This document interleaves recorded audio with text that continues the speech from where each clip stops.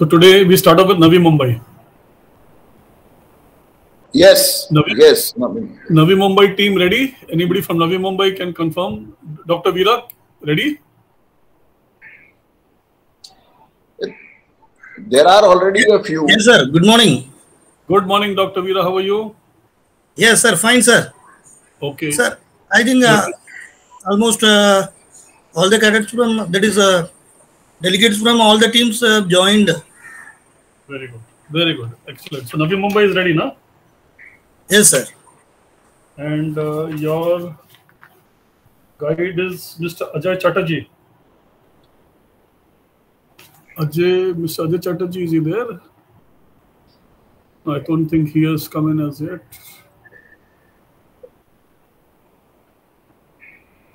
Good. I have to change my. I, I have to just leave the meeting and come back in my new.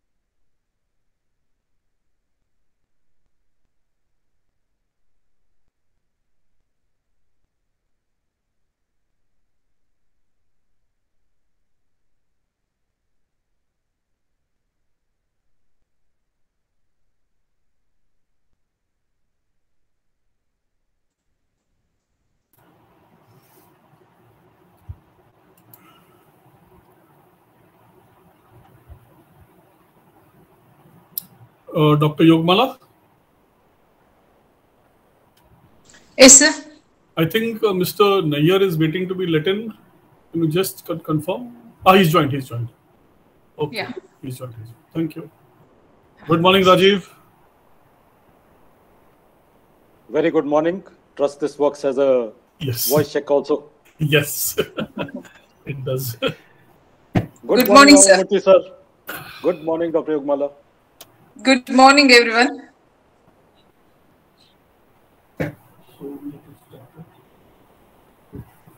Judges, ju- judges have logged in. Uh, Mr. Ramamurthy is there. Uh, Captain Sagi may not be there.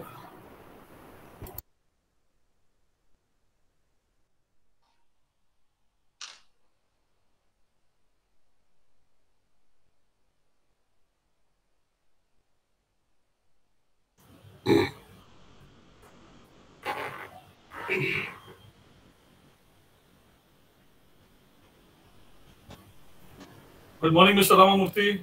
Good morning. Good morning to all of you. Morning, sir. How are you? I'm fine. Wonderful.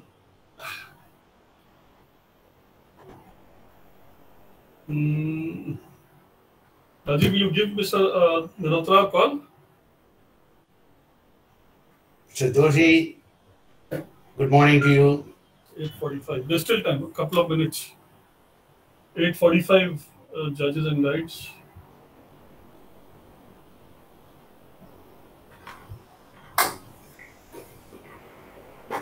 Sir, you are happily on the 25th floor? 35th floor. Yes. Okay. I'm very happy. Yes. Only thing is, some repair work is going on on the 36th floor. I hope they don't keep disturbing me. That's all.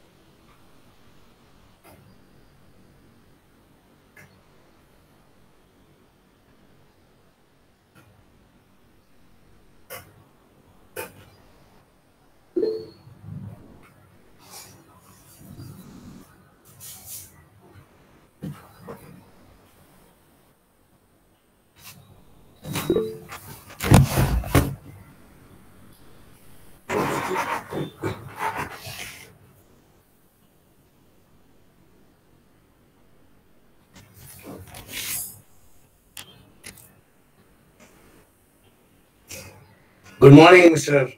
Agarwal.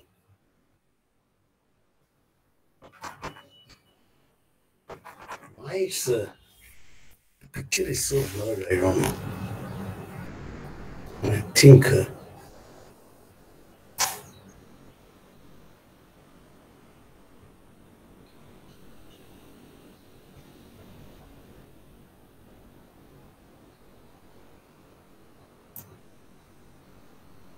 Sir, the light is coming from behind you. If you keep it in front, it will come out brighter. no, no, that is I. I'll change the background. Okay. Yeah, Background is the problem. Mhm.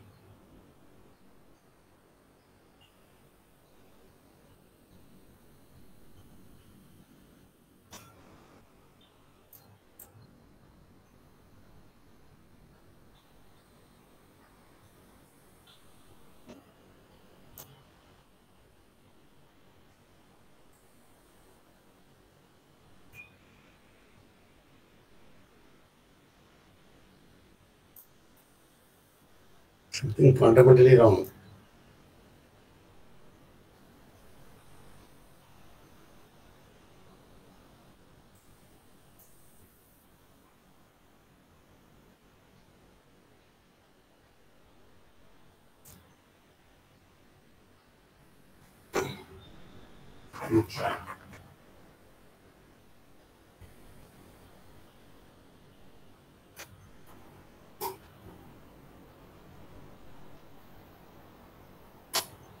Rajiv, will you call Mr. Mehrotra?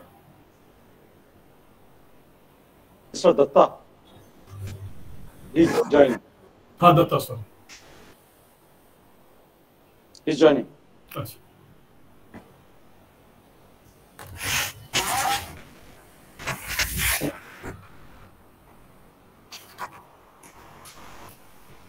So Captain Sagi is not there, and the judges, Mr. Datta. Mr. Ajay Chatterjee is not joined. If you people allow, I'll, I will take one minute to go out and, uh, I mean, to relog myself. Yes, sir, please. If you don't But it mind. is looking much better now, sir. Yeah, that's why I'm trying to do that. Hmm. Just a minute, I'll relog.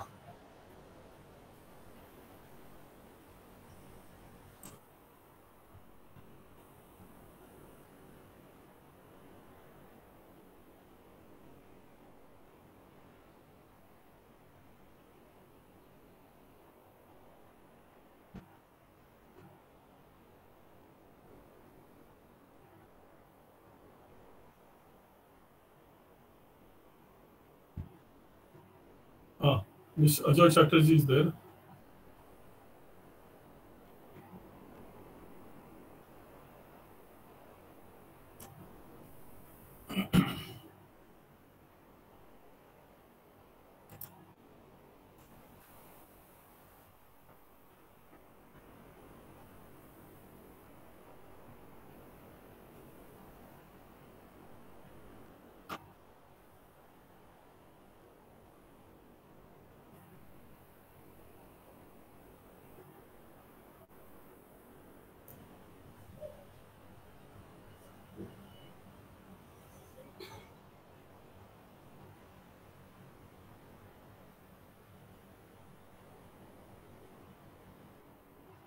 Good morning, Mr. Chatterjee. Yes. Chatterjee, sir, good morning. Good morning, Mr. Chatterjee. Good morning. Can you hear me? Yes, sir, loud and clear, sir. Yeah. So, today, sir, I think all been are present now. And 66, 69. I see only one judge, Mr. Ramamurthy. Yes, sir. Mr. Datta is just joining.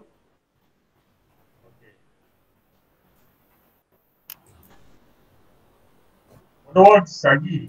Mr. Sagi might be on the road right now, so depending on his connectivity, otherwise he'll be watching the uh, this uh, recordings. Because today he may be a bit on the road. Good morning, everybody. Good morning, Mr. Datta. Good. Can you see me? Good morning, sir. Yes, Achinto, I can see you. Yeah, You can see me? the but I state control see. behind you. Thanks. Thank you.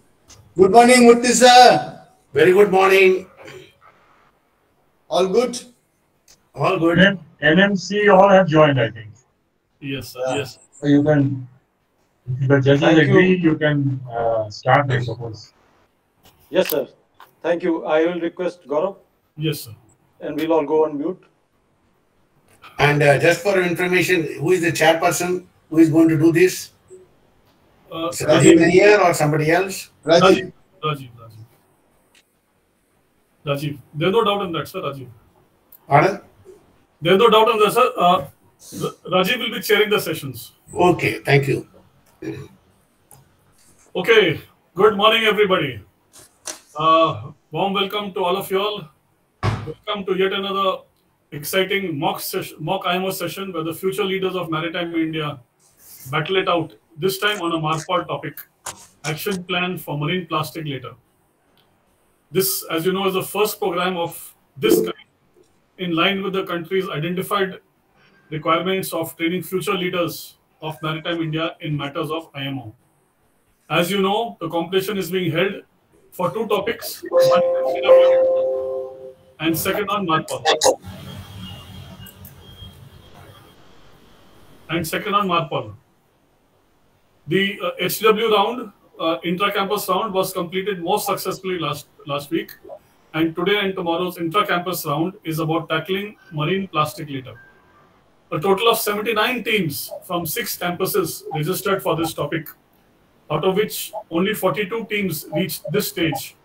And will compete over the next two days to continue to the next round.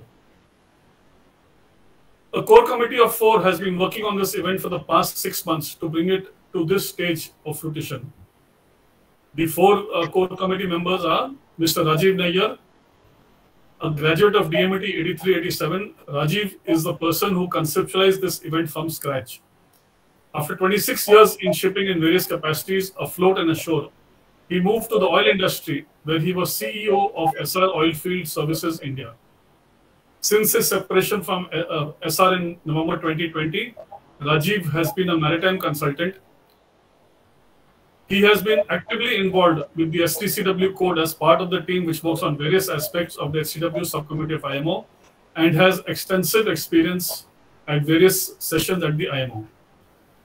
Mr. Rajesh Doshi, the second member of the uh, core committee, represents the Mumbai branch of the Institute of Marine Engineers.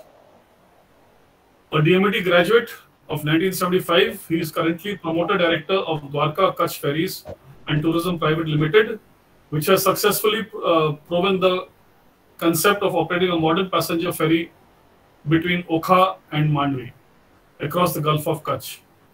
Mr. Doshi is always willing to share his experience and his vision for the future of inland waterways, coastal shipping, as well as education and training. He believes in sharing his knowledge to a large extent. Dr. Yogmala has been a pillar of strength, an assistant professor of law at the Kochi campus of the IMU. With expertise in international maritime law, IMO conventions, hazardous waste, commercial arbitrations, and, and what have you a PhD in international maritime law. She has to her credit 10 peer-reviewed research papers as and is a much sought after resource person for uh, formulating uh, course modules. I am Commander Gaurav Agarwal, retired. I represent the DMT MERI alumni, a graduate of DMT 1995. I am active in, uh, in alumni affairs and believe in giving back to the alma mater.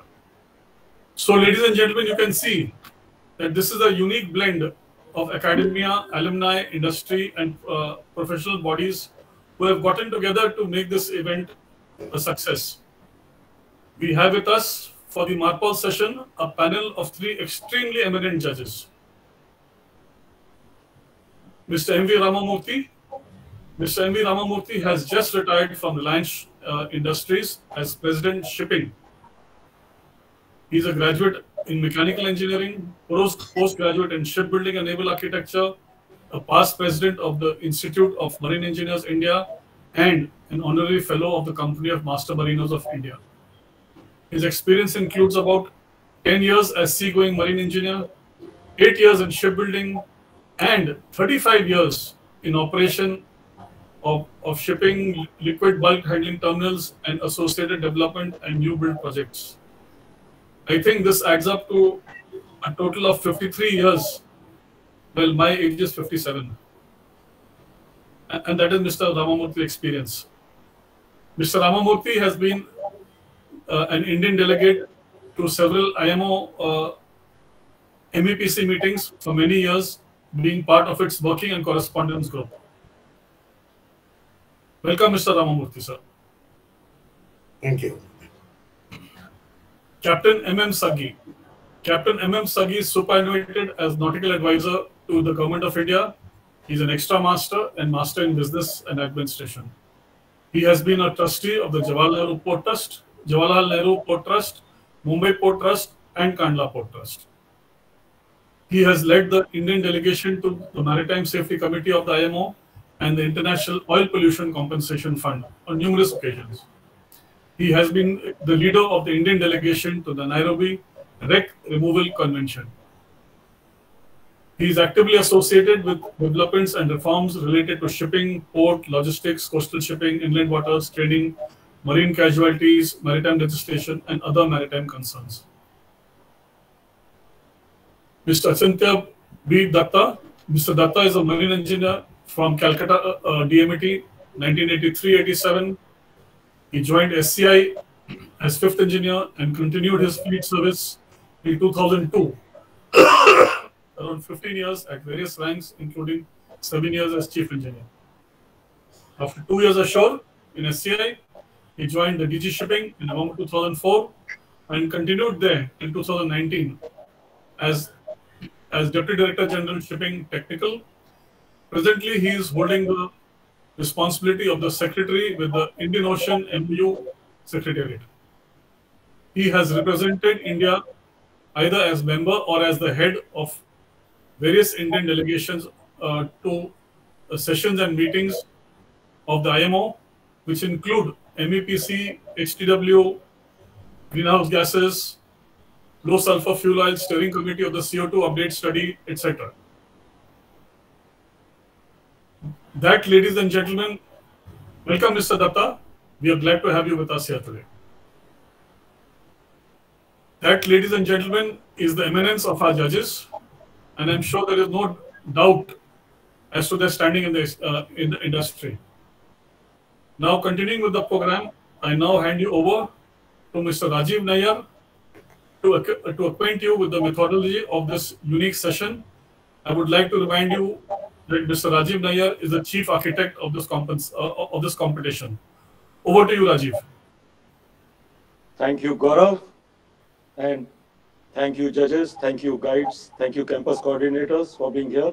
And now I will start with the participants.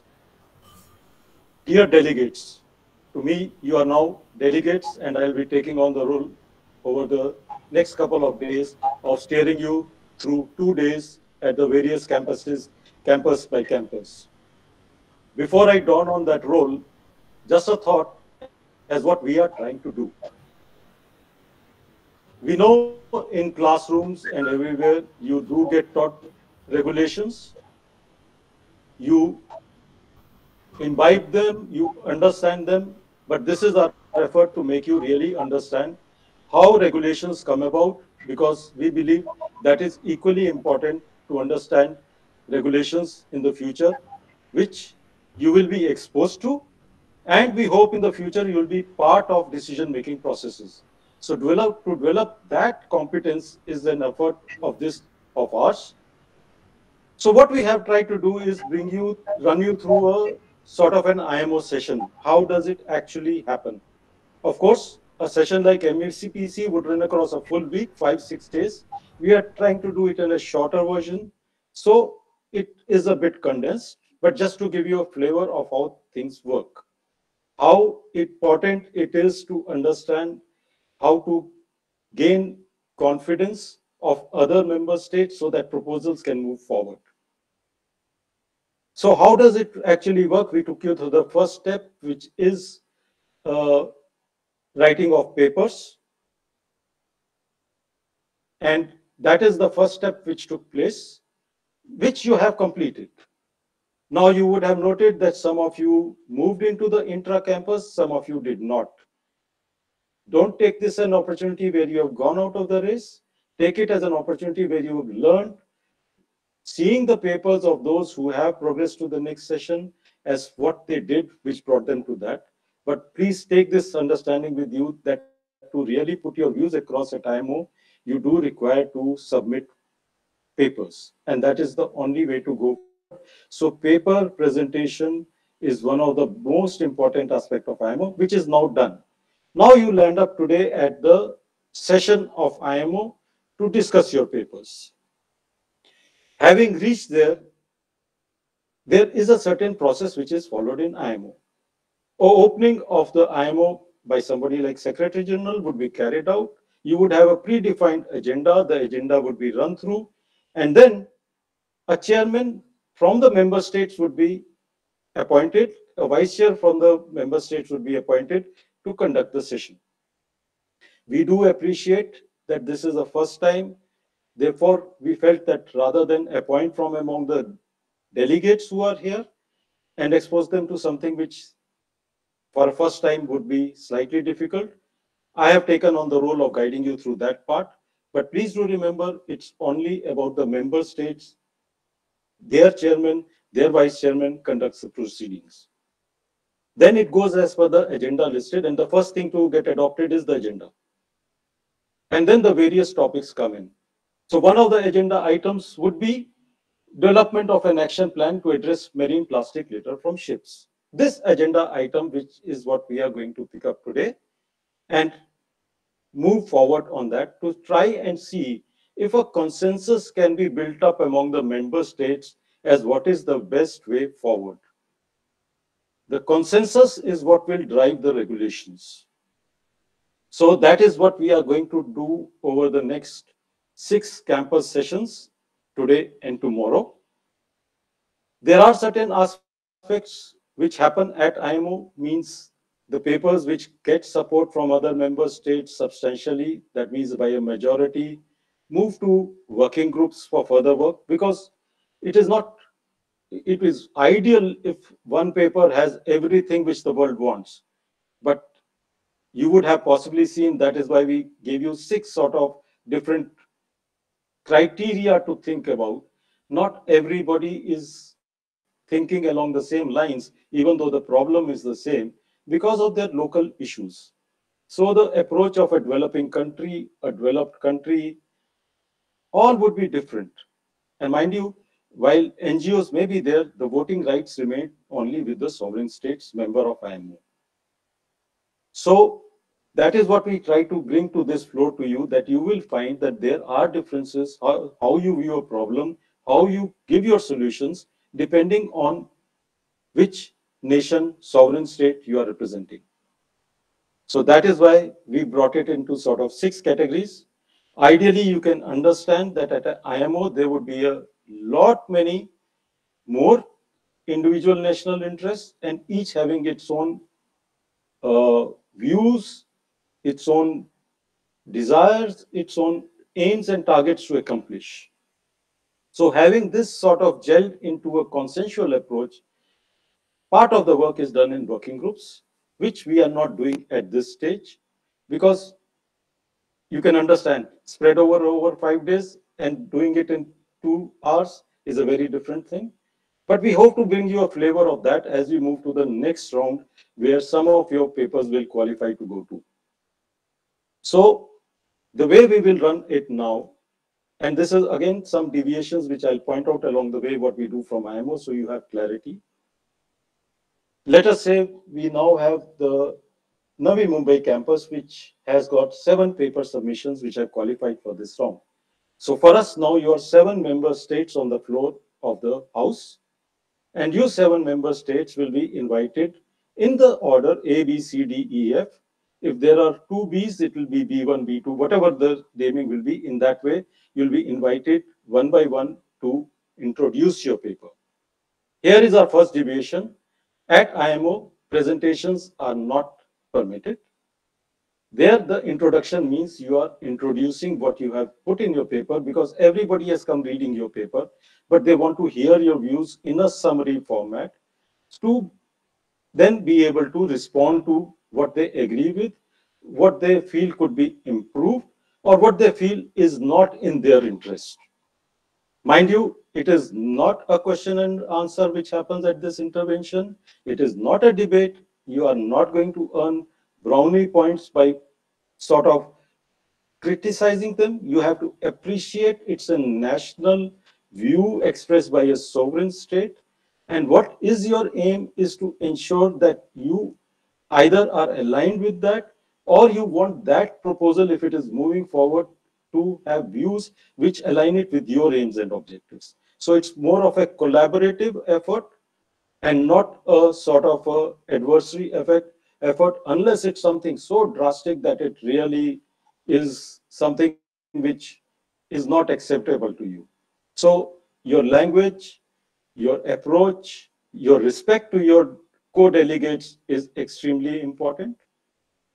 So the sequence we'll follow is rather than have a bunch of papers which have commonalities expressed, we will go one by one to make it a simpler process.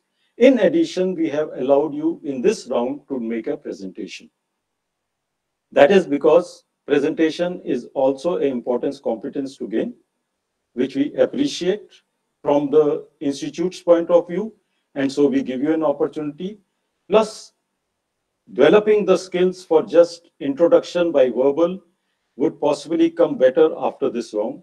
So we would give you an opportunity to present and thereafter I will open the floor to the delegates to comment on that from that campus only. No other campus will interfere in a particular campus affairs, this intra-campus. So the delegates will give their interventions. This way I will treat, starting with Navi Mumbai, seven submissions one by one. Then I will take a short break to summarize my notes and give you a conclusion of how that Navi Mumbai session went. This is the process we will follow. A bit of a, sort of a housekeeping advice, which you should get used to as delegates. When I start the process and say, let's say, uh, the first paper starts, team A1, introduce your paper. This is the only time you will take the floor without raising your hand. Once you're finished, you'll say thank you and you'll again mute yourself. After that, any intervention, anybody wants to take the floor requires to raise his hand. Please do not unmute yourself and start speaking unless you're invited after raising your hand to speak. So with this background, I will now hand it over to Gaurav to take it forward so that we can start the Navi Mumbai session. Thank you. Thank you, Rajiv. I think you explained it in, in a very uh, neat and concise manner, uh, amplifying all the instructions and guidelines, which will go a long way towards making these participants the future leaders of maritime India.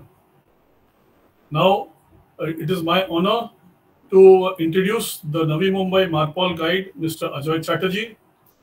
Mr. Ajoy Chatterjee sailed as engineer officer on various ocean-going ships for 12 years, out of which six were as chief engineer.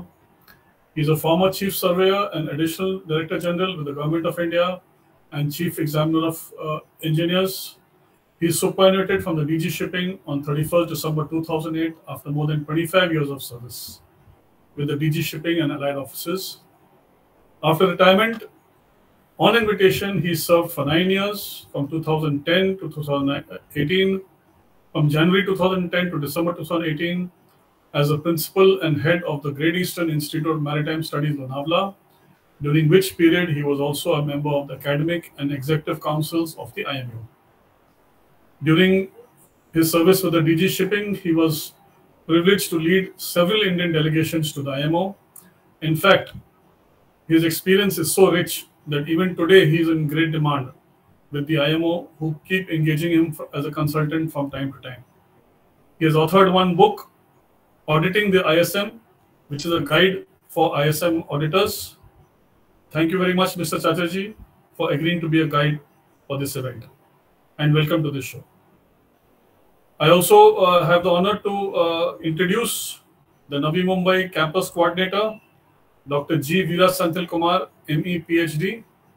Dr. Veera Senthil Kumar is an assistant professor with the Indian Maritime University at the, at the Navi Mumbai campus.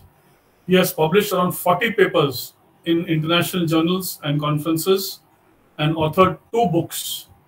He has vast teaching experience of around 18 years. He completed his PhD in 2017. Thank you, uh, Dr. Senthil Kumar, uh, for the good job done as the campus coordinator for the Navi Mumbai campus. I now hand over back to Mr. Rajiv Nayyar and request him to chair the first session. Over to you, Rajiv. Thank you. Good morning, delegates. Welcome now to the agenda item, development of an action plan to address marine plastic litter from ships. We have seven submissions on this from Navi Mumbai from A2, B2, B3, C1, D1, E1, F2. I now invite A2 to take the floor and introduce the paper.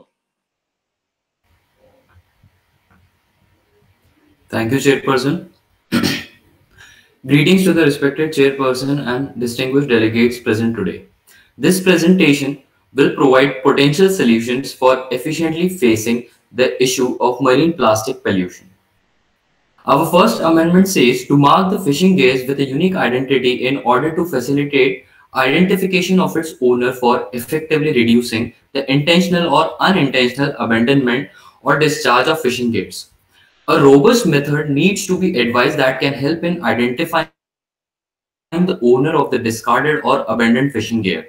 And further, strict actions can be taken to make the owners of the fishing gears and the parties engaged in fishing operations to accurately comply with the regulations. Another issue is the end product of the degradation. Since biodegradable materials finally degrade to carbon dioxide, methane, and water, they do not have any additional impact on marine ecosystems once they have been degraded. Nylon nets, on the contrary, may well lose their ghost fishing capacity when they degrade, but they do not disappear from the system. They may degrade into smaller particles that will continue to disturb various processes in the marine ecosystem. A study reveals that 70% by weight of macroplastics were found floating on the ocean were related to fishing. A manufacturing method for fishing nets have recently been developed that uses biodegradable resin which can be decomposed by microbial action after a certain amount of time underwater. Drawback with such nets is their price, which is higher as compared to the traditional nylon nets, which would not encourage a fisher to purchase it unless the net offers some other economic benefits that offsets the high purchase price. Adoption of biodegradable fishing nets will likely have to be supported by some sort of subsidies. Authorities should be able to identify even the smallest of the vessels and should be inspected on a regular basis so that the fishers and other vessels owners cause less pollution to their fishing gears through their fishing gears and other plastic materials that are in use. And with this, we would like to shift our focus to another issue. As we all understand, majority of the marine plastic litter is a result of operations by fishing vessels. Only less than 1% of the total vessels indulged in fishing have a gross tonnage of over 100 tons. Rest of it has no obligation to implement and maintain a plan or a record book, and this increases the risk of illegal disposal. And with this, we would like to suggest our next amendment, an amendment to make the vessels with, le with less than 400 gross tonnage to maintain a proper and strict garbage record book with serious consequences if done otherwise with no relaxation given to the vessels under 100 gross tonnage and with a timely inspection of the record books. Under MARPOL Annex 5, a global ban on the discharge of fishing gears and a mandatory reporting of ALDFG to the organization is prescribed. This can be accomplished only if the owner of the fishing gear so lost can be identified. It is evident from a large volume of fishing gear found in the oceans that the regulations are not being complied with. If they were, they would be reported to the flag state or the coastal state in accordance with Regulation 10.6, which is not the case as reporting requirement is barely implemented. In spite of the global ban on discharge of fishing gear in the sea, it is a fact that fishing gear represents the largest category in terms of volume. A research demonstrated that fishing gear is being intentionally discarded from fishing vessels into the sea, which is a practice in full contravention of the regulation of Annex 5. Coming to our next amendment, we would like to suggest that the marine litter already present in the oceans must be picked up as soon as possible. This is because even if the litter is no longer able to ghost fish, it's constantly moving to the areas which are either inaccessible or difficult to reach, and the litter is continuously breaking down into microplastics and macroplastics. This is a serious issue as marine life cannot differentiate between food and very small sized microplastics. Another similar topic of concern in relation to marine litter is microbeads. Microbeads are non-biodegradable and this means they stay in the environment for a long period of time. Microbeads cannot be disposed of, though natural and eco-friendly alternatives of microbeads are available and should be considered. As being natural, they do not send off toxic materials into, into the oceans. Concerned authorities should work towards clearing out litter before they reach the deep trenches in the vast seas.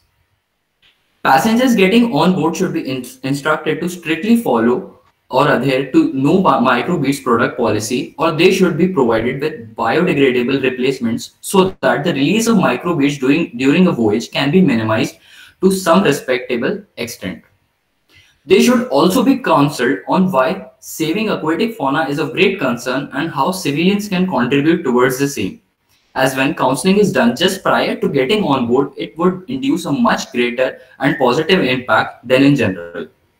Although discharge of all other garbage including plastic is barred, compliance with these guidelines relies totally upon waste management practices on board vessels. Our primary concern should be focused on prevention of loss of fishing gear. Educating fishermen would be valuable for raising the awareness in relation to ALDFG.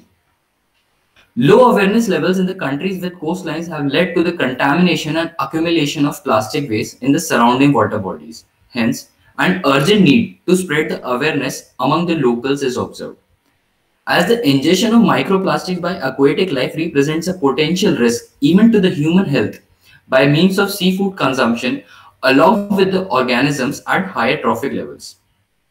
In continuation to the problem with, of microbeads and non-reusable plastics, we would like to bring in our next amendment, which says to prohibit the use of plastic products that come under type 6 category of plastics and replacing them with reusable and recyclable products on board ship, rendering them as non-recyclable and non-reusable.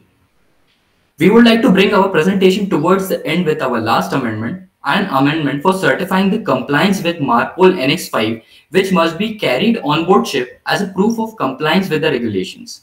It is well known that the regulations to carry a statutory certificate on board of MARPOL Annexes other than for Annex 5 are already in force.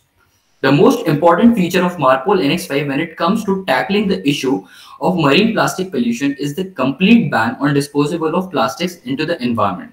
This strongly indicates the requirement of statutory certificate for Annex 5. And with this, we would like to conclude our presentation. I would like to thank the chairperson for giving us this opportunity. Thank you.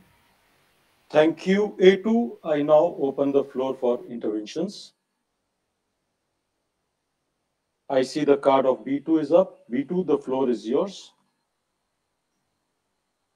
Thank you, Chairperson, for giving me this opportunity. Group B wants to appreciate Group A for its idea of replacing epoxy paints with Reynolds Dolphinus. Also observed that they have put emphasis on the port reception facilities and other constructive measures, which is in alignment with this category B. Therefore, category B wants to support category A, however, wants to address certain problems and suggest possible solution to it, which they might take. Number one, marine debris law and policy in certain countries. Marine pollution as a distinct subject has neither been dealt within a policy nor economics in certain countries. In tackling marine litter, certain policies has been restricted to the ban of only single-use plastic, a fact that is evidenced by the international report of the marine litter legislation by the United Nations Environment Programme in 2016. Number two, the major problem in certain countries is ship-breaking yard. Persistent organic pollutants are chemicals that are highly toxic. Remain intact in environment for long period, become widely distributed geographically, bioaccumulate through the food web, accumulate in fatty tissue of living organisms, and pose a serious risk to them. Suggestion that category B wants to give and other member state might implement Creation of Recycling Ships Act in countries where there is poorly developed standard for ship recycling, as these are one of the major source of marine plastic litter and also should have better port reception facilities. As according to FAO reports, countries which had better port reception facilities for fishing has lesser number of LDFG at seabed and vice versa. Example can be taken from countries like Egypt, ongoing project on Mediterranean seas some, like SWIM H2020 EFH EG3 and SSFA MedPol, which is based on the assessment of marine litter in Egyptian Mediterranean coastline. The process undergoes like select two beaches per country, country close to river mouth as appropriate, identify the local partner in charge of the project, carry out national workshop to disseminate best practices related to adopt beach measures investigate and record on a periodical basis the contribution of local rivers on marine litter found on beaches, undertake periodic cleanup of the selected beaches, prepare periodical reports on the activities undertaken. I find the member state would find this suggestion useful and might implement in their program. Thank you, Chairperson, for giving me this opportunity. Thank you, B2. I see no further cards on the floor. Okay, I see now B3 has raised card. B3, uh, if you could in concise form give your intervention, please? B3, go ahead. Thank you, Chairperson, for giving me the opportunity to speak on this platform.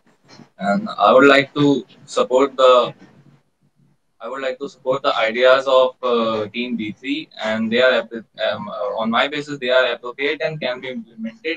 And I completely support the ideas of B3. Thank you very much. Uh, to uh, understand clearing, you're supporting the proposal of A2. B3, is that correct? Yes, yes A2. Oh, my bad, A2. Yes, the team A2. I'm supporting Thank the... you very much. Thank you, B3, for this clarification. D1, I see your card is up. The floor is yours. Thank you, Chair, for giving the floor.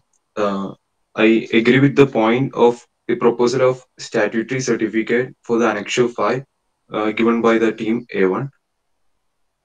Thank you, Chair. Okay. Thank you, D1.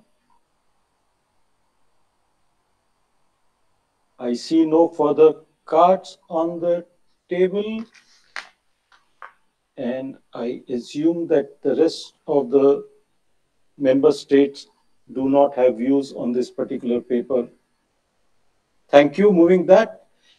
With that, uh, I move on to B2. You may kindly introduce your paper. Thank you, Chairperson, for giving me this opportunity.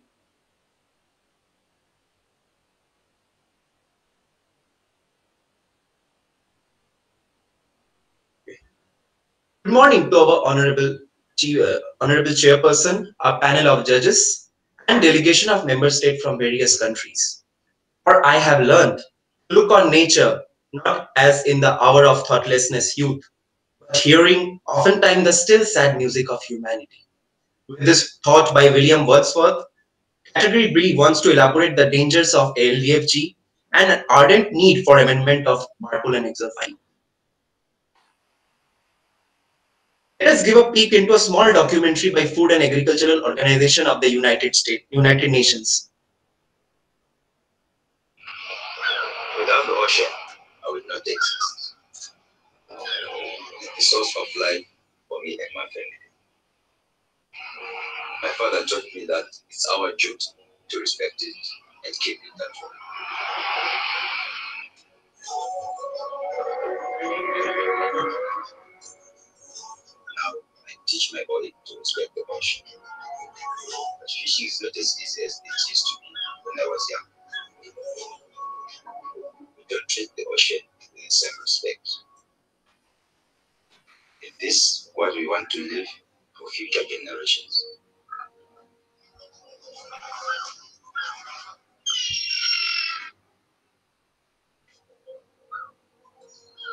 Our oceans give us so much. We should take care of them in return.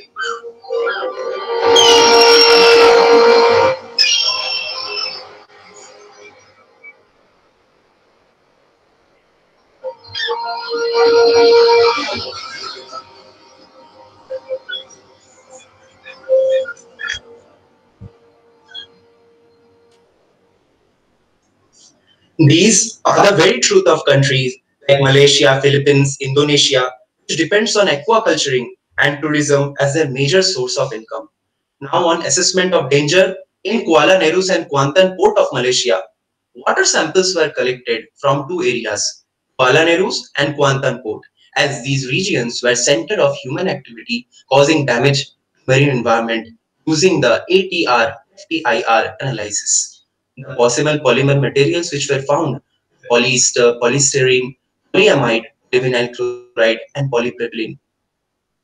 Why ALDFG is a problem? According to the GISM report, the small-scale fisheries sector provides food and supports livelihood for local population around the world, employing estimated 37 million people, with an additional 100 million employed in associated activities such as processing and marketing.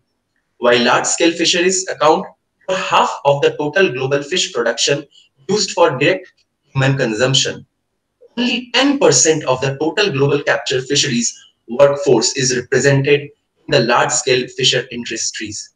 Thus, the problem of ALDFG is dynamic. which affects land, ship, and the sea.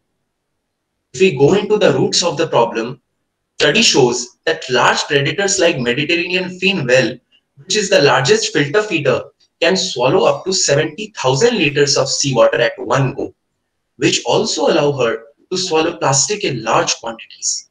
Not only by ingested directly by aquatic life, plastic particles are also eaten by absorption, adsorption by the surface. About 46% of the Great Pacific Garbage Patch is represented by the fishing gears, and about one third of the marine litter in European seas, which goes to 11,000 tons per year. Every year, 640k tons of lost or abundant fishing equipment and gears enters the ocean, equivalent in weight more than 9,000 blue whales. Diagram which we see beside is the spatial distribution of abundant lost and otherwise discarded crab pot densities in Chesapeake Bay according to a report by GESAMP. Reasons for the loss of the gear? Seafloor topography. Tides, trends, waves, and heavy winds also play a role in gear losses. Wildlife interactions fishing gear can also cause foul damage and move gear off position, which can lead to gear losses. Gear conflicts primarily occur in areas where there is a high concentration of fishing activities. Passive gear such as spots and set inlets are particularly prone to being towed away or extremely fouled, either intentionally or deliberately. By active gear such as trawls, trawls, or dredges in places where they are used concurrently. Thus, we can conclude from this that if human fallacies are neglected, nature fallacies can never be neglected. Thus, the main culprit behind the game is the hostility of the nature forces which cannot be avoided. So there must be a cure beforehand to give a way for any mistakes done and done. As discussed earlier, from the diagrams we can see there is a tangled aquatic life by fishing here. There is a tangled propeller and we can see remains of the LDFG on land.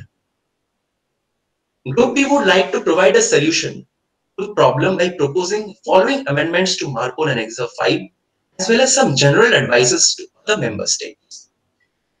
We must keep in mind that though human mistakes can be reduced, natural methods of gear loss cannot be ignored.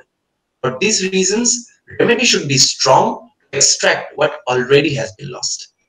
Proposal Fishing vessels, irrespective of their tonnage, must have garbage record book being carried on board, as well as each fishing vessel must have a local identification number for record keeping. Advice Fishing gear must be marked to provide a simple, practical, economical, and verifiable means of identifying ownership of fishing gear or portions of fishing gear, as well as their connection vessel or vessels or operator or operators conducting the fishing operation in the event of accidental loss or discharge. Record keeping should be on both hands, that is, fishing vessels and port reception facilities. Therefore, there must be some means of simultaneous exchange of data. Proposal, digital garbage record book, which needs to be updated each and every time action of dumping LDFG is carried out. Advice, only 150 countries has ratified MARPOL Annex 5. So the committee demands participation of more countries. Indeed, the large volume of fishing gear found in the oceans is certainly not falling under the exceptions as provided under Regulation 6. Proposal, revision of Regulation 6 of Annex 5 and inclusion of new and newer LDFG types in it. Advice, imposing a fine if on investigation and proven it is caused by human failure and not natural cause.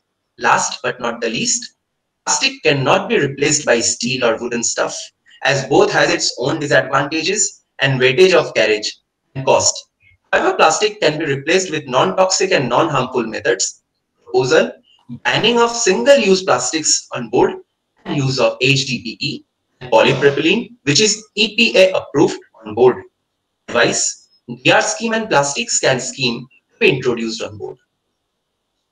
Category B, uh, the Federation of Malaysia being a tourism third largest contributor to Malaysia's GDP and fishing reliant country intends to clear its waterways from LDFG and support its member state in this cause. However, the are open to challenge and welcome other member states to scrutinize the idea, which may see the light of improvisation.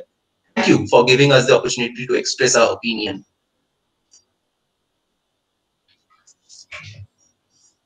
Thank you very much, B2, for your movie presentation as well as the presentation.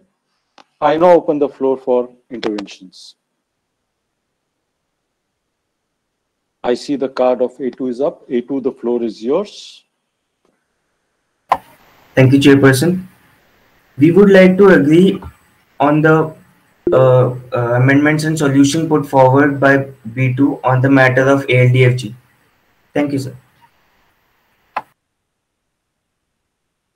Thank you, A2. I now invite B3 to take the floor.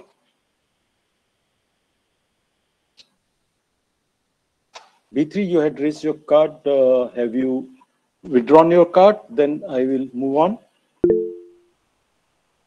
I see the card of D1. D1, the floor is yours.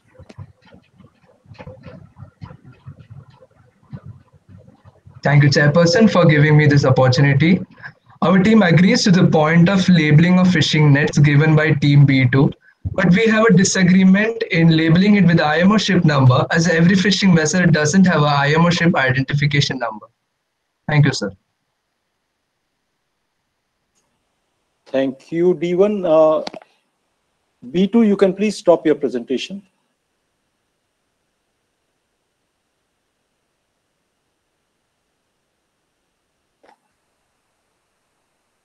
Any other member state would like, I see no further cards on the table, so I assume there is no further comment on this.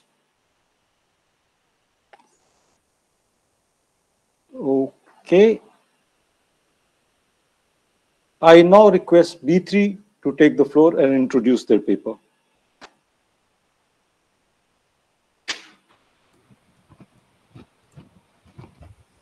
Thank you so much, Honorable Chairperson, for providing us this opportunity.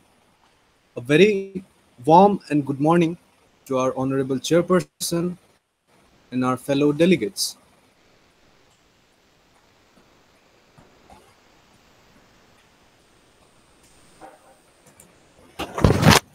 Plastic, a synthetic organic polymer made from petroleum, has covered almost all the requirements and necessity of our day-to-day life. With its widespread use and its widespread applications, at the same time, it results into a horrific catastrophe when it comes to its dumping, as it drifts for a quite a long time in our ocean and its incineration can contribute in the global warming. I would like to affirm my statement with the following data included. The use of plastic continues to grow globally. By 2015, mankind has produced 8.3 billion tons of plastic. In this case, 6.3 billion tons have already been disposed of, and another 8 million tons are dumped into our oceans every year.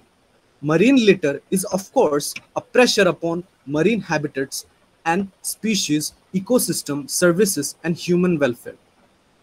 Measuring impacts from marine litter is complex. Harm caused by plastic marine litter is social, economic, and of course, environmental degradation and destruction. Uh, B3, uh, do you have a presentation? Now, presentation? challenges that are imposed. Uh, if you're trying to present, your presentation has not come on. Or if you have no presentation, just tell me. That's fine. Okay, sir. It's my bad. I'm sorry, sir.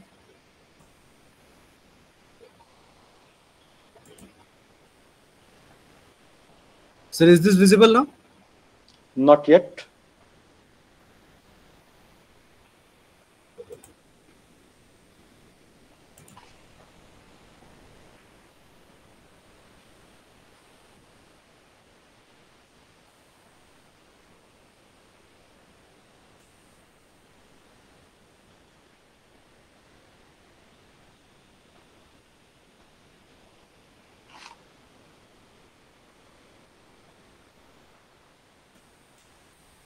If you are having technical difficulty, you can do it verbally. Sure, sir. Go ahead. Sir, so I would like we, to go verbally. Sir. We will not uh, expect a presentation from you, but we'll take your speech. Go ahead. Okay, sir. Approximately, the challenges imposed on us are approximately 53,000 merchant ships are registered by the International Maritime Organization globally in 2020. International maritime trade has reached a total volume of cargo of 11 billion tons in 2018, and in the last 30 years, the global ocean cruise industry has grown from 4 million passengers per year to an estimated 27 million. The large scale fisheries sector is characterized by large high capacity vessels which may be equipped with on-board freezing and processing facilities. Now, the shortcomings of Marpol Annex 5, which we would like to highlight, is it is difficult to detect violations at sea and often impossible to link debris with a particular ship. Legislation is often ignored by other types of vessel and shipping still significantly contributes to plastic pollution. Annex 5 fails to impose record keeping requirements for the handling of garbage for ships under 400 gross tonnage. This means that most of the global fishing fleet is not required record discharge operations. This gap in control could be one of the reasons why fishing vessels often discharge plastic debris into sea. Additionally, some reported cases of violation of Annex 5 remain unpunished, namely, beside the port state jurisdiction, Marpol bestows the flag state jurisdiction. The flag state is under the obligation to investigate cases of ships violation of Annex 5. However, it seems flag states failed to exercise effective jurisdiction.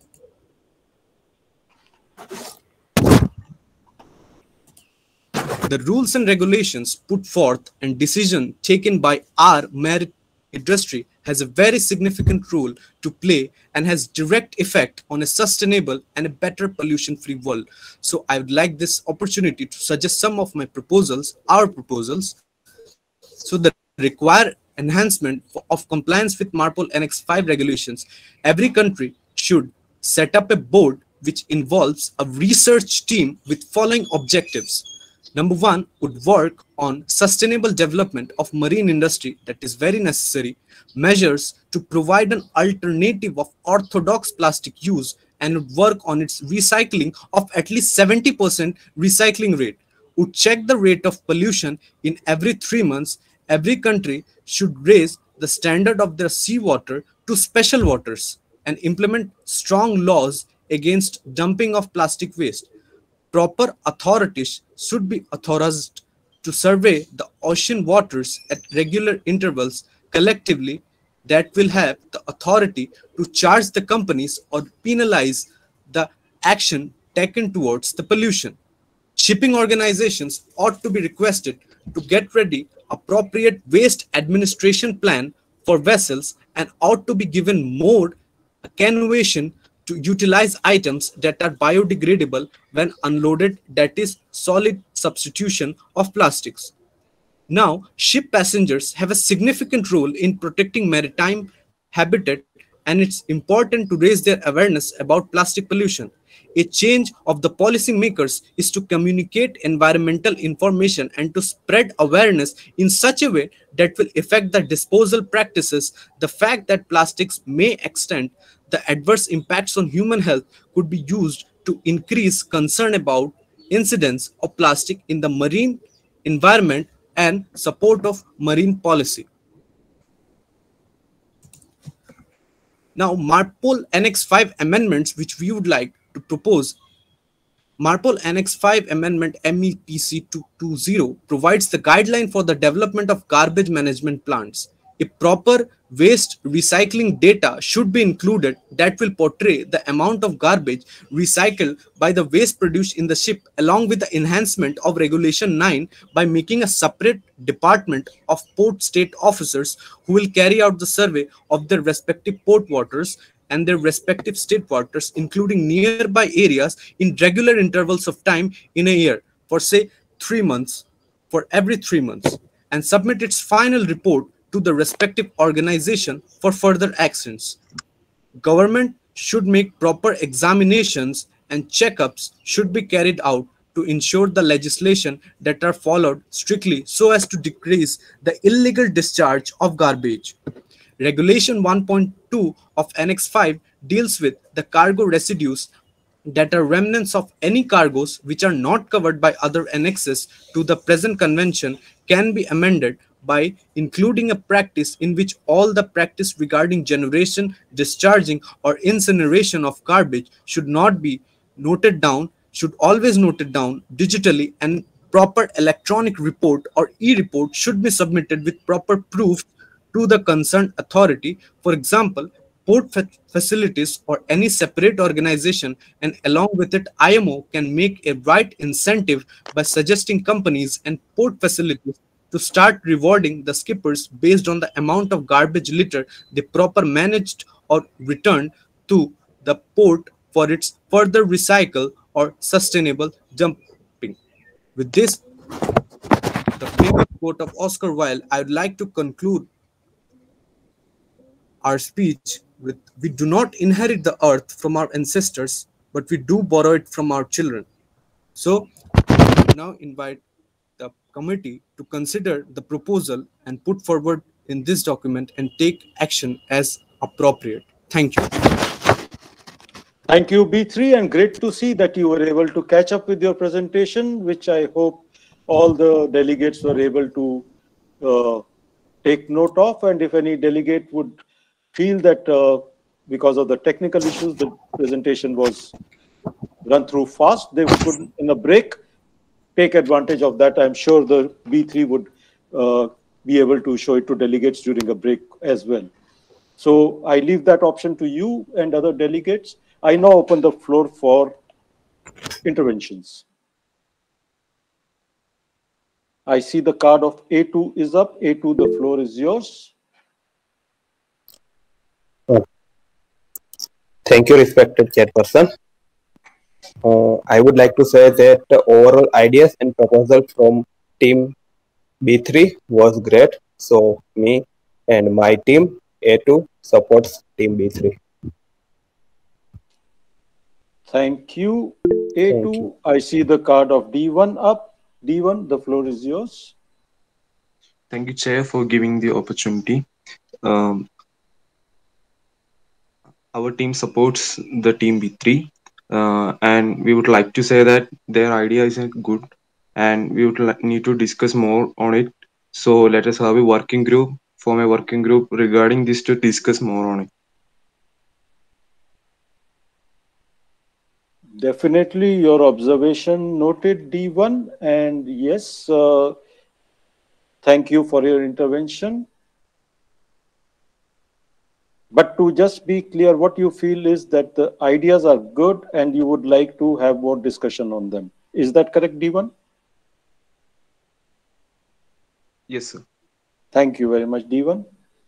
I see no further cards on the floor. And with that, I ask C1 to introduce their paper.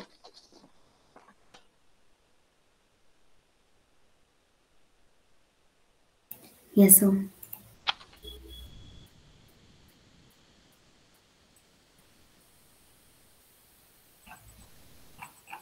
Good morning, everyone. I am the delegate of the United Kingdom. I would like to thank the chair and committee for giving me this opportunity to raise our motion. More than 150 million tons of plastics have been estimated to be accumulated in the world's ocean, while 4.6 to 12.7 million tons are added every year. Marine litter is one of the fastest growing threats to the health of the world's ocean while taking into account its accumulation and dissemination.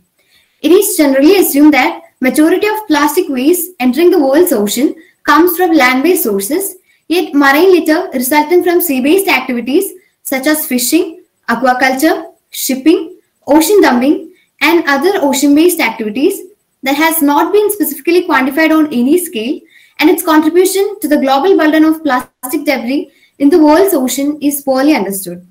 Plastics are used for a range of marine purposes, including but not limited to packaging, ship construction, disposable eating utensils, bags, sheeting, floats, fishing nets, fishing lines, strapping bands, wire rope with synthetic fiber sheet, combination wire rope, and a plenty of other manufactured plastic items.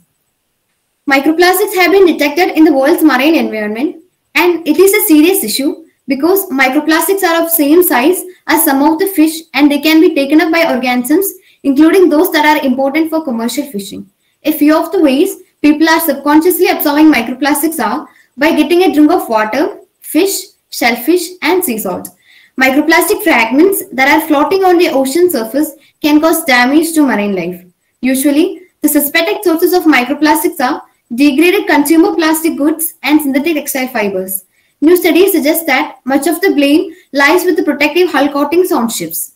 Particles such as polyvinyl chloride, acrylate polymers, and polycarbonates, etc., originate from ship coatings where these particles are used as binders in acrylic paints or epoxy resins.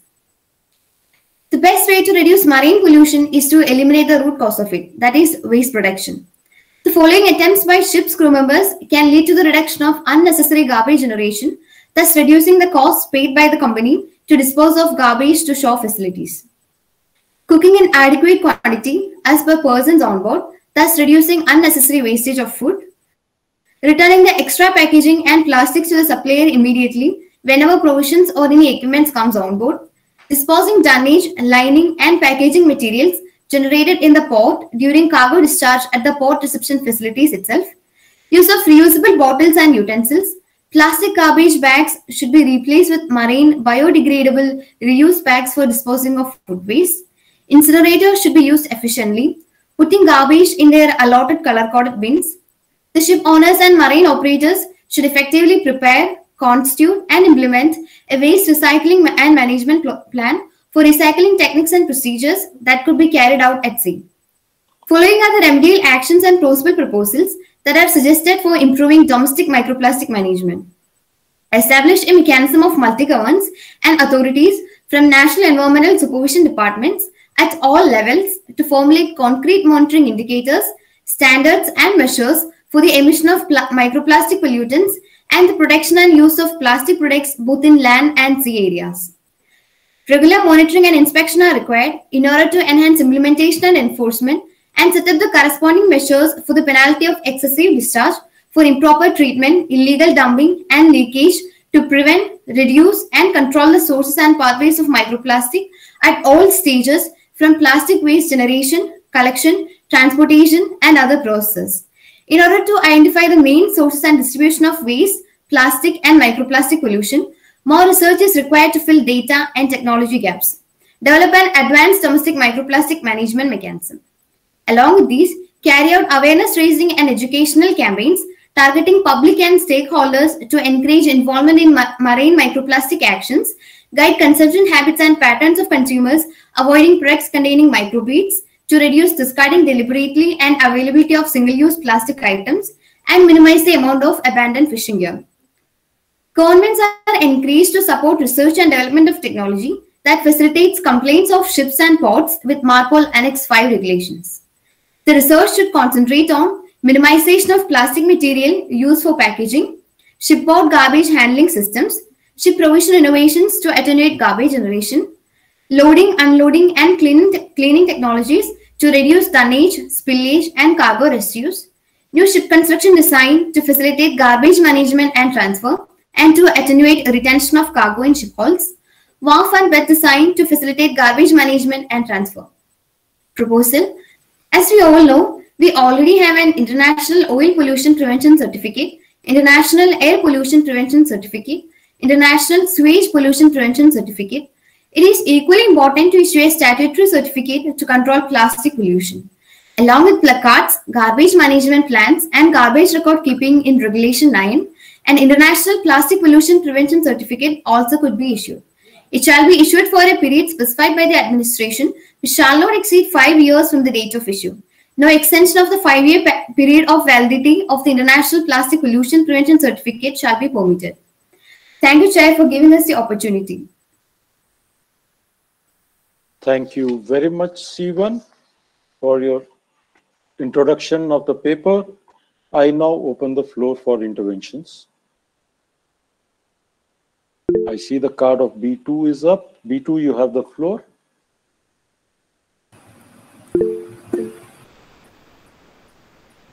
Thank you, Chairperson and distinguished delegates. We support the proposal made by Category C and we are looking forward to have a working group set up at this session for discussion of introducing International Plastic Pollution Prevention Certificate for ship.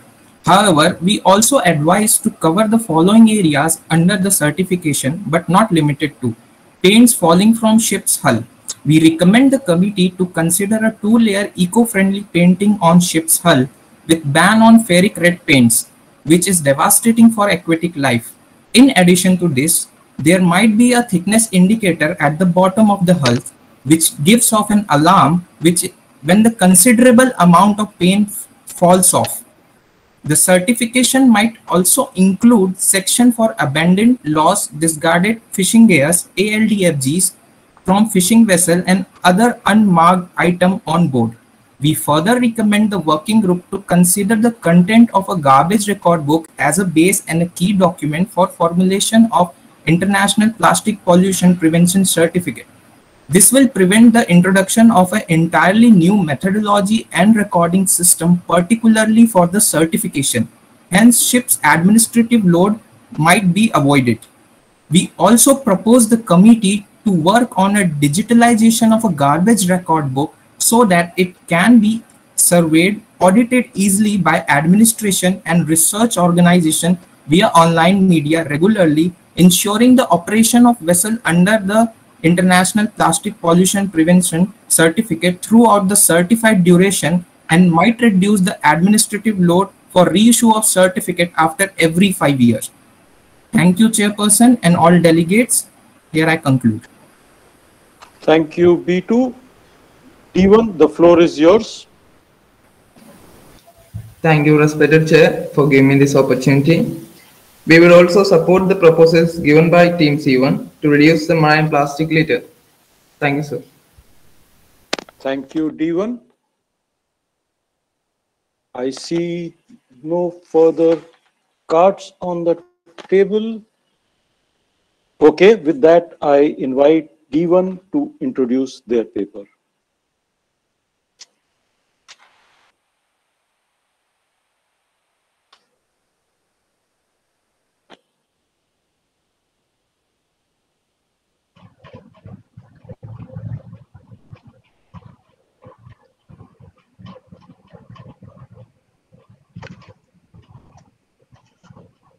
Thank you, Chairperson, for giving me this platform. A very good morning to the respected Chairperson, fellow delegates, and all the viewers present over here.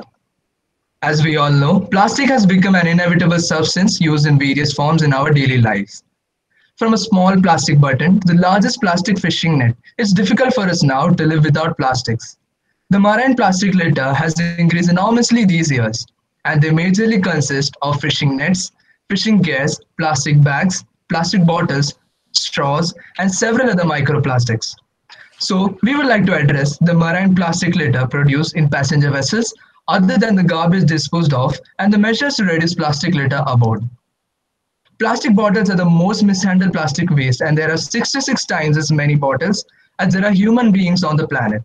More than 480 billion plastic bottles were sold in 2016 across the world, up from around 300 billion a decade ago.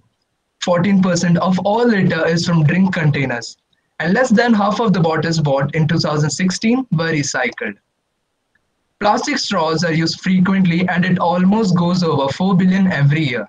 It is a serious concern now that it is estimated that only 7.5 million straws are required to pollute a developed country's coastline.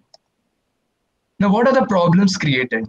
The straw not only causes worldwide plastic litter, but also endangers the aquatic life in seas and waterways. There are cases reported about straws getting stuck inside the nostrils of tortoises and many other organisms. Plastic bottles release microplastics, which get swallowed by aquatic life, especially creatures like seals, which causes diseases and also hinder their reproduction. Plastic water bottles may act as a trap or shelter for small fish, but the larger animals may not get stuck inside the bottles, but they do try to consume and break down anything that may contain a prey. Even if larger marine animals manage to avoid eating plastic, they're often consuming animals who have already ingested these microplastics. These toxic elements eventually work their way up the food chain while damaging all forms of marine life. And as we know, humans do have seafood, out of which a large amount of them are ingested by these microplastics, eventually damaging our own health. Now, we would like to propose the following measures to reduce marine plastic pollution. Along, along with the efficient garbage management plans and recycling methods, the deposit return scheme, DRS, can be introduced in which drinking bottles with plastic, glass, and metal drinks containers at the purchase time will be more expensive than usual. But when the bottle is put back to the retailer and then posted into the reverse vending machine, you will get your extra deposit back. In many passenger vessels, a new water bottle is distributed once the old one gets finished. This in turn makes the number of plastic bottles going to be discarded into huge amounts. So, the big passenger vessels are recommended to provide every passenger with a bottle, maybe plastic or steel, which could be reused throughout their voyage. This can drastically reduce the plastic bottle waste generated. Now, many a times, we humans do have a bad habit of throwing away plastic bottles into the ocean because we think, what could a small plastic do to the vast ocean? To avoid this, the passenger vessels can also buy water bottles in bulk amounts, where the water packaging company can attach QR codes stating that these bottles are being sold or distributed to the specific passenger vessel. Now, if the bottle is deliberately thrown away by any passenger or is being dumped into the sea, then on finding these bottles, authorities can take necessary action against these vessels. In the case of straws, there are so many alternatives to plastic straws on the market. The easiest and cheapest method is the power to refuse a straw and drink straight from the glass. If this cannot always be done, invest in a reusable option. There are so many alternatives to plastic straws made from glass, stainless steel, silicone, bamboo, paper, hay, and grass. People still buy plastic bags and bottles even after so many safer alternatives have been released. And it is because of its cheap price. And the best way to tackle it will be by increasing taxes on plastic goods. Individual consumers are required to pay a tax per plastic bag. Now, this will result in an estimated 90% reduction in plastic bag used in the first year. Moreover, when plastic goods start to have prices near or the same as their alternatives, then there will be a drastic fall in the use of plastic material. The member countries can require manufacturers and producers of plastic bottles and other plastic waste to take them back and recycle. A complete ban on single-use plastic bottles should be strictly implemented and banned on the ships. The Annex 5 proposes the garbage management plan for the ships of 100 gross tonnage and above. If the ships below this category are also included, the pollution caused by these vessels can also be minimized. As per Annex 5, only vessels of 400 gross tonnage and above are required to maintain a garbage record book.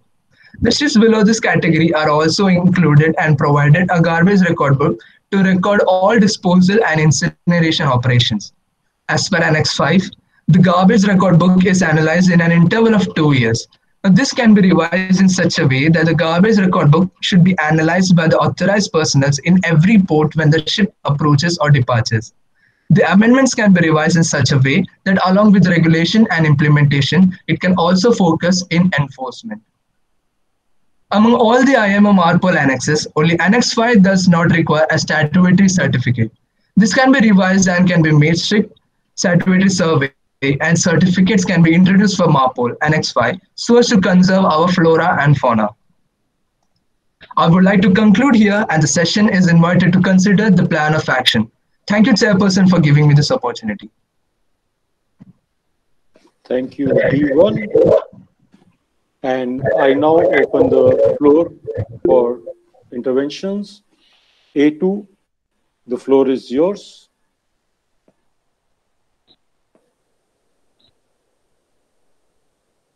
Thank you, respected chairperson, to giving me this opportunity. I appreciate the point of marine plastic litter because of plastic bottle and straws, which main source in marine is passenger vessel. Team has successfully described all the points, problems, and effective solution like DRS scheme and apply QR code for passenger vessel. But one point that is the team has only discussed a single problem of plastic bottles. The main other factors like LDFG solution or pollution because of merchant vessels still remain covered by them. So, but overall, we team A2 supports team D1. Thank you, but I suppose uh, every drop counts. So if every small part is taken care of, somewhere we will be able to chip away at the bigger problem also, I'm sure. So thank you for showing your support even to these small things, which actually when you take in totality and uh, look at the statistics, do not remain so small. I think uh, plastic bottles, forget about passenger vessels, but overall is also a huge number when you look at the production amount. And I do recollect some statistics to that effect. So great. Uh, yes, fishing gear is important, agreed.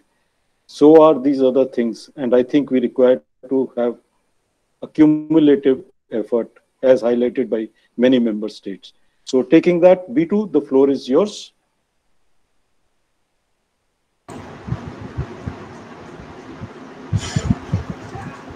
Thank you, Chairperson, for giving me this platform. The proposed idea by Category D over the implementation of deposit return schemes on the passenger ship is remarkably effective and practical, as it can contribute to reduction in waste management, collection cost, and improve the quality of marine water. We are looking forward to have a working group formed at this session for the discussion to consider vessel below 400, 400 gross tonnage to have a garbage record book and vessel below 100 gross tonnage to have a garbage management plan. We also propose to consider the digitalization of the garbage record book so that it can be surveyed and audited, audited easily by administrations. We further recommend the inclusion of the tool plastic stands developed by the social enterprise Searious Business and IUCN, which was launched at the Ocean Plastic Crisis Summit at London, UK 2018, might help in the action plan to address marine plastic litter from the ship. It allows companies to measure how much plastic they use and how much plastic waste is generated along their value chain. Based on the result, they receive recommendation on potential improvements to their work, enabling them to save money while reducing plastic pollution.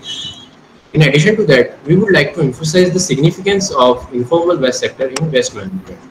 As in a report made by the IUCN Environmental Law Center as a part of MARPLASTICCs project to study and develop report on existing EPR policy and legal processes. It finding all points to the necessity to address the informal waste sector participation in emerging new waste management schemes. Thank you, Chairperson and respected delegates. Here I conclude. Thank, thank you, B2. And if you would like to share all these uh, best practices, other industry practices which you mentioned in your intervention, you could give a note uh, on that and we could circulate it as an information paper for other member states also. I now invite C1 to take the floor.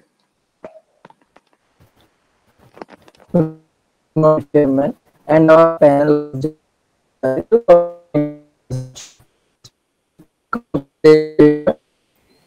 Can't, can't hear C1, cannot hear. Can't hear.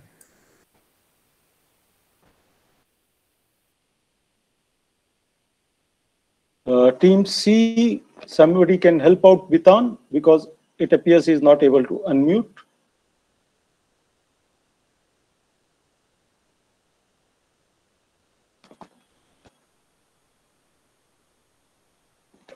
Team C1, I will just wait for a few more seconds to see if you can sort out your technical issue.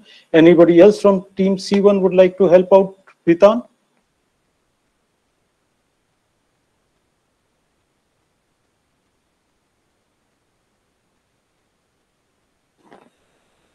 I see no response. I see your hand is still raised. C1, C1, are you able to sort sort out your?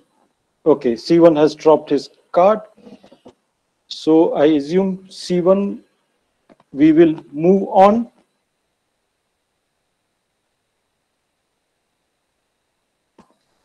And you can try and sort out your technical issues separately. Uh, I now invite E1 to take the floor and introduce their paper.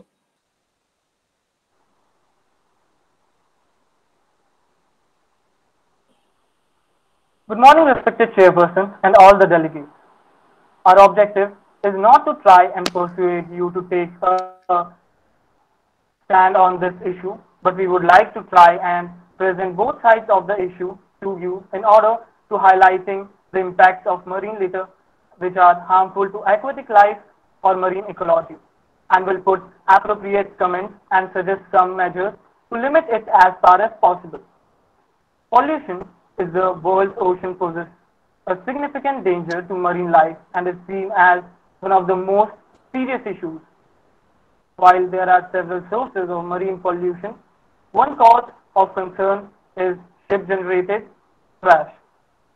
Around 80% of global marine pollution is caused by land-based sources such as effluent runoff, fertilizer discharge, and untreated sewage, including plastics.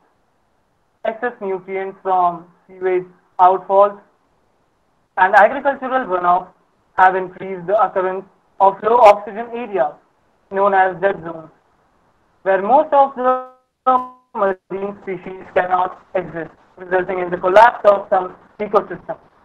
Annex 5 was designed with a common aim. It gives recommendations for reducing pollution caused by litter, which is classified as all types of victual, domestic, and operational waste, excluding fresh fish and portions thereof, created during the normal operation of the ship and liable to dispose of constantly or seldom. This paper indicates that shipboard mismanagement of fishing gear is enough to warrant going further of and addressing the use of disincentives, measures to curb fishing gear discharge into the ocean as well as coherent response with MARPOL Annex 5. The relevance of a clean ocean. The ocean is an important source of food, especially for people living in the world's poorest countries. Many people are relying on fish as their primary source of protein. Fisheries and aquaculture directly or indirectly bolster the livelihoods of about 540 million people. That is 8% of the global population. There are currently approximate 500 dead zones or hypoxia.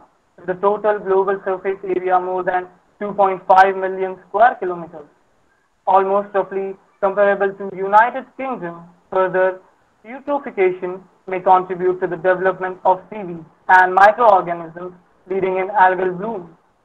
These blooms may be hazardous, causing huge fish mortality, poisoning seafood and disrupting ecosystems. Refuse can amass in large floating garbage patches or wash up on the coast. Plastics drift in the ocean, releasing toxins as they disintegrate into dangerous microscopic particles that animals default for sustenance. All such nanoparticles can asphyxiate marine animals and birds, cause them to become sick as they occur in their stomachs. Every day, minor oil spills occur as a result of drilling mishaps or leaking motors, victimizing birds, marine creatures, phytoplankton, fish, and crustaceans. All shippers, transporter, transportation companies, and operators should reduce quantity of trash and garbage they carry on board. The rubbish management plan on board a ship must include ship-specific waste minimization or abatement. All stakeholders should assess how to minimize trash involved with ship provisions, food and cargoes as they are required to minimize a wide variety of garbage accumulation on board a ship or vessel. Abundant fishing gear can have repercussions on the aquatic domain as well as pose navigational threats or impediments or to a ship vessel in transit. Moreover, fishing vessel operators are urged to strictly and document in laws the laws of discharge of fishing equipment as well as other fishing lines shall be noted in the garbage record book or the ship's official logbook as prescribed and listed in MARPOL Annex 5 Regulation 7.1 and 10.3.6. Authorities are recommended to undertake and actively engage in research and technical development to minimize potential litter and its repercussions on the maritime domain. emphasizing the area that requires more consideration and a rapid pace overpay, overcome the development of recycling methodologies. Garbage should be carried out across ships to designated retention and disposition facilities. Garbage must always be stored in a manner that eliminates unsafe conditions. Thereof, in the following discussion, the required enhancements to MARPOL Annex 5 compliance are as follows. Recognizing that direct compliance of MARPOL Annex 5 regulations primarily at open ocean is challenging. Authorities are recommended to adopt not just restrictive and punitive measures that are in accordance with the international law, but also preventive and good regulatory, but also mitigation, as well as the eradication of any impediment, the emergence of positive incentives and practices to persuade more effective compliance, and progression of consensual initiatives within the regulated community when developing programs and jurisdiction to help ensure annex compliance. Countries should assign competent authorities to oversee and support compliance as well as provide statutory rights, competent training budget and equipment to incorporate the objectives and goals of the MARPOL Annex 5 rules into its operation. As a corollary, owners and operators must maintain placards, waste management strategies, and garbage records updated with the altered garbage discharge categorization. It should be noted that the prerequisites for keeping the garbage record book on board ship remain constant and record books along with digitalization of the records must be done in order to easy access to records and also to reduce dependency on the physical paperwork on board. Date and time of discharge, name of the port or facility or vessel, garbage type, discharge and expected quantity released in cubic meters for each category. Thank you, Chairperson, for giving me this floor. Thank you very much, E1. I see uh, Mr. Datta wants to come in with a comment. Is it on the quality of audio, Mr. Datta? Uh, please go ahead, Mr. Datta. Yeah, thank you very much. Uh, no, there is no problem with the audio. I just wanted to ensure that timing is being recorded during the support or interventions. Thank you. Yes, I am doing the needful and I will uh, adhere to the guidelines which we have given. So, Thank you. Thank you very much. uh, thank you, E1. I now open the floor for interventions. Uh, before I do that, I, I am not a uh, expert on technical matters, but uh, I did feel there was some distortion in voice when the uh, slide background was animations. I don't know, maybe some expert can help and guide the students if that eats up your bandwidth a bit more than a, a non-video background if you use in presentation and your audio may be more clear. We could hear what you said even, but I felt there was a bit of distortion. I don't know if that would be the cause or not. That's for future preparation. At IMO, of course, you are not going to do presentations. This is only at the mock session. Uh, E1, you want to uh, say something to that? I saw your card raised. Yes, sir. Actually, there was a bandwidth problem here in my area. There is raining, so it might be that problem. Right. Okay, thanks. But you may take up with your IT and uh, get this information for your future uh, learning. I, I don't know whether it has any impact or not. So thank you. I open now the floor for uh, interventions. I see the card of B2 is raised. B2, go ahead.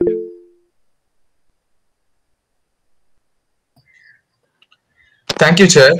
Quoting from Group E's paper, page 6, proposal point 20.1. It should be noted that the criteria for maintaining the garbage record book on board ship remain constant, and record books together with the receipts acquired from receiving facilities must be kept for two years from the date of the final entry for examination by authorities. Group B supports the points that Group B has proposed. Fishing is extremely important to the economy of Panama, being the second largest product exported, and it represents a huge source of employment for the coastal population. It is estimated that a total of 1500 industrial fishermen um, and 13,062 of individual fishermen depend on this activity and that 37,500 depend on the processing activity. Fishing on a large scale takes place along the Pacific coast. So it is a matter of great importance as well as concern for the fishing community.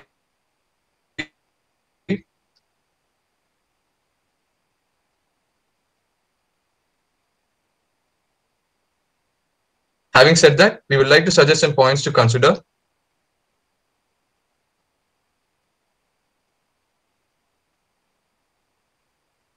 towards our common goal, that is reduction of marine litter.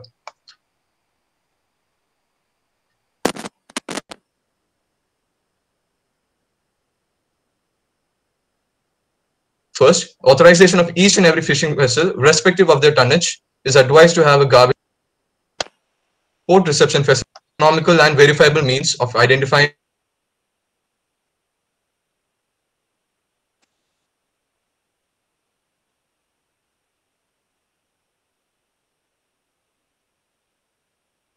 Uh, core committee, I have a query. Are you also having difficulty in hearing the complete sentences of B2 or is it only my system which is having this difficulty? No, he's not audible. I can't hear him. Yeah, same here. Uh, I don't. I, I don't think we can also hear. Okay. Okay. So since the problem at B2's end, B2 not hear what B2 Jeremy is saying. Thank you, Chairperson, for giving me this opportunity. Fishing is extremely important in economy of Panama being the second product exported after the banana. It represents a considerable source of employment for the coastal population. Group B finds strong resemblance to the very ideals of Group E and support each and every point they have proposed. And would to, like to add some more point to their proposal. As the as the category B finds a lack of proper cut proposal in their paper. Panama ratifies the agreement on the sea rights in 1996, which states that any fishing vessel of more than 10 GRT is referred as industrial vessel, and anything lesser than that is artisanal vessel. Same law establishes there is no need of licenses for the sportive fishing, an activity that has greatly increased in the last years, making difficult the implementation of an ecosystem conservation program. Thus, several obstruction to the Panama fishing industry is posed by such unattended fact, such as deposition of large number of ghost gear in Caribbean Sea, large number of marine litter from within 12 nautical miles of Panama's territorial sea area. Thus, problem like this may result in decline in fishing industry in Panama and also in countries like Honduras and Marshall Islands face the same problem. Thus, it is a suggestion from the Group B category E might take Authorization of each and every fishing vessel, irrespective of their tonnage, must contain a digital garbage record book, which they have mentioned is appreciative, and their respective port facilities must do an annual survey in their respected sea area. Fishing gear must be marked to provide a simple, practical, economical, and verifiable means of identifying ownership of fishing gear or portions of fishing gear as well as their connection to the vessel because category D solely thinks that fishing vessels need not be marked with IMO identification number, but we have mentioned it is the local identification number which the fishing vessel should be marked with. Thank you, Chairperson. Thank you. So that I have clarity on what you said, is that what you are proposing is your second, like you're supporting a proposal of a digital record book for every fishing vessel, irrespective of its tonnage. And of course, the regulatory check on the record books. Is that affirmative? Yes, Chairperson, affirmative. Okay. So, so you want the 400 ton GT, 100 GT, everything to be taken off and simply say all fishing vessels to have a digital record book. Garbage Yes, record sir. Yes, Chairperson. Thank you, B2, for clarifying that. I see no further cards on the table. So I now invite F2 to introduce their paper. Good morning, Chairperson and all my delegates. I would like to propose amendment to MARPOL Annex 5.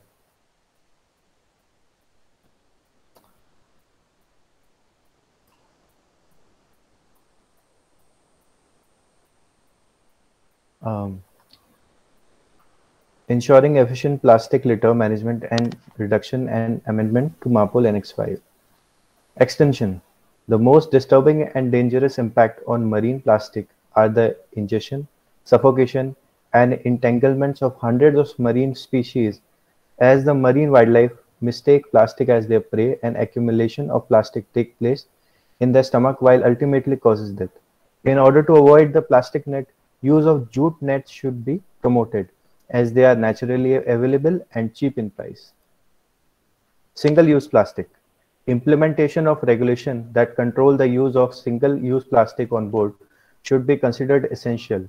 Single-use plastic should be replaced by some other alternatives like copper water bottles or steel bottles, which can be reused and with the help of strict implementation of regulations. Garbage management plan. Every ship of 100 gross tonnage and above and every ship certified to carry 15% or more are fixed or floating platform shall carry a garbage management plan. Whereas the small boat and yachts don't have any garbage management plan. The amount of waste marine litter we think a tanker can produce, so as a small boat as well. And also, they are mostly related to fishing. They use plastic nets and other things in order for their businesses. The government body should provide them a garbage disposal unit on ports and a garbage management plan on the port should be free of cost in the initial phase so that we can make local fishermen get used to it. To promote this idea, the IMO should advise the fishermen not to throw their waste into the water, instead give them in the garbage management plan on port. And to start this scheme, the government should give a small amount of money as per how much marine waste they are carrying in the garbage management plan. Logbook. When it comes to the logbook for garbage record book, the logbook is only 400 gross tonnage and above, whereas it should be mandatory for 100 gross tonnage ship as well. As per my suggestion, that the logbook should be considered for the small boats and yachts as well. Logbook language should be in their local languages. Logbook should should not be bound by just two or three languages. It you to use how to use a logbook.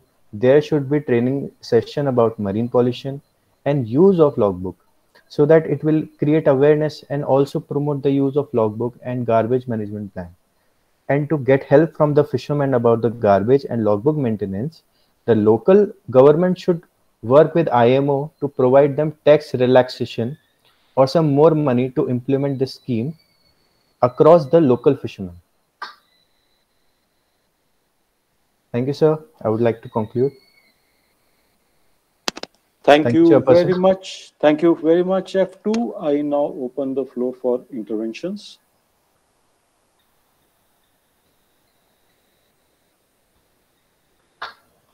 I see the card of E1 up. E1, the floor is yours. Uh, Thank you, Chair, for giving me the opportunity. As the team F1 says about the logbook, the logbook is quite considerable.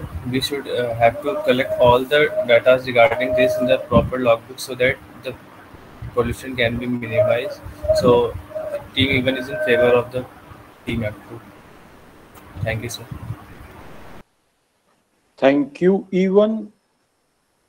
And I see no further cards on the table. Okay. I assume no other member state has any other comment on this at the moment. So what we will do is having come to the seventh paper presentation, we will now take a 10 minute break and I'll be back with you at 1038 to present my summary of the papers presented by Navi Mumbai campus. So a short break, 10:38. See you back, delegates. Thank you.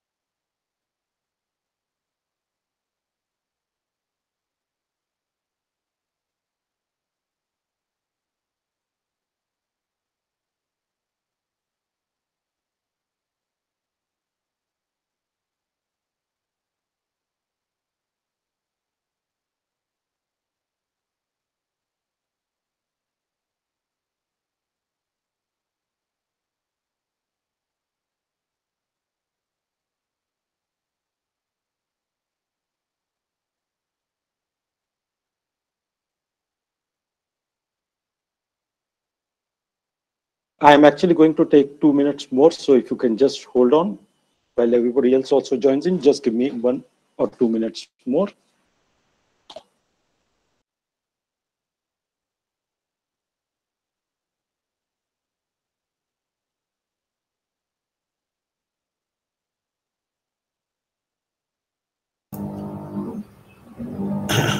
Yes, Chairman, just inform me I'm back. Ramurthy here.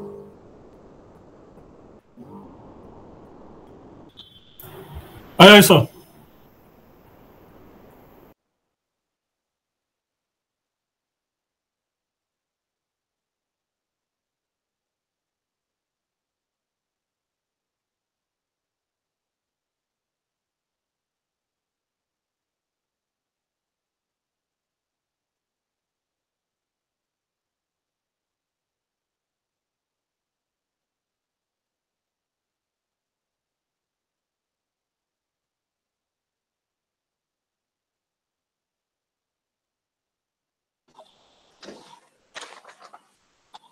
Thank you very much for your patience, delegates. And it is somehow, uh, I must say, I must compliment that the data you've given me so much that I needed extra time to sort of assimilate all the ideas, concepts, and the research which you have brought to the table.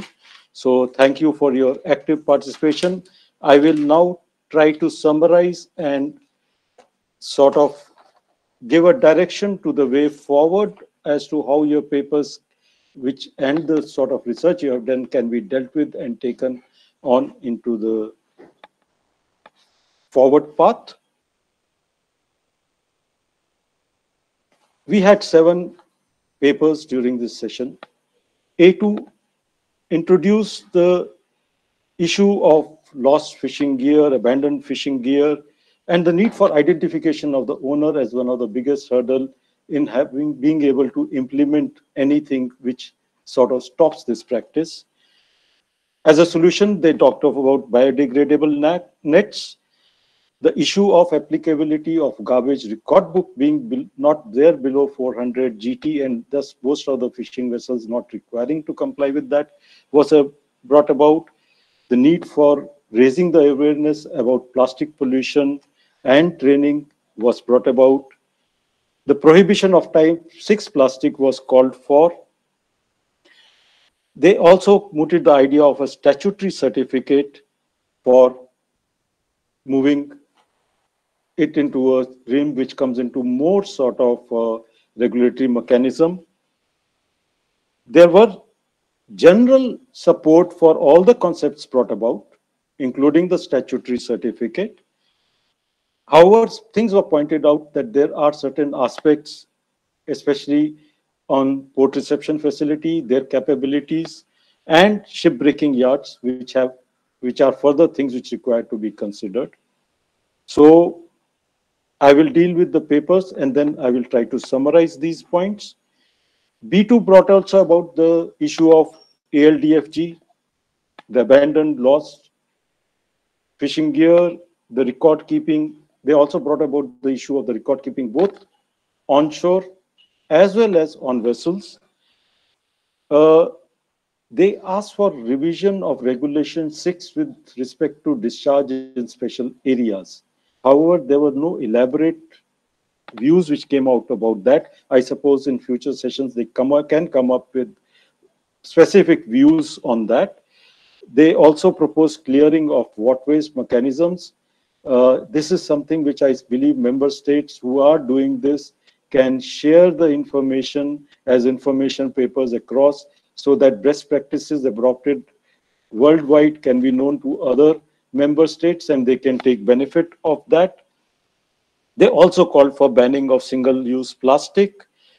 In general, there was support for action required on ALDFG, but one issue which was raised out that while they wanted every vessel to have an IMO number, including all fishing vessels, even irrespective of size, was stated by some member states as not being a feasible solution for them.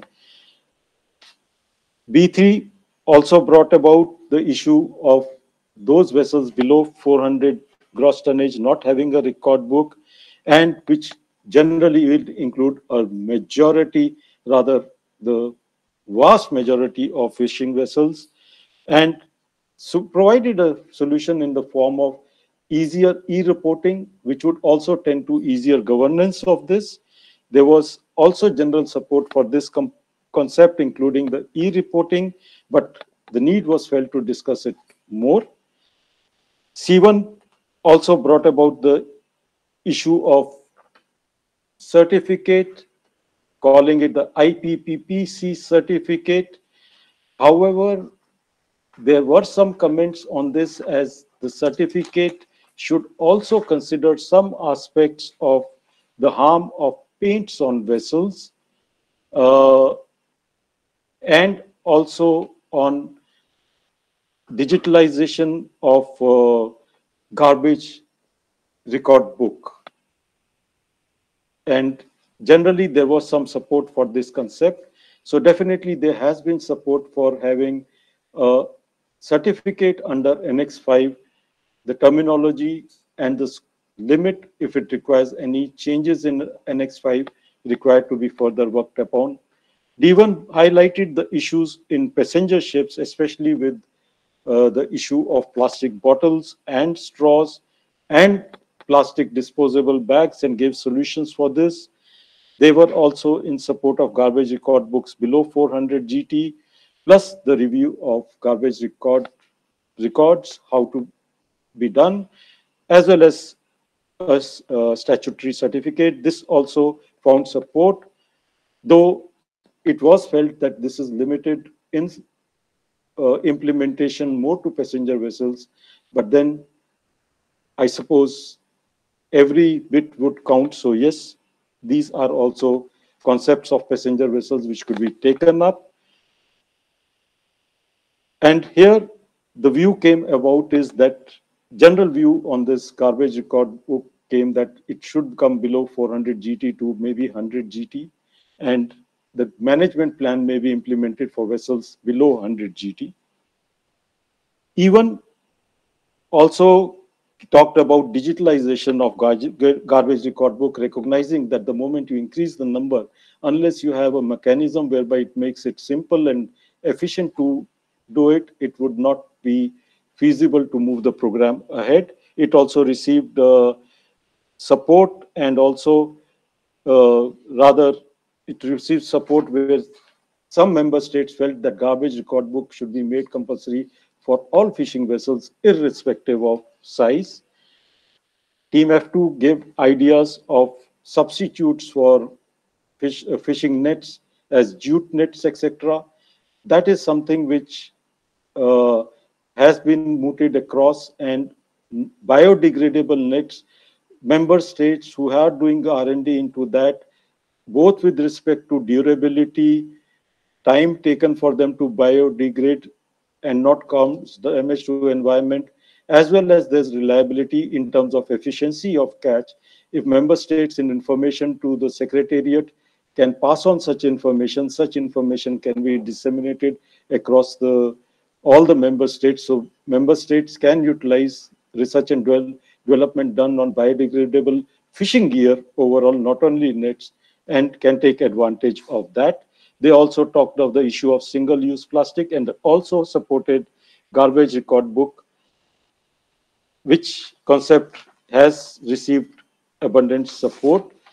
Accordingly, what we propose is that on the term of statutory certificate, a correspondence group is formed under the chairpersonship of the team leader from A2. The A2 team will take the chair on the correspondence group. All members who want to join this correspondence group can continue the work on the structure of the statutory certificate, which would be attached to Annex 5. On the issue of ALDFG, there are two aspects. One is how to mark the gear so that it is recognizable and then it is traceable and that could lead to going back and making sure it doesn't damage the environment by putting onus on somebody to recover it or recover the costs. So that aspect and the second aspect is the substitutes. If member states can go back and prepare detailed papers with their experience and suggestions on this, this can be taken up at the next session of MEPC. Regarding the garbage record books, it has been felt that we do require garbage records books below 400 tons and not have a differentiation. However, the issue of fishing vessels and IMO numbering also has also been brought up. We also do recognize that fishing vessels are categorized on the basis of length.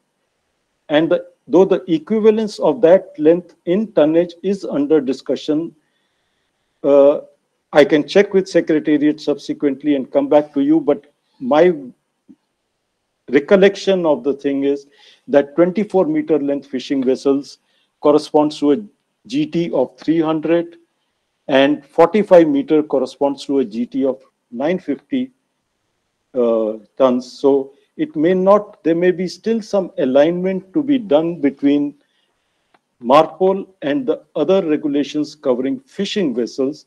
And member states may look at how two aspects. One is the merchant fleet, 400 GT and 100 GT. If the aim is to cover the fishing vessels in that, will how will it be achieved? And if for fishing vessels we require to bring it, under what instrument and according to what tonnages we require to bring it, and then accordingly put proposals on that to the next MEPC. Simultaneously, they may also share their proposals how to make it digital.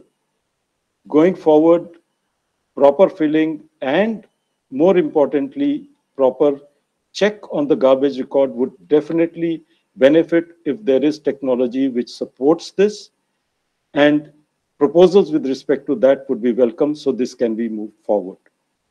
With that summary, I have finished my summarization of this session and I hand over back to Gaurav.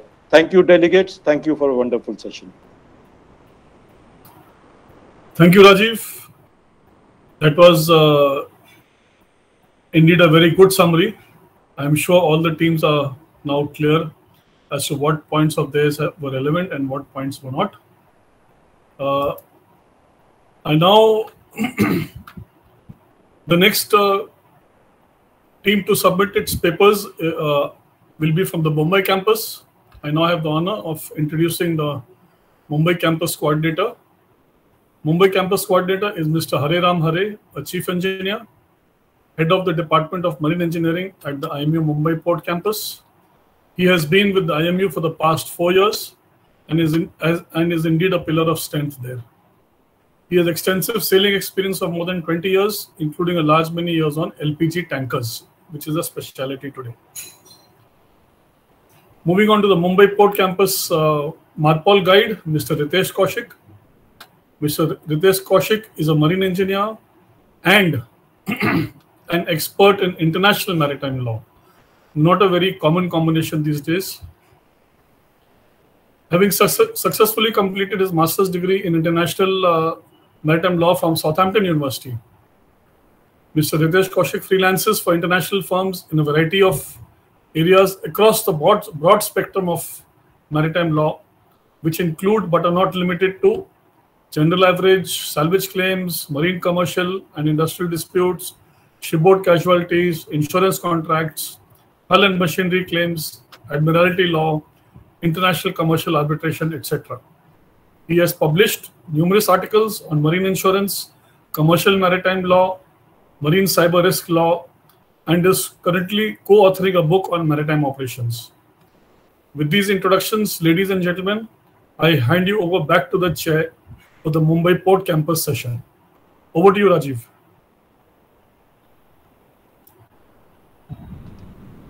Thank you very much, Gaurav, and welcome Mumbai campus delegates.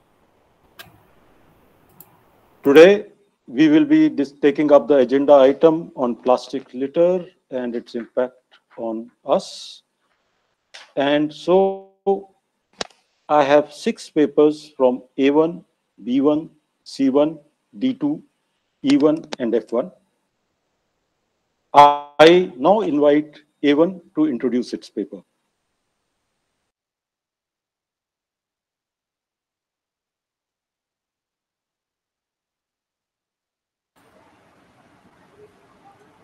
Thank you, Chairman Sir, for giving us the opportunity.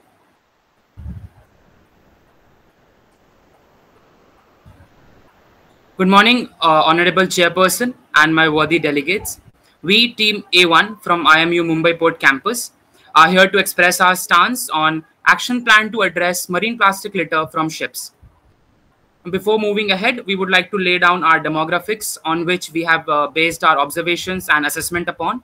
We fall under the category of developing nation. We are an international manpower supplier.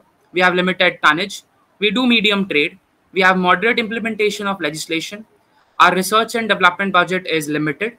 And we have limited assessment and certification body for seafarers. We have put down our agenda for the motion in the following manner. We would be stating some prerequisites. We would be presenting our observations and putting forward our amendments and proposals for the same, and finally, the conclusion. For some prerequisite points, we all know that under the revised MARPOL Annex 5, discharge of garbage into the sea is prohibited, except as specifically permitted in Regulations 3, 4, 5, and 6 of the Annex. Annex 5 reverses the historical presumption that garbage may be dis discarded into the sea based on, on the nature of the garbage and defined distances from the shore. Now, as a major seafaring nation and as a nation of rich fishing interest and maritime involvement, marine pollution has always been an alarming issue to us and to the international society as well. And to tackle that, suggestive measures are required at national level, which goes in accordance with the international laws and culture. So, as a major seafaring nation, what have we observed? We have observed the concern.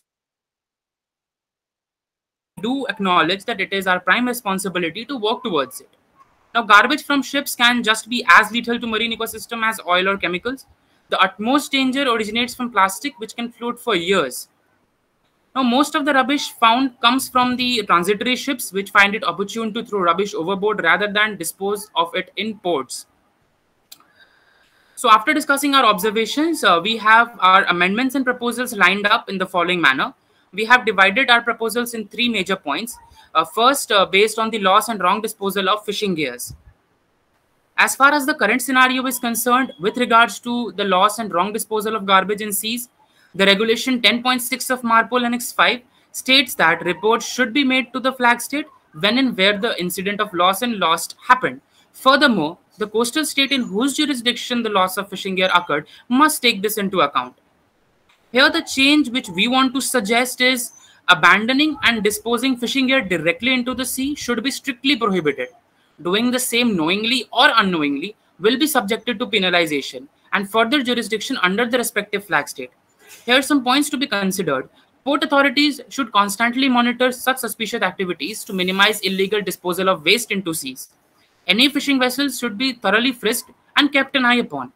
Any vessel violating the norms of that particular port or flag state should be held under charge and penalized. Now, as far as the loss of fishing gear is concerned, we have put forward a newly drafted data management report, which would have all the necessary information for better uh, initiation of retrieval programs. We have also provided this in our detailed paper earlier. Our second point is based on onboard garbage handling. For onboard garbage handling, according to the present regulations, Regulation 3 of MARPOL Annex 5 provides that discharge of garbage into the sea is prohibited, but with limited exceptions. Now, compliance with MARPOL Annex 5 involves personal equipment and procedures for collecting, sorting, processing, storing, recycling, reusing, and discharging garbage altogether. For this, we want to put forward that depending on the type of plastics, incinerations must be avoided. Instead of that, compaction should be promoted on board. Compaction firstly reduces the volume of garbage and secondly, in most cases, the output from a compactor is, is a block of material, which facilitates both the shipboard storage of garbage and its discharging in a port facility. Now, for a merchant vessel, intentionally or unintentionally, discharging unwanted waste into the vicinity of any port limit should strictly be followed and subsequent undertaking for non-compliance must be issued by the respective port authorities. Now for the undertaking of non-compliance, we have the following clauses. This also we have mentioned in our paper earlier. The most important amendment and proposal put forward by our delegation is based on ship recycling and plastic waste. Now, being a major contributor of shipbreaking and ship recycling in the world, we do acknowledge that shipbreaking has emerged as the most common method of ship disposal among them. The dirty shipbreaking practices have resulted uh, in dumping of dangerous toxic materials such as asbestos and PVCs on beaches and other open spaces. For that, we propose the following actions to be considered. First of all, we have to uh, start isolating those parts of ships which are harmful and dangerous to both marine and human lives. We have to start conserving marine ecosystem by proper discarding of shipbreaking waste. We also have to start reusing those parts of the ship that are important and can be reused successfully while making new ships, thus saving resources. We also have to help the ship owner benefit from the process by optimum utility of the ship's part. Now, since we have discussed our observations and amendments, which we want to put forward, we have also developed an action plan. We have divided our course of action into three parts, the short-term goals, the mid-term goals, and the long-term goals. For the short-term goals, we want to achieve uh, optimization of data collection. We want to incorporate the drafts for uh, loss of fishing gears and wrong disposal efficiently and launch gear retrieval programs as soon as possible. We have also kept the strategy planning for mid and long-term goals as part of our short-term targets as well. Coming to the mid-term actions, we want to focus on replacements of incinerators with compactors on board. And we also worked upon uh, better port reception facilities. Uh, with that, we also have to constantly keep a check uh, on our short-term targets being fulfilled. Now, coming to the long-term targets, uh, that would take a fair amount of time to achieve we want to create a safe environment uh, for shipbreaking facilities and incorporate the protocols mentioned in our proposal. We also have put uh, implementation of rules and regulation in, in our long-term targets. Now, the most important factor is to establish international cooperation in our long-term goals. It would benefit in mutual development within our allies. Therefore, winding up on a positive note, we would like to conclude by stating that it is the need of the hour to address the crunch and our proposals uh, should be mutually agreed upon and internationally acknowledged for reducing global marine pollution. We firmly believe that reforming the MARPOL Annex 5 in accordance uh, with our proposal in this very committee would definitely bring about some strictness and would control the amount of marine plastic litter in specific. We therefore thank you, your honorable chairperson, and all other respected delegates for lending your ears. We are now open for suggestions and support. Thank you. Thank you very much, A1. I now open the floor for interventions. I see the card of Mr. Ajay Chatterjee up. Uh, Mr. Chatterjee, you would like to say something uh, before we start with the participants? Uh, yes, Rajiv. Uh, uh, I must, uh, I, am not a judge, but I have an observation. The paper presented was quite precise and I congratulate the group. But what is my strong observation is a lot of reference has been made to ship recycling. The subject is on operational plastic litter handling. Ship recycling is a whole new convention itself, and it takes care of all these aspects of plastics or whatever comes out of a ship, not only plastics, even other stuff. So I don't think it has diverted from the main topic and the judges should consider this point. Uh, the, I leave it to the judgment, I mean, uh, to the uh, wisdom of the judges, but this is completely, completely, completely out of the subject. Ship, a lot of uh, stress has been put on ship recycling. Thank you. Thank you, sir. I know how passionate you are about ship recycling, having been at the forefront on that. Uh, don't worry, sir. I will be taking that up in my summarization also. Thank you, sir. Okay. I now open the floor to interventions. C1, the floor is yours. Thank you, Chairman, sir, for the recognition. First of all, I appreciate the delegations of A1 for providing us with such proposals. But we are not in support to their proposals because in their paper under the heading 7.3, they have put forward the proposal of not incinerating every plastic on board but segregating it first on the basis of type of plastic. I would like to bring it under the notice of the chair that uh, we already have uh, uh, that we already have Annexure 6 Regulation 16 of MARPOL, which states that uh, incineration of uh, packaging plastic materials and PCBs, polychlorinated biphenyls, is already prohibited. So I don't think that we need another new convention giving us the same thing.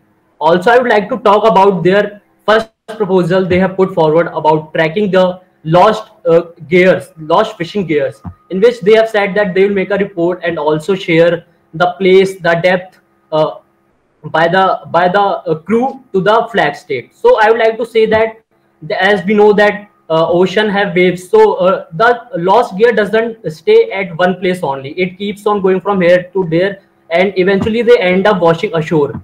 So this is not a complete remedy for which we are here. Thank you, sir. Thank, thank you, C1. I see the card of E E1.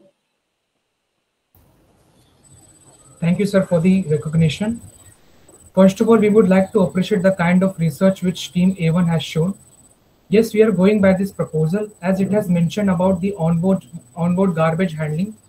This will definitely give more exposure to our own seafarers and can enhance their training of the disposal of the garbage, which indirectly benefits the shipping companies who have registered ships under Panama. Thank you, sir. Thank you, E1. F1, the floor is yours. Thank you, Chairperson, sir, for providing us this opportunity. Uh, we appreciate the policy of monitoring plastic waste and annual collection of all kinds to be reported. And it will work in favor with the policy which has been already implemented in their nation, that is plastic waste management implementation. So we support this proposal. Thank you, sir. Thank you. I see the card of B1 up. B1, you may take the floor.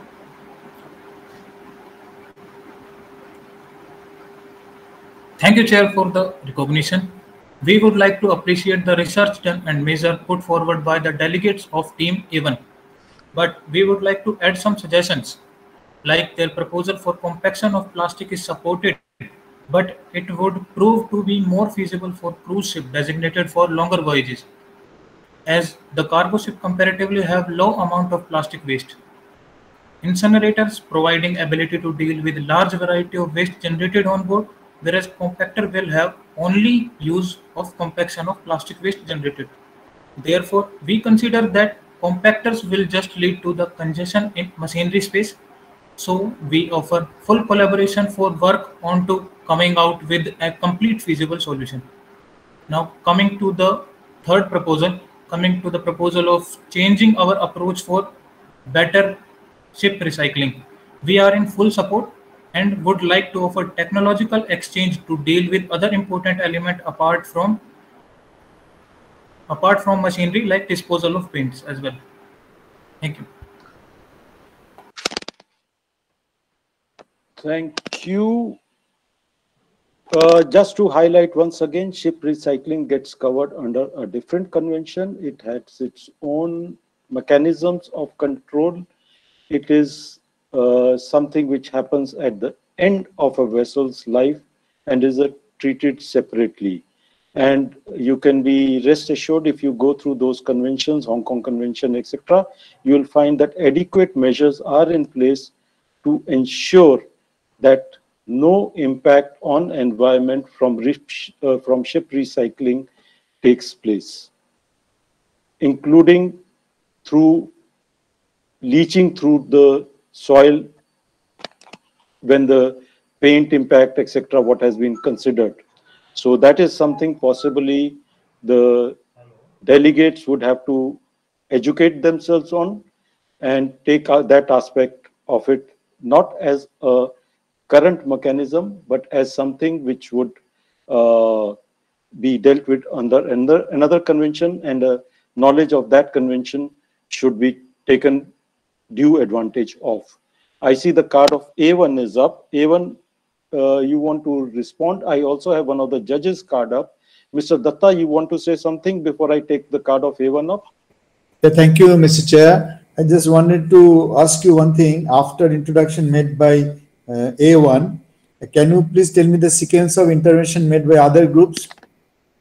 It was C1, E1, F1, uh, C1, B, E1, E1, okay. Charlie 1, Echo 1, Foxtrot 1, Bravo 1, Delta 2. Okay, fine. Thank you so much. Thank you very much. Thank you. A1, you want to take the floor again to respond? Uh, thank you, Chair, for giving us the opportunity. Uh, first of all, I would like to extra- extend our gratitude towards the member nations who have uh, given support for our proposals, and we solemnly acknowledge the concerns raised by the delegates as well. And uh, we firmly believe that with such mutual cooperation at such an international forum, uh, we together can work upon on these uh, shortcomings and can provide better results, and which will basically fulfill the very need of this committee. So, thank you so much for the concerns. Thank you very much. And uh, uh, Mr. Chatterjee, you had spoken, your hand is still up. Is there something else you want to add on, sir?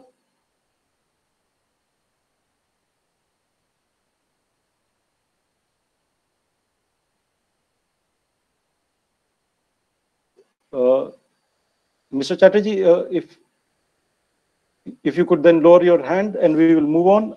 I now request I'm not getting a response back from Mr. Chatterjee. Uh, core committee, can you just give a call to Mr. Chatterjee and clarify while we move on? Uh, yeah, yeah. Yes, will do. Thank I you. have I have uh, finished. I don't know why the. Thank you. Okay, sir. Thank you very much, sir. Thank you. And yes, uh, just to let you know that uh, he has been at the forefront when the whole recycling issue and is considered one of the gurus in that matter. So the participants and all the students would do well to benefit from studying the recycling related conventions also separately. Thank you. I now invite B1 to introduce their paper.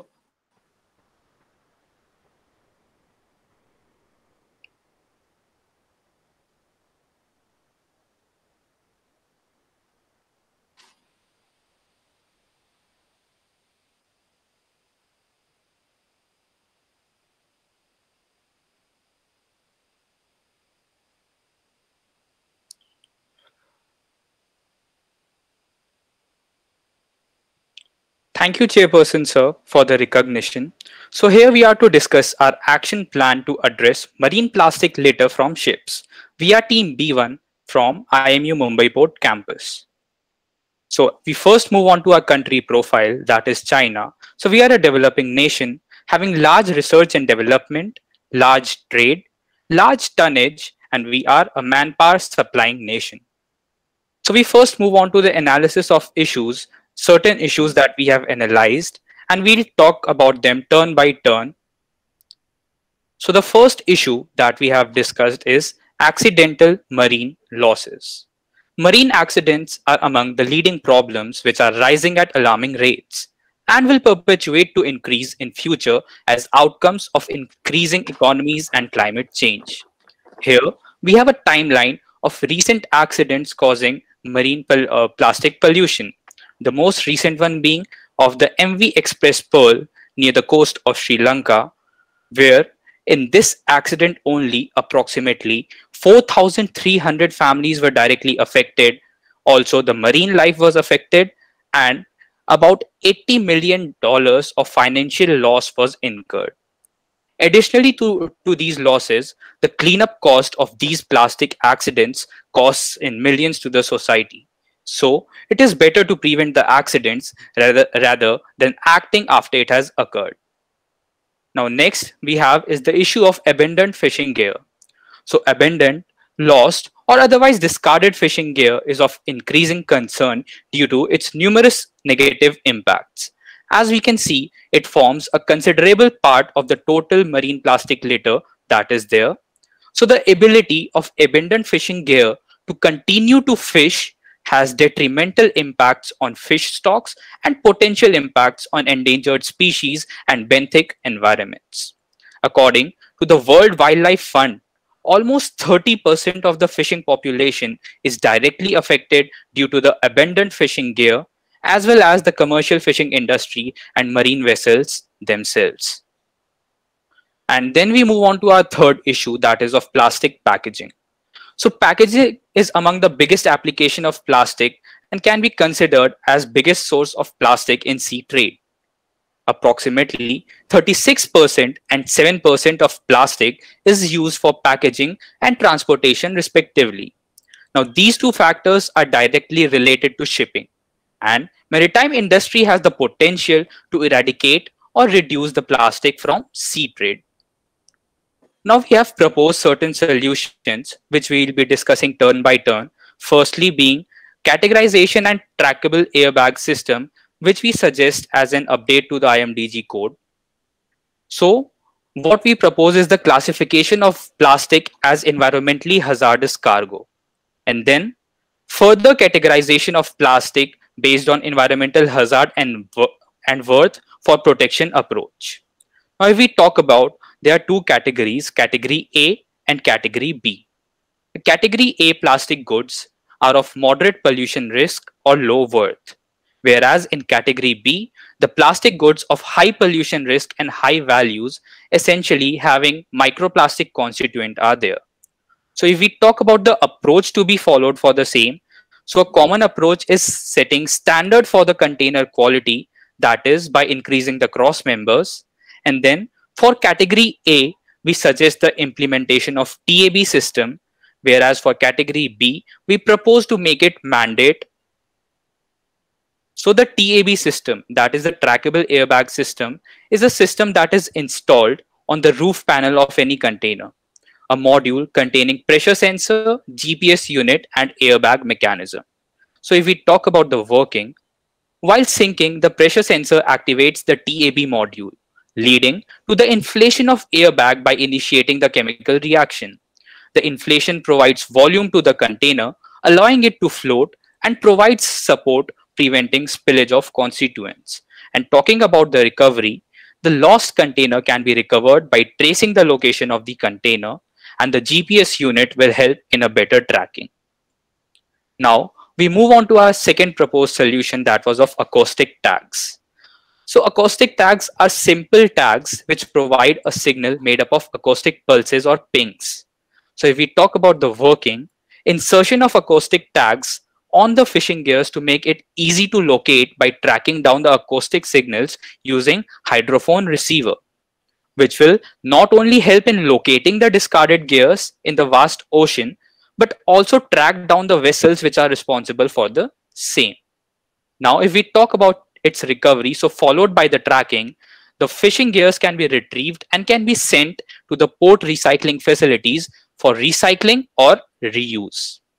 Now, if we talk about the port recycling facilities, that is improving them which is our third proposal. So we have a proper channel that we have over here, where first thing is taking waste from ships and other sources to port recycling facilities, recycling the plastic waste and making it reusable, and then providing it to the logistic companies and ports for packaging of goods to be carried for voyage. Now here we have a priority list for the same and then the top one being banning single-use plastic, promoting plastic-free packaging, followed by logistic companies to use recyclable plastic for cargo packaging, and then encouraging cyclic use of resources and shift incentives to stop wasting. Now, we have certain recommendations for improved implementation. So, for implementing the TAB system. So, considering the geopolitical scenarios and the prevailing situation which has led to the disruption of container management system causing an all-time high container production rate as in China. Under such a scenario, it is the prime period to implement the proposal of TAB system effectively.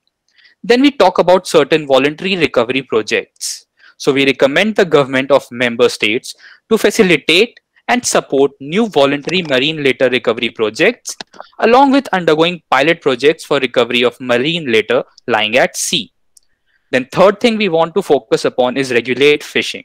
So we recommend the member states to regulate fishing by taking strict action against illegal, unreported and unregulated fishing, leading to the better implications of law framework in future.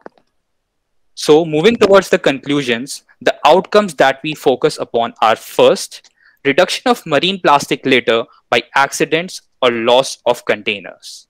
Second one is increase recycling of the plastic litter collected leading to reusability. And the third one is reduction of marine plastic litter generated from fishing vessels and gears.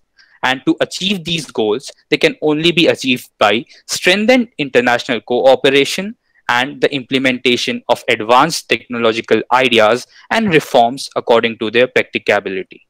So this was it from our side. Now we are open for questions and suggestions, and we would like to thank Chairperson Sir and all the respected delegates for lending their ears. Thank you, B1, and thank you for these suggestions, uh, though directly not on Annex 5, but uh, are ideas worth listening to what other member states uh, delegates would feel about them. So I open the floor for interventions, please. I see the card of C1 up. C1, the floor is yours.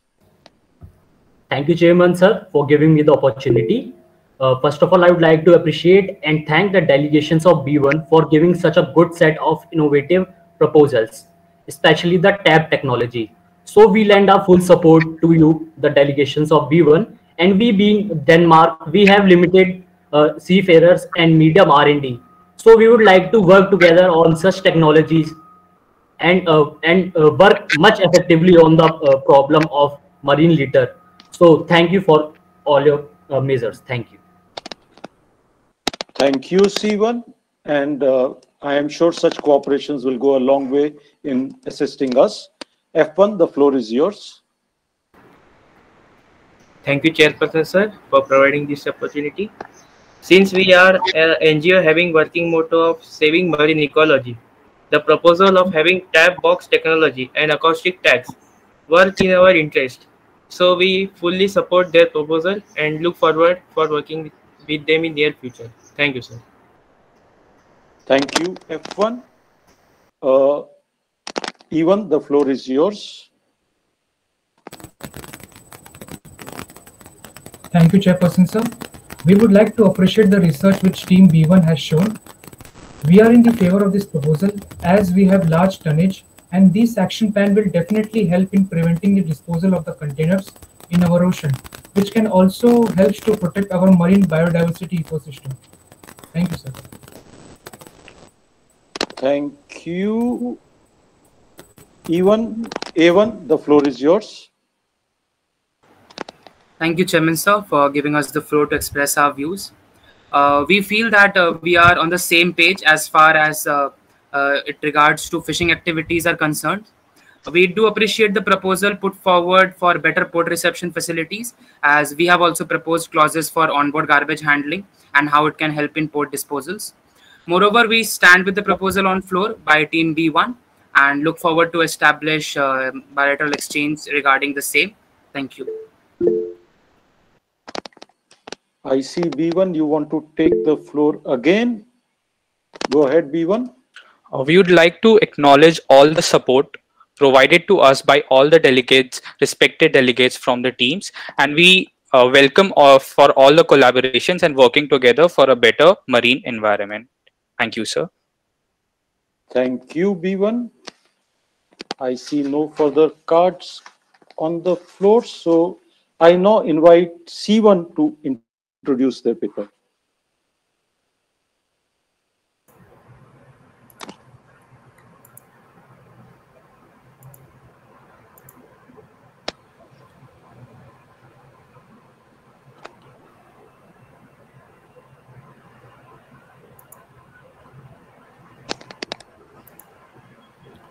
Good morning, Chairman, sir, delegates and member nations.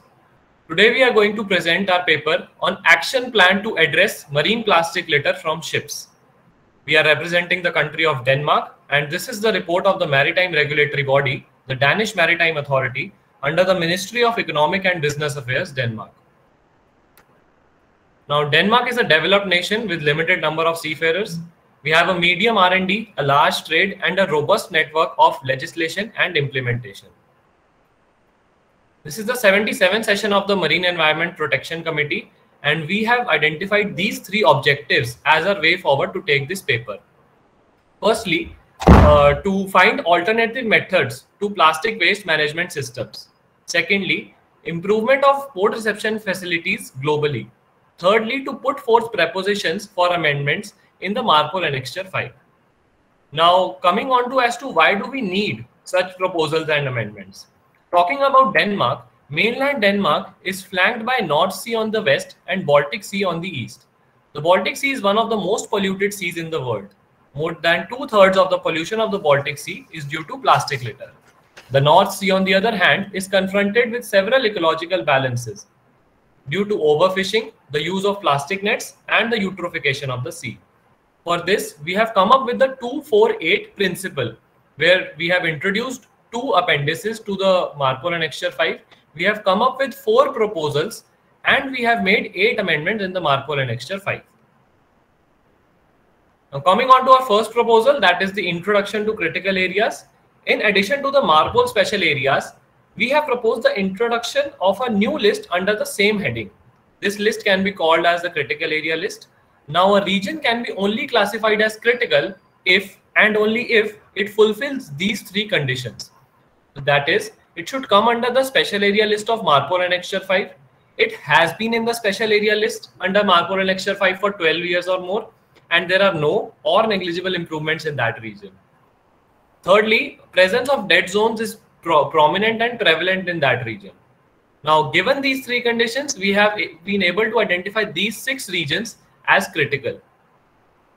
Uh, these are the countries, alliances, and organizations that can take up the responsibility of plastic pollution prevention and environment protection in these particular regions, where EU stands for the European Union and ICAP stands for the International Council for Critical Area Protection. This is a subpart of our first proposal.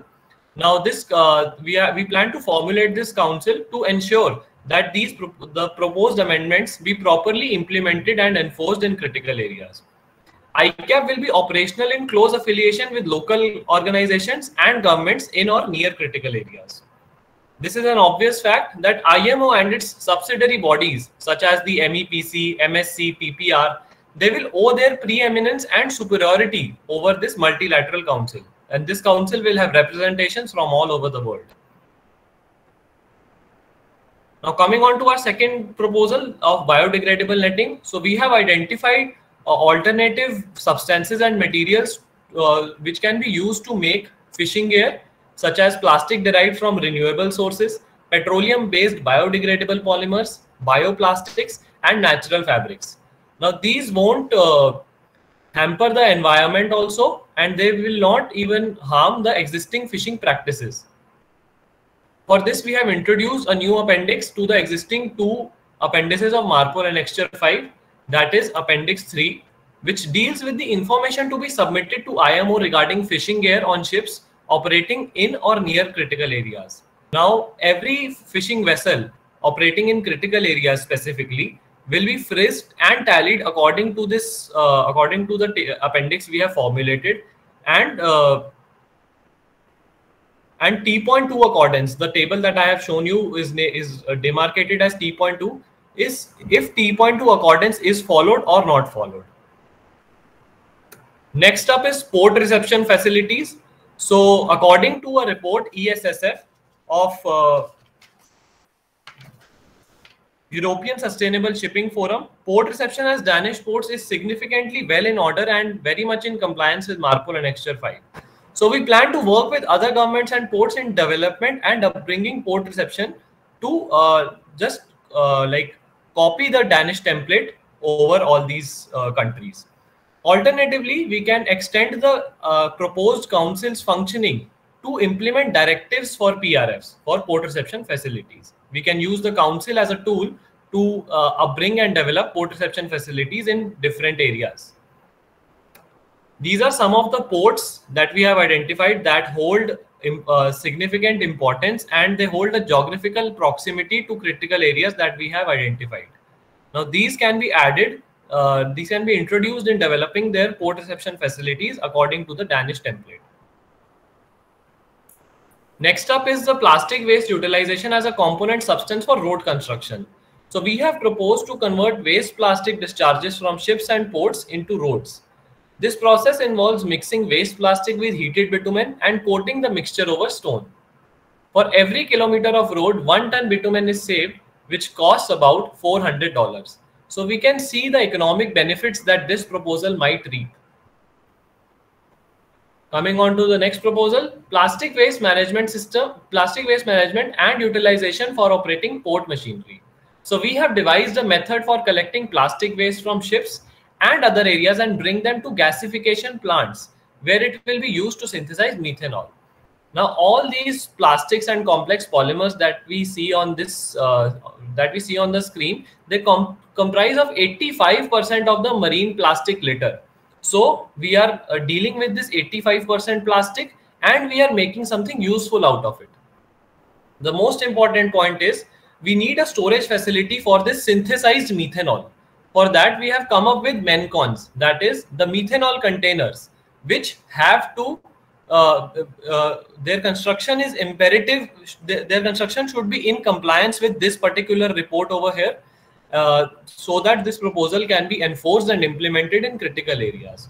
For this, we have uh, added a new appendix to the MARPOL and Annexure 5, that is the Appendix 4, which list uh, which deals with the list of substances not to be stored near these methanol containers and the list of substances used to construct methanol containers on ports. It, this appendix has two parts. Now the time and action required, we request to put the aforementioned proposals in the biennium agenda. Now these proposals can be classified as long-term and short-term depending on the time taken to implement the same. We request the committee to take the information provided and take appropriate action. Thank you. We are now open for intervention and suggestions. Thank you very much, C1, for sharing this information with the delegates. I now open the floor for interventions.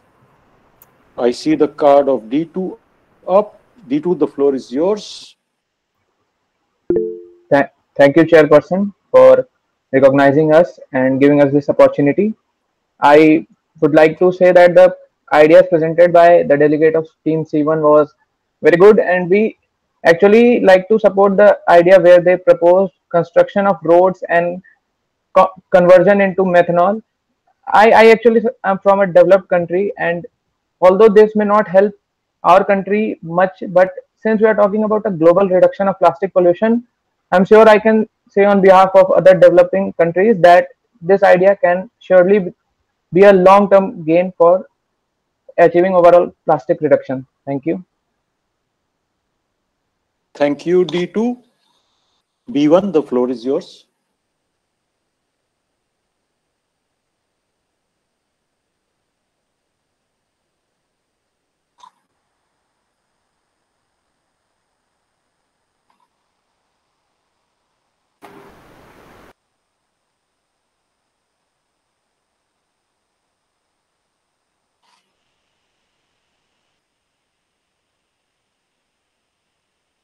I see no response from B1.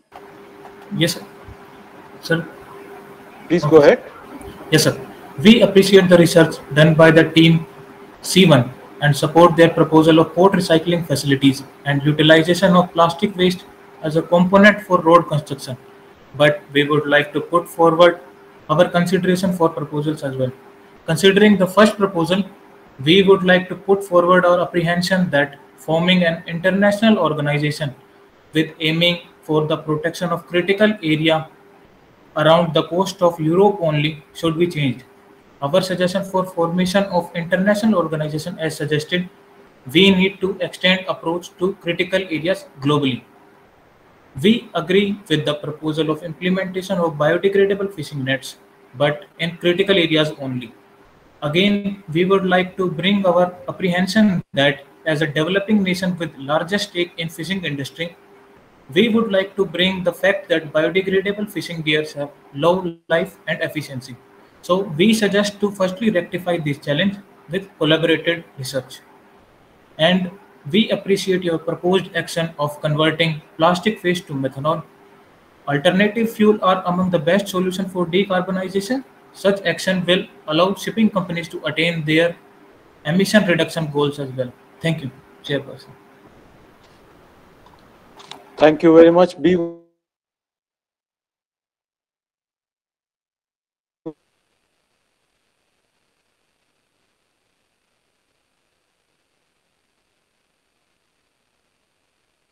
F1, go ahead. Thank you, Chairperson, sir, for this opportunity. First of all, I would like to congratulate Team C1 for their vital research about materials that can be used to manufacture biodegradable fishing nets. And their proposal, this proposal, totally aligns with our interest and hence we support their proposal. Thank you, sir. Thank you, F1. Even the floor is yours. Thank you, sir, for allowing this platform once again. We would like to appreciate Team C1's action plan, which is based to take the necessary action towards fishing gear by using the biodegradable nettings, port reception facilities, also the utilization of a plastic waste for operating port machineries, and developing infrastructure like road. So yes, we are in the favor of this proposal. Thank you. Sir. Thank you, Evan. I now invite Evan to take the floor. Thank you, Chairman, sir, for the recognition. Uh, we do appreciate the classifications provided by the delegation from uh, Team C1. Uh, we are in support of the proposals put forward by them, and we firmly believe that their waste management action plan and uh, um, using plastic waste in road construction specifically can give new heights to our own indigenous port development and maritime development programs. And as we aim for a global benefit, that will also be achieved. Uh, therefore, we look forward to be working together with this in the future. Thank you. Thank you, Evan. I see the card of C1 is up. I assume you want to respond to the points. C1, the floor is yours. Yes, sir. Thank you, sir, for providing me this opportunity. First of all, I would like to uh, express my gratitude for to all member nations and delegates who supported us and who had some differences with us. So we plan to work with them. Uh, we plan to collaborate with them uh, in the future, and let's see where the future takes us. Now, uh, just one point I, I need to make: there is a slight uh, misunderstanding for Team B1, where they have only uh, they have only considered that we have added Europe as uh, the coasts of Europe as critical areas. So I would like to suggest to B1 to just go through our paper once, and you can see that areas such as the Red Sea, Mediterranean Sea, and the Antarctic region is also added in critical areas given those three conditions that we have been able to identify. So it was not just limited to Europe. So that was one thing. Other than that, uh, we thank uh, we thank the chair one more time for providing us this opportunity. Thank you. Thank you, C1, for giving that clarification, uh, which I'm sure B1 is looking at, but I think they were also looking at it from the global aspect. Yes. So, having said that, uh, I uh, now invite D2 to introduce their paper.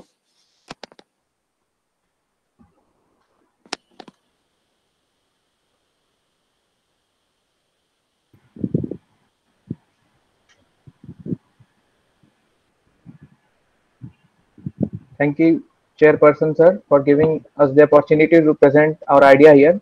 Today, we'll be presenting our action plan to address marine plastic litter from ships. Our country has the following profile. It is a developed nation. It provides limited seafarers globally. It has a large tonnage. The research and development sector is quite large here. A large trading platform is available here, and the laws implementation is quite strong here.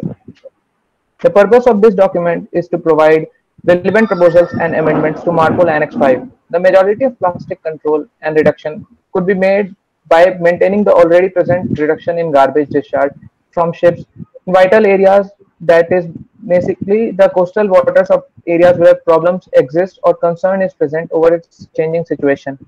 Appropriate use of this archive will improve the agreement and capacity of committee individuals on a functional approach and welcome the world on a bleeding edge to build up solid reasoning on MARPOL Annex 5. It is also expected that this will empower the boards to improve their dynamic capacities additionally. Our first suggested measure to reduce plastic pollution at sea is by recovering of lost fishing gears. Approximately 8 million tons of plastic go into the sea each year, and among which a large amount of plastic gear. So plastic gear forms a large amount of plastic pollution at sea. So removing the lost fishing gears from the sea is very important. By recovering them, we can reduce ghost fishing spread of smaller particles through fragmentation, and reduce the risk of new gears going lost through collision and hooking. So everyone should report about the lost fishing gears to the Directorate of Fisheries and that will help them during the annual retrieval survey to find the location of the lost fishing gears. Our next suggested measure is biodegradable alternative to plastic fishing nets. As we all know the harmful chemical effects of plastic on marine life, so it becomes very important to take step in this direction as we all know, the, the life of plastic at sea is very long. The plastic bag needs up to 20 years to break down. The plastic bottle can take up 400 years to break down. And the plastic plastic fishing nets can take 600 years to break down. So biodegradable alternatives can put an end to all of this. Biodegradable, biodegradable monofilament starts to degrade after 24 months in seawater by microorganisms. This will help us to put an end to ghost fishing.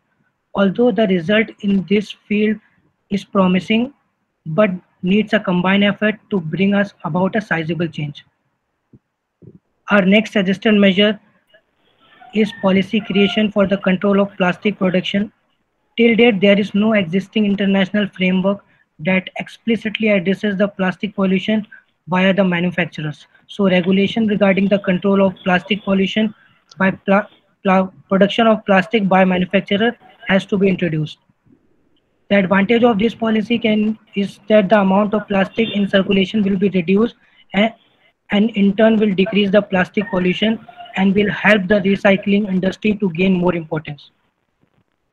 Our next suggested measure is encouraging plastic recycling by paying for the collected plastic we need a proper logistic system as currently many countries have no logistic for handling the collected plastic. And by paying for the collected plastic, this will encourage people to do more recycling as this is more efficient than traditional waste processing. The proposed system will help the poverty-driven societies with the financial aid and currency being the reward will give the collector a strong motivation but some problem of paying regularly at the collecting hub can be overcome by collecting effort. What are microplastics?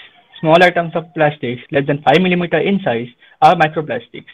They are marine, very important component of marine litter, being ubiquitous across all global marine environment. According to UNEP, approximately 8 million tons of plastic end up in the sea each year.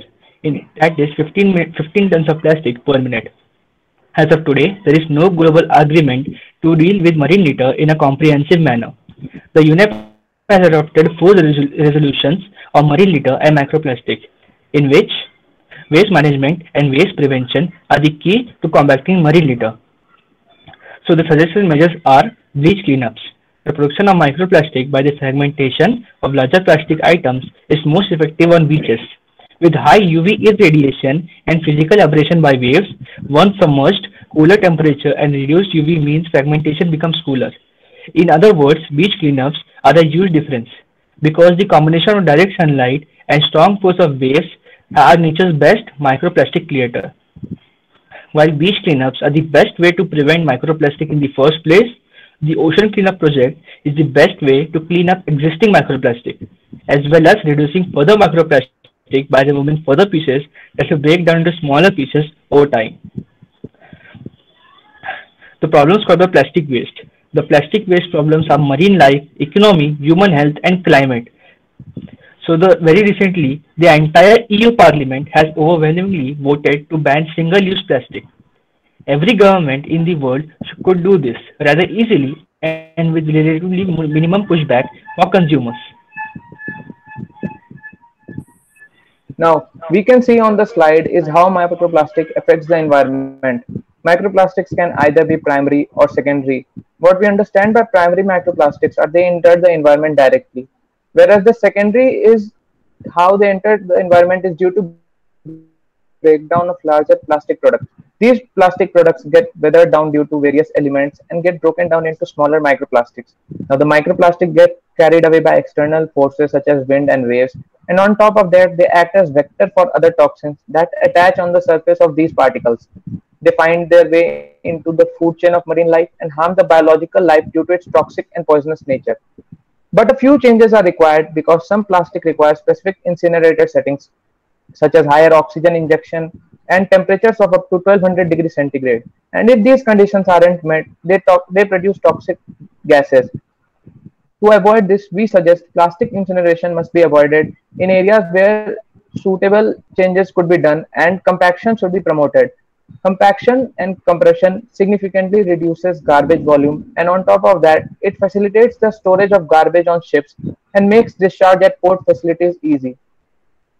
On that note, I would like to conclude positively that the majority of marine in- issues that marine environment faces comes from microplastics due to their bioaccumulation potential being very high. These polymers have toxic and poisonous additives that can harm the marine environment to a very large extent. It can be understood that quick actions are required for superfluous utilization of plastics, and those techniques are how we can quantify and restrict further input of plastics into the sea, modeling oceanographic boundaries to foresee how plastics move away from point sources and reamass would also be highly assistive. And the point that would have the greatest contribution to environment is to gather and reuse the plastics that is already in circulation. On that note, we end our presentation and now we are open for intervention and any suggestion from other delegations. Thank you.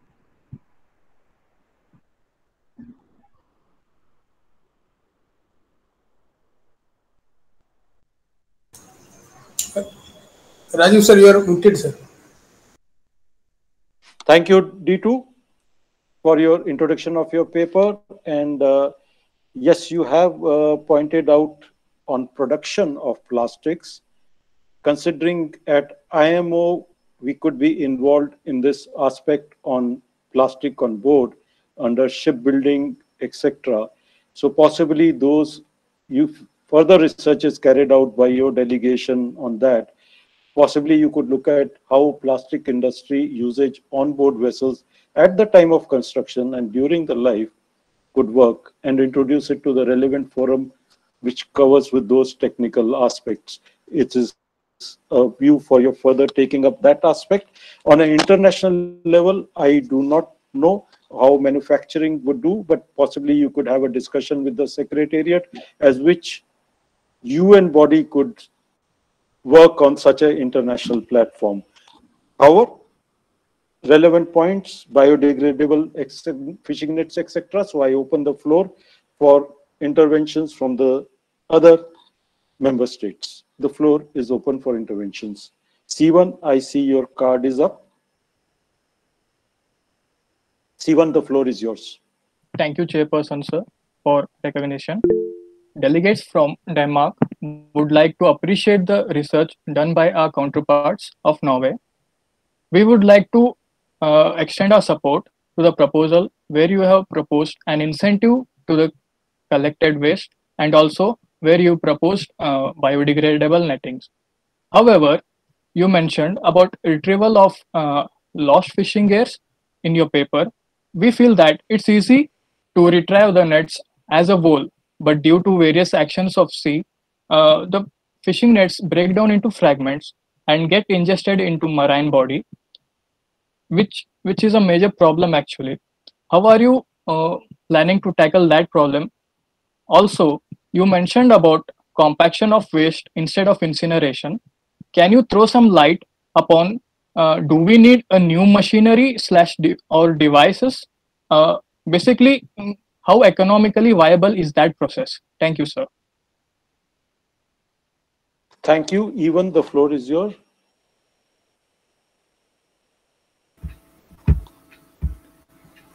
Thank you, Chair, for this opportunity.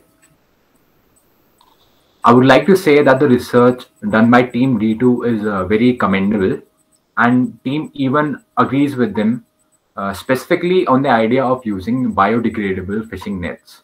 Although uh, they have considerably uh, lesser durability and efficiency, but to address the issue of plastic litter is the need of the hour. Thank you. Thank you. E1 B1, the floor is yours. Thank you, Chairperson, sir, for the recognition. So we would like to congratulate our uh, the, the delegates of Team D2 for their presentation and appreciate their uh, measures and proposals. We strongly support them on the ideas of recovery of fishing gear and also encouraging plastic recycling by providing incentives and provide our full support for their actions of beach and ocean cleanups. But we would like to mention that in the paragraph 5.2.3 of their paper, they have mentioned that the biodegradable fishing nets have poorer efficiency as compared to the current existing nets. So we extend that uh, so we uh, propose that we collaborate and work together on some technological advancements and practical aspects of the same so that we implement it with a better approach and this will make it easier for implementation. Thank you chair Thank you. Okay, well noted, and I'm sure D2 is noting your support for doing combined research to overcome the challenges which are there with biodegradable nets. F1, the floor is yours. Thank you, Chairperson, sir. Uh, we appreciate the proposals and measures they have uh, mentioned in their base paper, but I would like to highlight a point which we have they have mentioned over here. So, in their paper 5.3, policy creation for the control or plastic litter production of marine plastic litter. In the in that there is a sub point which mentions uh, for pollution increase, manufacturers should reduce its production. So some clarification is needed on this as reducing the production for increasing plastic litter may affect their uh, profit making skills and may incur losses. So I think that some clarification should have been made over here or maybe they will uh, work upon it uh, in the future. So we strongly support the proposal apart from that. Thank you, sir. Thank you. Well noted, F1. And yes, and including possibly production facilities internationally would be beyond the scope of this forum at this stage. So, but I'm sure D2 would have heard my comments and your comments on this 5.3 point. A1, the floor is yours. Thank you, Chairman, sir, for the recognition. Uh, we appreciate the concerns uh, raised on harmful consequences of pl on plastic litter in oceans. And uh, we would like to thank the respected delegation for making the committee aware on microplastics and its effects as well. Uh, we believe that there could have been more clarity on ocean cleanup drives as we were quite intrigued by the proposal of beach cleanup, drive, cleanup drives and ocean drives. And uh, we are more than delighted to see that the delegation uh, from D2 and we are on exact same page as well as far as uh, onboard garbage handling is concerned. However, the concerns regarding incineration is already uh, put forward before the committee earlier. Uh, therefore, we solemnly appreciate the thoughts and uh, together we want to work towards it in future. Thank you. Thank you. Thank you, A1. I am sure D2 would note that you would like more information on their ocean cleanup drives and they would share that either on a bilateral basis or they could even give an info paper to the secretariat which would then circulate it to the member states. I now take D2's card is up. I assume you want to clarify something. D2, the floor is yours. Thank you, Chair, for providing me the opportunity to clarify some of the doubts raised by my delegation counterparts. So at first, I'd like to thank you for the inputs they have provided.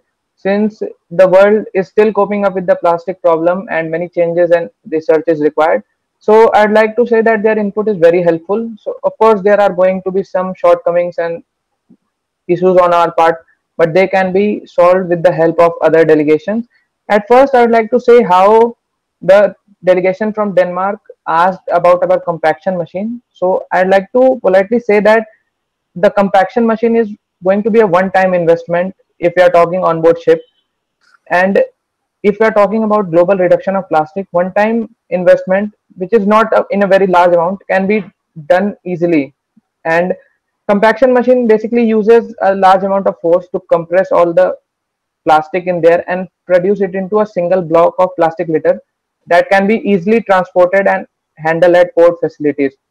On that note i would like to issue the oh sorry address the issue raised by our delegation counterpart from China on biodegradable nets. They asked about doing more research so that biodegradable nets can be more efficient. And yes, we highly we are highly thankful for extending a hand on that note, and we would like to cooperate with them into further research as to increase the efficiency of biodegradable nets. And finally, I'd like to address the issue raised by our NGO counterpart team F1. They said that manufacturing, stopping the plastic manufacturing could drive the companies to incur losses.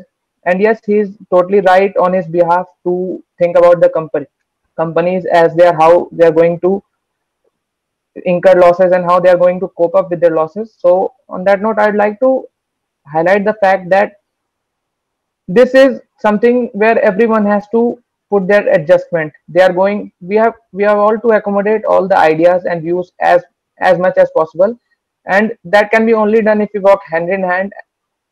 I can assure you that this is not the final ideas that is going to be there, and if we work together, some better ideas could be proposed and yes we will definitely try to accommodate all your views in our idea the best we can so thank you chairperson for lending your time to hearing our views thank you Thank you, D2. I now invite E1 to introduce the paper.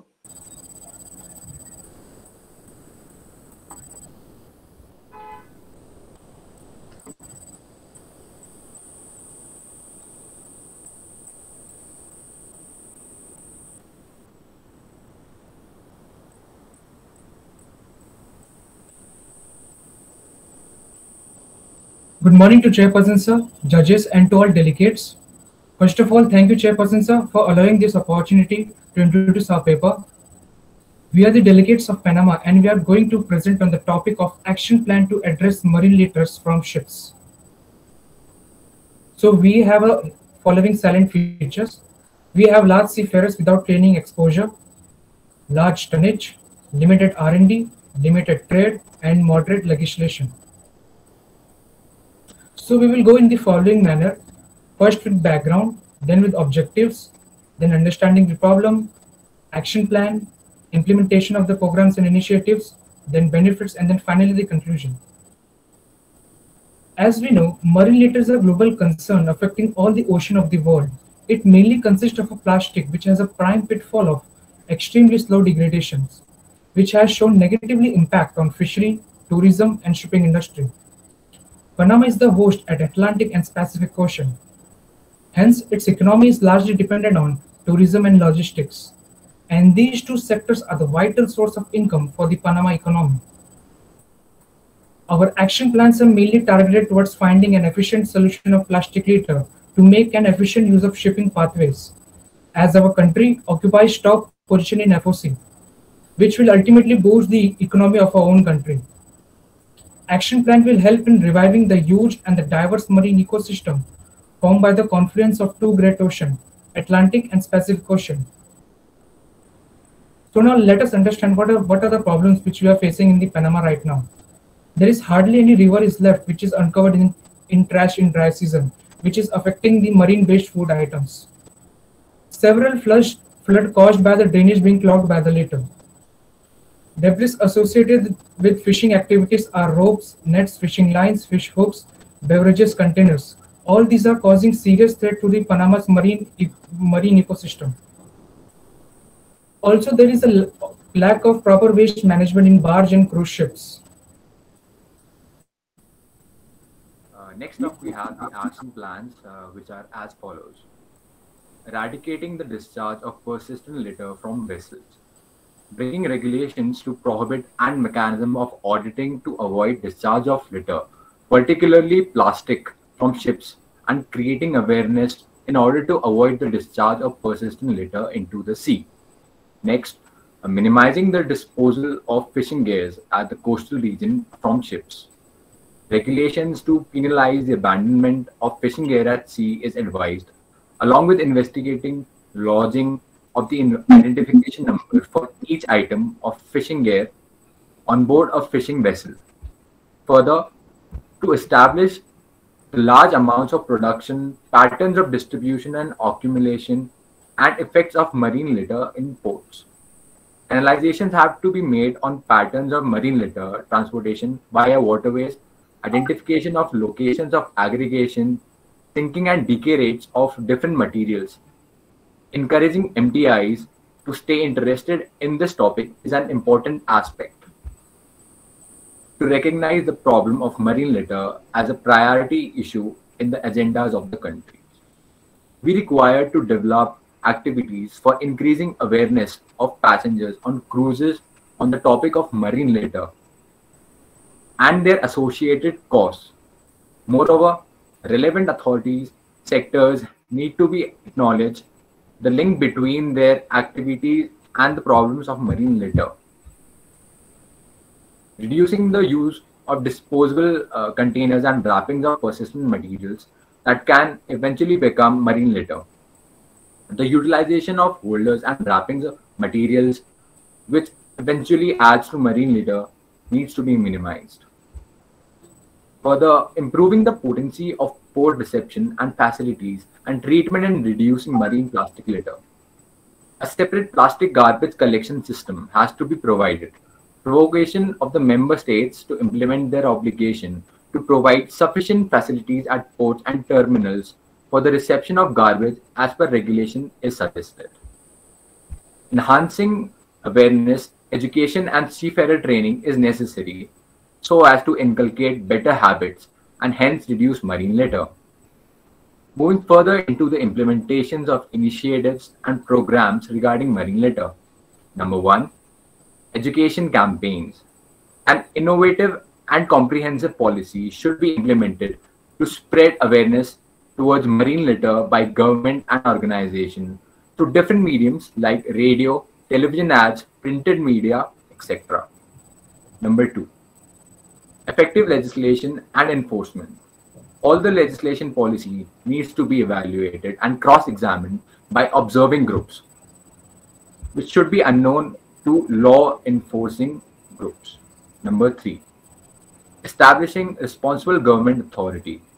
Responsibility of marine litter is diverse among several government agencies and NGOs, which leads to the strengthening the effectiveness of ma management of marine litter programs.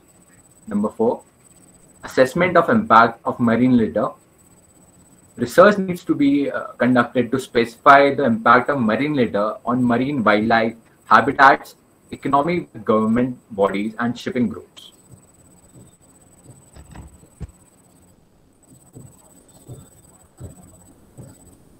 Number five, maritime monitoring programs. It was introduced to collect the data of ocean on a regular basis and make changes in the reformatory programs to minimize marine litter.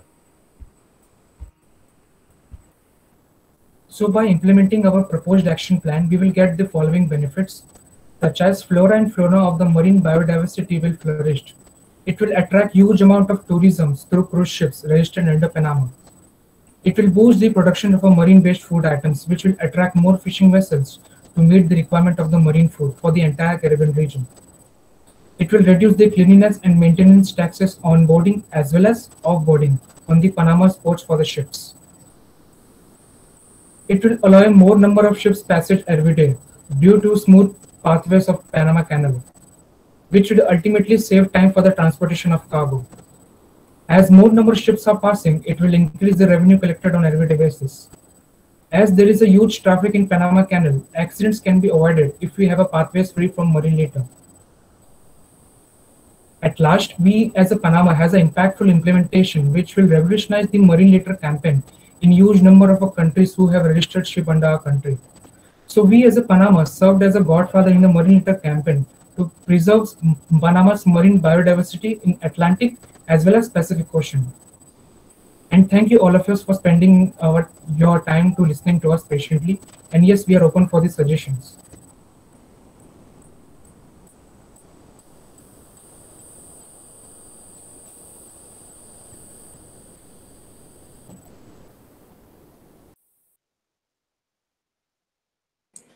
Rajiv, sir,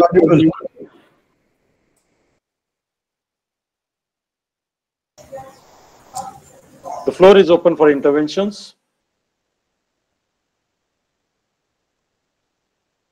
F1, you can take the floor. Thank you, Chairperson, sir. We appreciate the proposals made by the team and specifically the point 6.7 in the proposal of educating people about their duties and problems due to marine plastic litter align with our interest and organization. So we support the proposal full-heartedly. Thank you, sir. Thank you. To clarify, F1, you are supporting the proposal of their about education, training, awareness. Yes, sir. Thank you. B1. Thank you, Chairperson, sir, for the recognition. So we uh, appreciate all the research done and the measures proposed by Team E1, and we strongly support their proposals on the redu reducing the plastic litter that is being discharged, and also their proposal on how to reduce the use of disposable plastic and increasing awareness. And also, we would like to mention on their measure of stopping or minimizing the disposal of fishing gear in coastal regions by international cooperation and technological exchange, we can extend it to the deep oceans also. That's it from our side, and thank you for such a great presentation. Thank you, Chair. Thank you. A1, the floor is yours. Thank you, Chairman, sir, for the recognition. Uh, we do want to appreciate the part where uh, the respected delegation had uh, expressed their concerns on lack of awareness. We do believe for these proposals and our suggested ideas as well, to make this reality, awareness and cooperation of citizens is an important factor to consider. Furthermore, uh, we are in support of the delegation's proposals on garbage collection methods and incorporation of uh, uh, research bodies for detailed analysis as well. Therefore, we look forward to the same. Thank you. Thank you. C1, the floor is yours. Thank you, sir, for providing us this opportunity. First of all, I would li like to congratulate my Panamanian counterparts for uh, for their research and their hard work in their paper. Now, uh, however, we want to point out that uh, for our interests, the Danish interests, we are a country with medium research and development, and we look for look forward to technical ideas and innovative ideas which I saw uh, a lack, a lack of innovation and lack of uh, you know new ideas to th that were presented in their paper. Their paper, uh, the Panamian paper was a little too preachy for us to understand. So we won't say that we don't support their paper, but we are not exactly in terms with them. Thank you, but uh, that is Panama view, and you must uh, respect that. You, if you feel their research and development is uh, you have more research and development facilities please feel free to i assume as a nation you are doing the, your best. Well sir we so uh, thank you. Uh, that will be okay sir. Unless you have some specific point to add. No sir. Nothing nothing specific. Thank you. Okay so Thank you, E1, again for your introduction and the interventions made by other member states. I now call upon F1 to introduce their paper.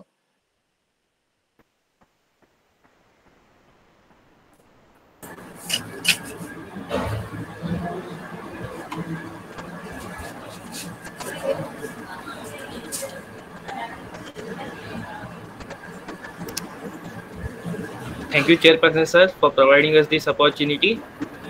Good morning, good afternoon, everyone present over here. We, the delegates of Greenpeace Environment, are here to present our paper on action plan to protect marine ecology from vessel-based plastic litter. Starting with, we have the overview of our presentation. We will first read the introduction to the topic, sources of marine plastic litter, background, addressing the issues, adverse effects, preventive measures uh, and our proposals, innovative techniques, and then we will conclude.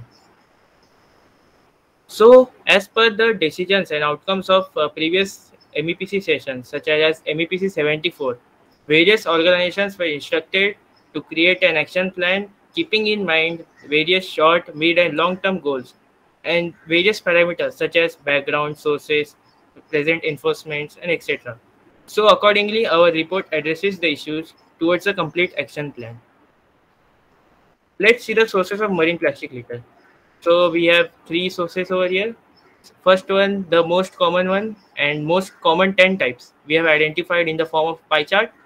Uh, we can see here plastic ropes, bottle caps, plastic beverage bottles and many more. And second, in the second figure, we have listed the sources from which we see this plastic occurs. So we have classified broadly classified the sources as macroplastic and microplastics. So basically, microplastics are the fragmented and degraded form of macroplastics, and the sources we can clearly see in the second figure. In the third figure, uh, we indicate the offshore oil rig decommissioning procedure, or we can say the dismantling, uh, in which we remove the underwater structure after decommissioning, which leads to uh, emergence of deep sea earth sediments uh, that is basically fossil fuels and parent material of plastic which may which pollutes the marine ecology. So the current background and scenarios which are now over here. In the first box we have indicated that the china the biggest producer of plastics it's said to become the world's plastic world's largest plastic polluting country as the government in 2019 banned the dumping of plastic waste in the rivers, which led to promotion of dumping in seas. Whereas in the second box, we can see the European region uh, has managed to keep its plastic pollution in control by implementing various laws, and that's a good thing. In the third box, uh, we have listed uh, major coastal countries. There are various laws made for plastic pollution to be controlled, but these lack enforcement. Uh, for instance, India has passed Plastic Waste Management Act in 2016, uh, but only 14 of 29 states provided the statistical data, which shows there is a lack of enforcement. Uh, in the fourth box, we have uh, uh, indicated some stats about plastic. So at 8 million tons of plastics uh, end up in our oceans every year. And from the shipbuilding and ship recycling activities lead to increase in percentage of marine plastic litter. So in the image, we have shown the plastics that have entered already entered into the oceans. So distribution we can see in the water and the, on the land.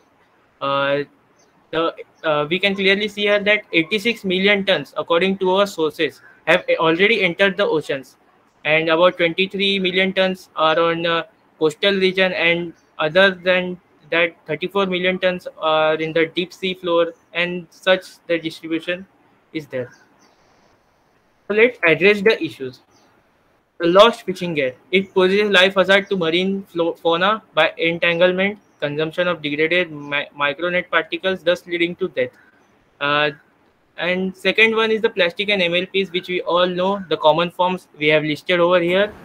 And the MLPs are the major ones, uh, which we use to carry our stuff for daily use.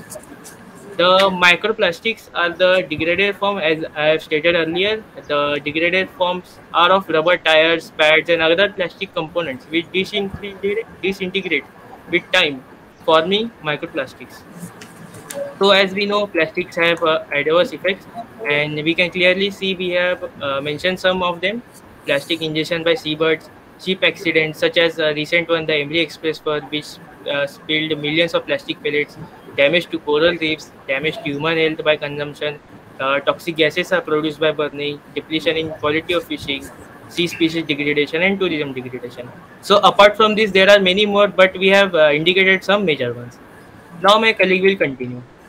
Now we are going to discuss about the preventive measures. Enforcement of MARPOL at ground level is an important step. The local people, industry, post-governing bodies should be educated about the toxic effect of plastic waste on marine life and help them to dispose them properly. Second is creating a regional action plan like NOWPAP, which is executed by China, Japan, South Korea, and Russia. These experienced countries should share their methods and plan and guide other countries to implement them. Third is reduce, reuse, recycle. This policy should be strictly implemented in the ground levels and the use of recycled paper should be promoted and not new paper as it causes deforestation identifying lost fishing gears by marking them with IMO ship identification number, name of the vessel, time, position, etc. Fifth is sustainable use of oil rigs by using it as artificial reefs, making them wind farms, etc., instead of dismantling them, which may harm the marine ecosystem. Sixth is strategic law enforcement. European Union has passed plastic law, which are effective since 3rd July 2021, to reduce marine plastic litter and set up various short-term, mid-term, and long-term goals. Now, innovative technology and proposals. Thermocatalytic depolymerization. This is a method used to break down plastic into polyfuel, which is an alternative fuel and can its products are synthetic gas, tar, sludge. The SeaCleaners Manta is a highly sophisticated sailboat which uses floating plastic waste for propulsion and generates synthetic gas to rotate turbines to produce electricity. Ocean cleanup device is a boom-like structure which covers certain area of the sea and collects plastic waste from it. It uses natural energy like wave, wind, and current to propagate. Now, Design Makers is a Kenyan company which uses plastic waste from factories and makes brick which can be used in road making and they are cheaper and lighter. Ecoalf is a Spanish company which collects plastics from fishermen who collect them in their nets while fishing and they make clothes out of it.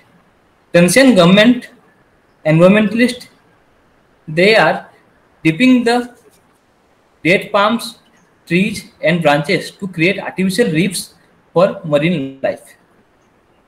Now, I would like to conclude that most of the measures can be universally adopted irrespective of nation's financial status and no, don't need any additional financial investment. Thus, this report sums up some key aspects that need to be addressed in the alarming hour and would guide several nations and policymakers to regulate and frame action plan for greater, cleaner, brighter future. Thank you, Chairperson, sir, and delegates for lending your ears. We look forward for your support. Thank you. Thank you, F1, and highlighting the various innovative technologies available. I now open the floor for interventions.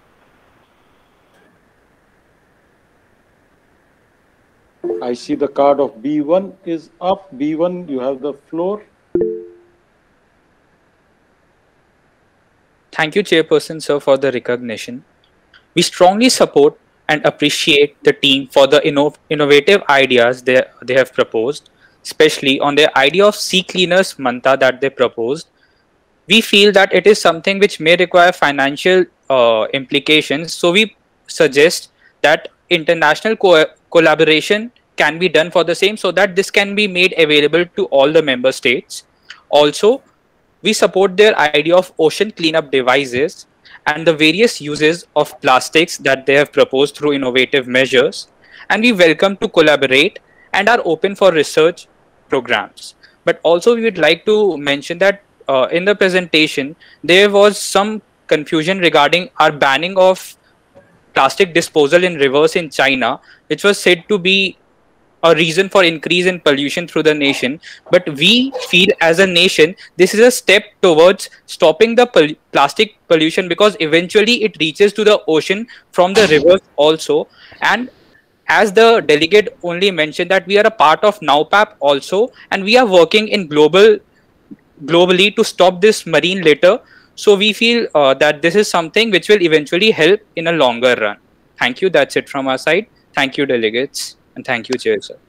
Thank you, B1, for that clarification, which I am sure F1 would note. Thank you for that. Uh, and also, I, I suppose other member countries would note who would have observed that. Uh, I hand over the floor to C1.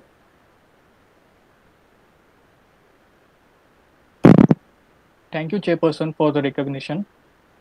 Uh, our delegate, our delegation would like to extend full support to the uh, uh, proposals proposed by the uh, delegates of F1. And also thank you for addressing the plastic pollution uh, um, caused by oil rigs as it is an untouched area. So thank you for addressing that. Thank you, sir. Thank you, C1. A1, you may take the floor. Thank you, Chair, for the recognition. Uh, we appreciate the delegation's views on uh, innovative measures and uh, efforts on ground level implementation of MARPOL regulations. We often miss that out. Overall, the proposals go hand in hand with what we have put forward to the committee. Therefore, we are in favor of the delegation from Team F1 and we look forward to positive collaborations. Thank you. E1, the floor is yours. Uh, thank you, Chair. I, on behalf of my team, would like to congratulate Team F1 on the research made by them. Uh, and I think we are on the same page with the, te- uh, with the team about uh, identifying fishing gears, like many other teams that spoke today. And we look forward to uh, working with them on the topic uh, in the near future. Thank you, Chair. Thank you very much, E1. D2, the floor is yours. Thank you, Chair, for giving me the time to express my views. First of all, I'd like to congratulate the delegates from Greenpeace on presenting such informative presentation. Their concern of rapidly rising plastic pollution is highly commendable, and we, the delegates from Norway, are in full support of their views to control them. I'd like to specifically highlight their idea of identifying lost fishing gear as this is aligned with our interest. And something which just piqued my interest is utilization of oil rigs as wave farms and artificial reefs. This sounds something that could go a longer length in hel- helping reduce plastic pollution. But some clarification on how our Greenpeace counterparts are hoping to achieve this fit would be helpful, since they are an NGO and as I can assume that conversion of oil rigs into wave farms and artificial reefs is not going to be cheap. So I'd like to just ask them on how they could achieve some feat. Some just some clarification is required. And yes, thank you for giving me the time. Thank you, Chair. And once again, thank you, delegates from Greenpeace. I see F1, you have your card raised. I assume you would like to address the issue of wind farms if you have done some research work on that. F1, the floor is yours. Thank you, sir. Uh, we would like to clarify that wind farm point. Uh, we have stated that wind farm point for the uh, oil rigs which are to be dismantled, which are going to be dismantled in near future, such as at North Sea and in US parts where oil rig decommissioning is going on rapid pace. So at that point, we suggest this wind farm uh, technology and not for the regular oil rigs. And clarifying the issue raised by B1, uh, we would like to say that the NOWPAP, which we have stated, was implemented much before the law of 2019, which has China passed. That uh, in 2019, China has passed that uh, banning of uh, dumping in rivers, but it has led to increase in dumping in seas. But uh, the, in the NOWPAP, they work towards that only. In the sea, uh, the marine litter in the seas, they clear of from the NOWPAP Act. So this is something good only, not contradicting the point, but these are the points need to be considered. Uh, they are working for oceans also, they are working for their own rivers also. So these two acts somewhat uh, clash to each other. Thank you, sir. Thank you, F1. And uh, C1, you have some specific point? Yes, Uh, sir. Then you can take the floor. Yes. Yes, sir. So adding on to my colleague uh, Akash's uh, point of uh, raising awareness in their oil rig pollution prevention, they have done a good job in their paper. They have presented this paper. Uh, they have done a good research in that. Uh, but uh, uh, extending this st- stance, we we would uh, we would like to throw some light on the innovative techniques that they have presented. The uh, a lack of innovation was seen in this paper also, and uh, we as a country we are looking for C1 I, I would request you that if you could highlight what you would like to support and uh, keep it focused on that because sir. we require to close the session also. Okay, sir. So I would like to suggest my uh, uh, F1 counterparts to work up more on uh, new innovative ideas and research. So you would like more information on that is what Yes. you're saying. Yes, sir. I am sure during the breaks you can get in touch with them and discuss with them with ideas, uh, what they want to convey across in their innovative methods. Yes, sir. Thank you, C1. There being no other cards on the table, we are now at 12:22. We will come back at 12:35 to summarize the session, whereafter I will hand it over to the to Gaurav to decide on the lunch timings. So I'll see you back at 12:35. Thank you.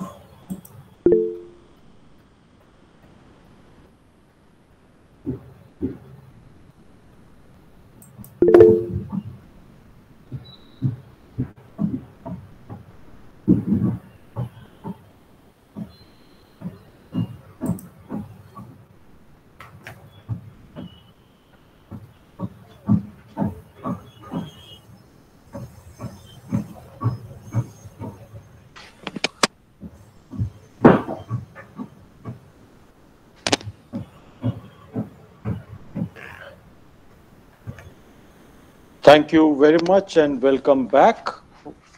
Delegates, an interesting session.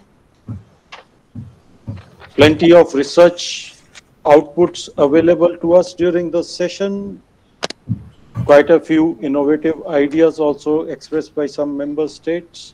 And now I will try to do my best to try and summarize the session so that we can have a way forward which would benefit everybody because yes recognition i think all the research shows that plastic pollution is really impacting all of us and it does require to be addressed.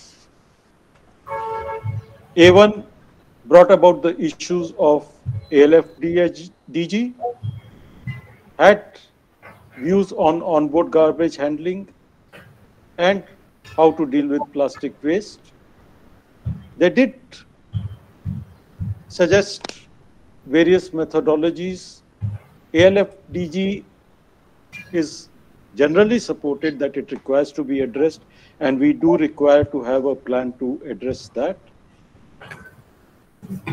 The replacement of an incinerator by a compactor did not find support, though subsequently uh, Though subsequently also other people have proposed compactors, people are not very clear as what sort of equipment the compactor would have. Therefore, possibly further papers on compactors, not in lieu of incinerators, but as an additional equipment if found feasible, economical, and serving the purpose would be welcome.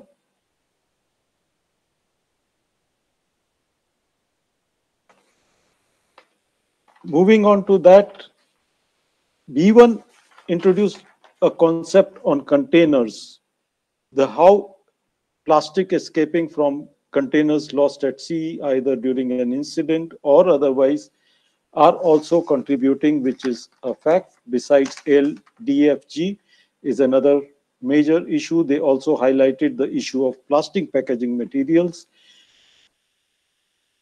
As far as the containers are concerned, the proposal they can take uh, discuss with the secretariat because presently IMDG code recognizes nine classes, how this can be incorporated, plus their innovative idea on how containers lost at sea can be recovered.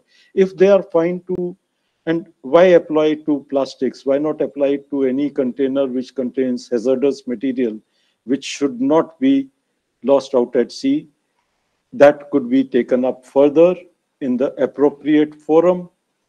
They also talked of LDFG and acoustic tags, which is something which we will take forward uh, for further study to make sure that it is economically viable and implementable.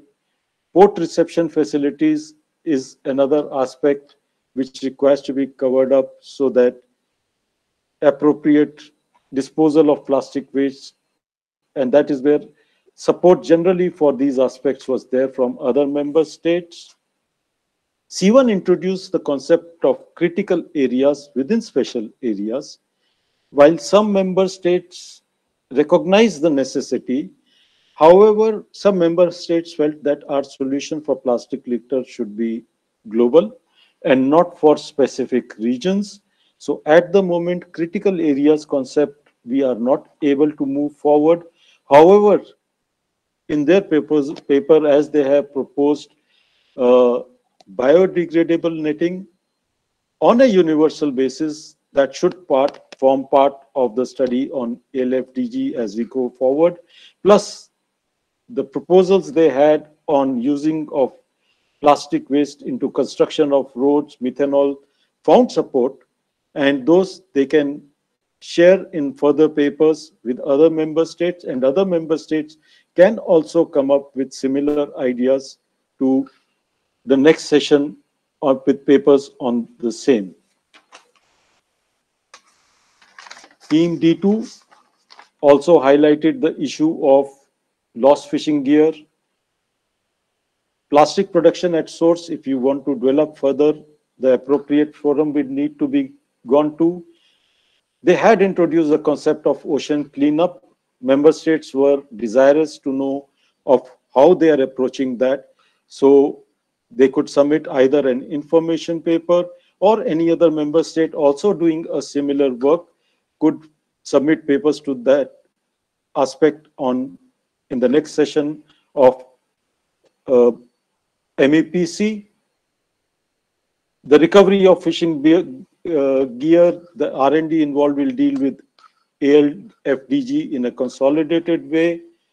We had the paper from E1 which talked about an important aspect which got support from nearly all the participants regarding education, awareness, and training required, and so that this information is spread more widely and it gets the appropriate importance that it deserves, considering the harmful impact it is having on not only the ecology, on everybody's health. Other points would be similar to what has been expressed on lost fishing gear.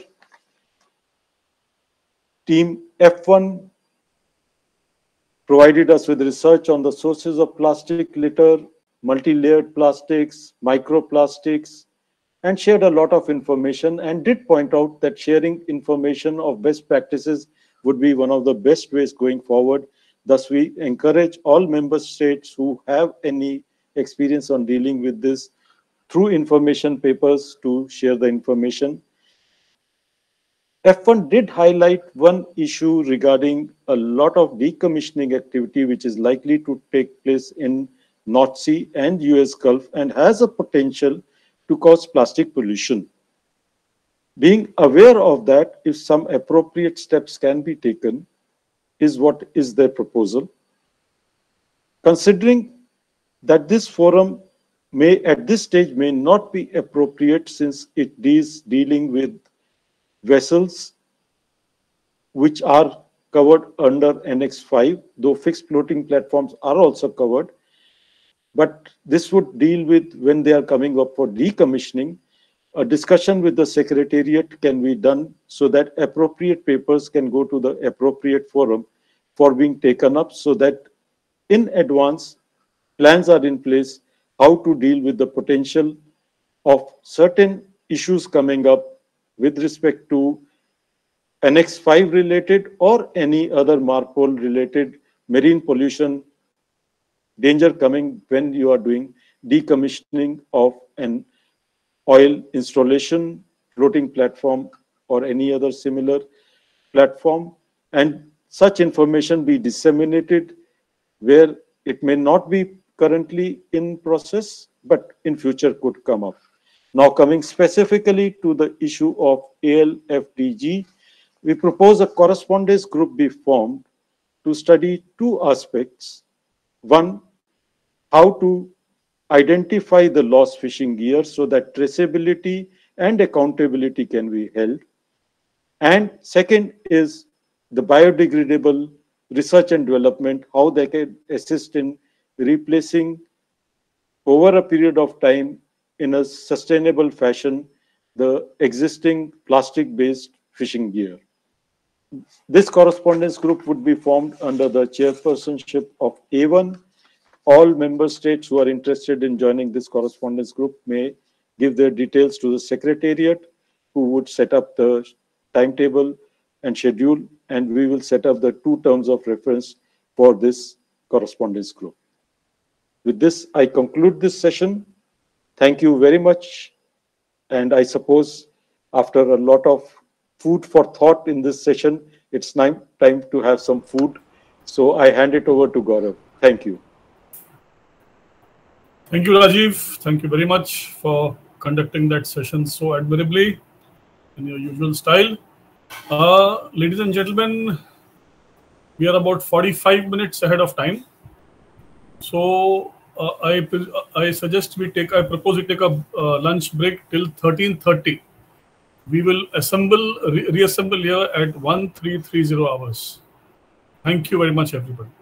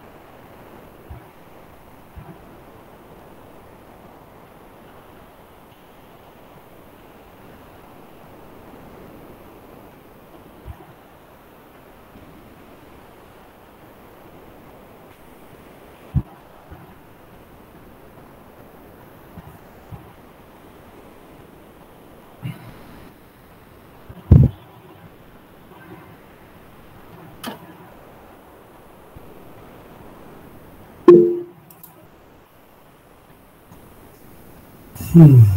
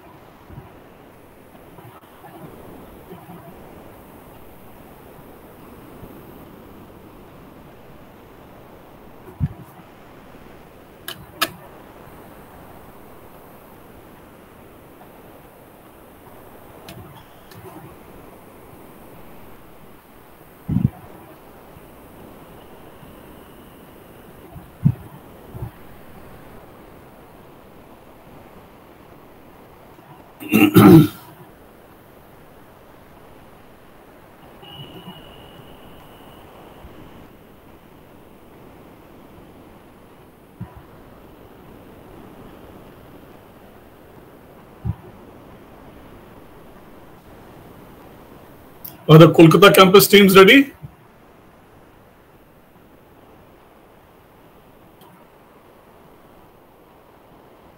Kolkata campus.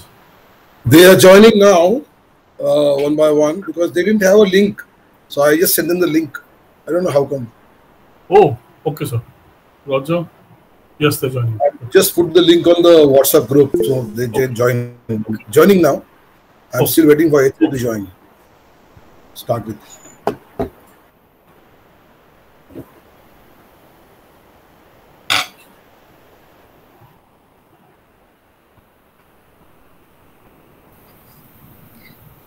Radish?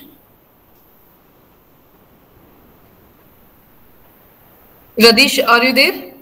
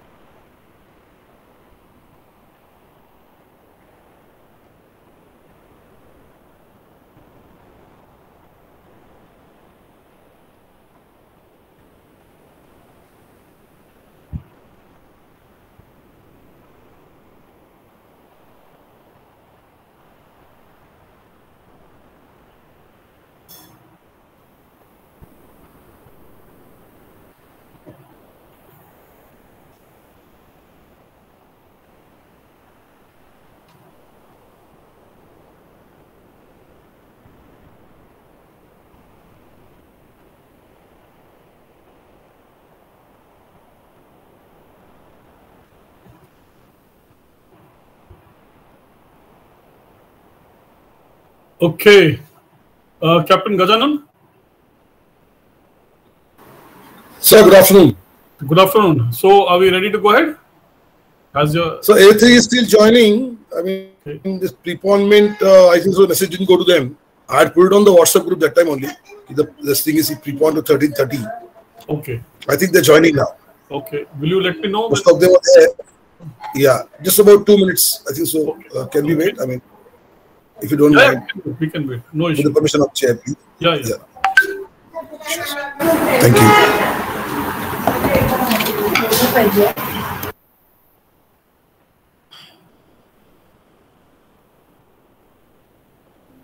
So with the permission of chair, I think we can, uh, ex, you know, uh, wait for another five minutes. Yes, madam. Another couple of minutes you wait. No issue. No issue. Thank you, ma'am. Uh, Captain Gajanan is Archan Bishwas 8052 also a part of the team? Then is joined not in a correct fashion. Correct, correct. I told you already. Okay. So meeting. please take care of that. They join. Get out again and again, uh, reform, the. Yeah. change their names. Okay.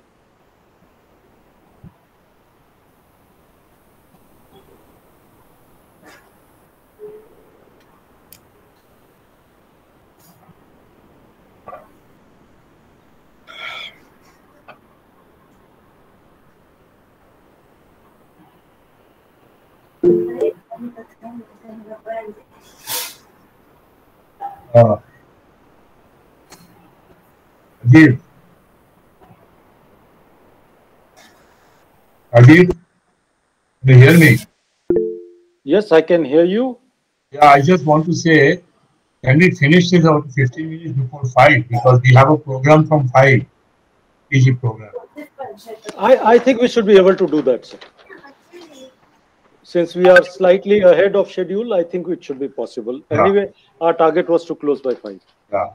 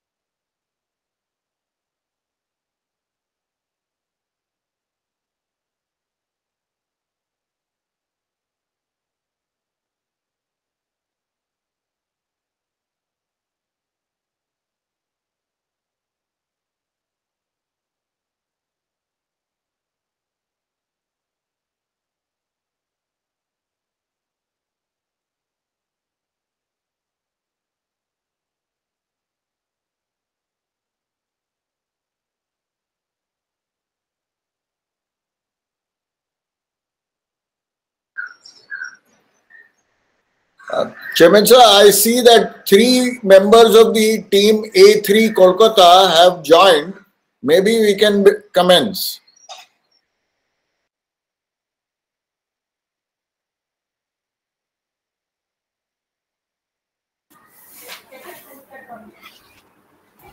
Just a minute more. We'll just give them one more minute. 1335 we'll start.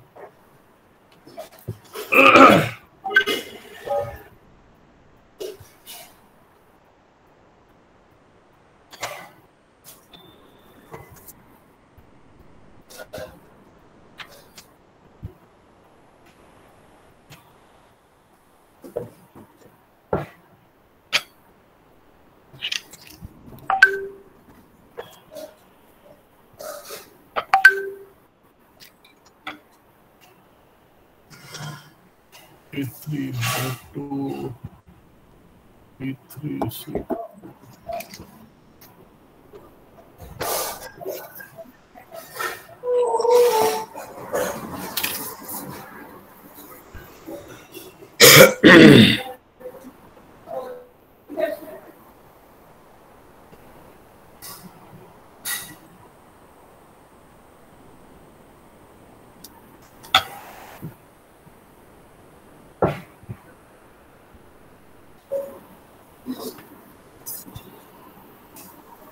I think we can start. Yeah, A3 is already there. Okay. Thank you, Captain. So, welcome back, ladies and gentlemen, after the lunch break to the third session of today's uh, topic on Marpol. Uh, the third session features the Kolkata campus of the IMU. The campus coordinator is Mr. Sudhir K. Sinha. Mr. Sinha is an alumnus of the World Maritime University and he superannuated from the DG Shipping in February 2018 as principal officer and is presently a faculty in the IMU Kolkata campus. Thank you, Mr. Sinha, for your very valuable contribution to this event. I take great pleasure in uh, introducing Captain Gajanan Karanjikar, the guide for the Marpol at the uh, Kolkata campus.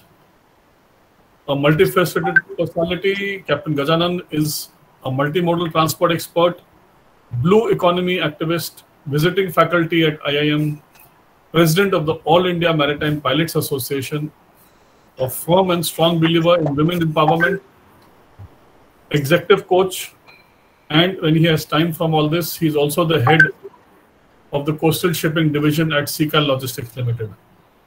Mr. Karanjikar is indeed a versatile maritime professional. Apart from the above, he still finds time to, uh, he's presently writing two books, one on ancient, uh, ancient seafaring and the second one on blue economy. Amongst his lobby, uh, hobbies which he has listed is horse riding. He is also a member of the Bombay Natural History Society and very interestingly, is the founder of Free India, Finding and Research of Endangered Environment. That is Captain Gajanan Karanjikar. Thank you very much, sir, for your valuable guidance to the uh, participants on the Kolkata campus in the IMU topic. I, Thank you. I now hand you over to the chair, to Mr. Nair for conduct of the next session. Over to you, Rajiv.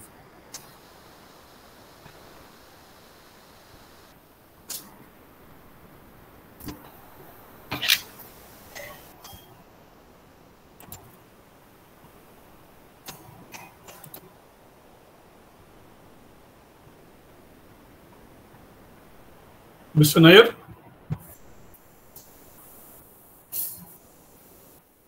Good afternoon, everybody. Welcome, Kolkata campus delegates. We will commence now the agenda item development of an action plan to address marine plastic litter from ships.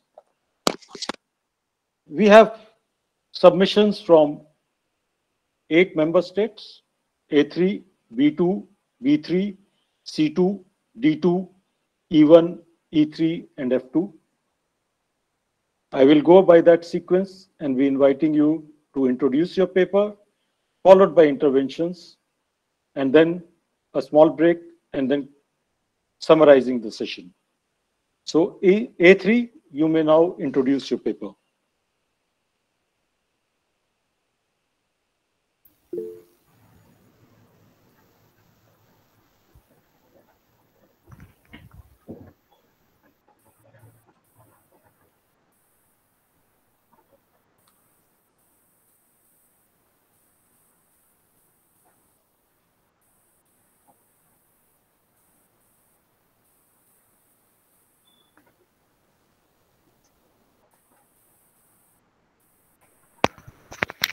A very good afternoon, respected Chair, fellow delegates, and everyone present here.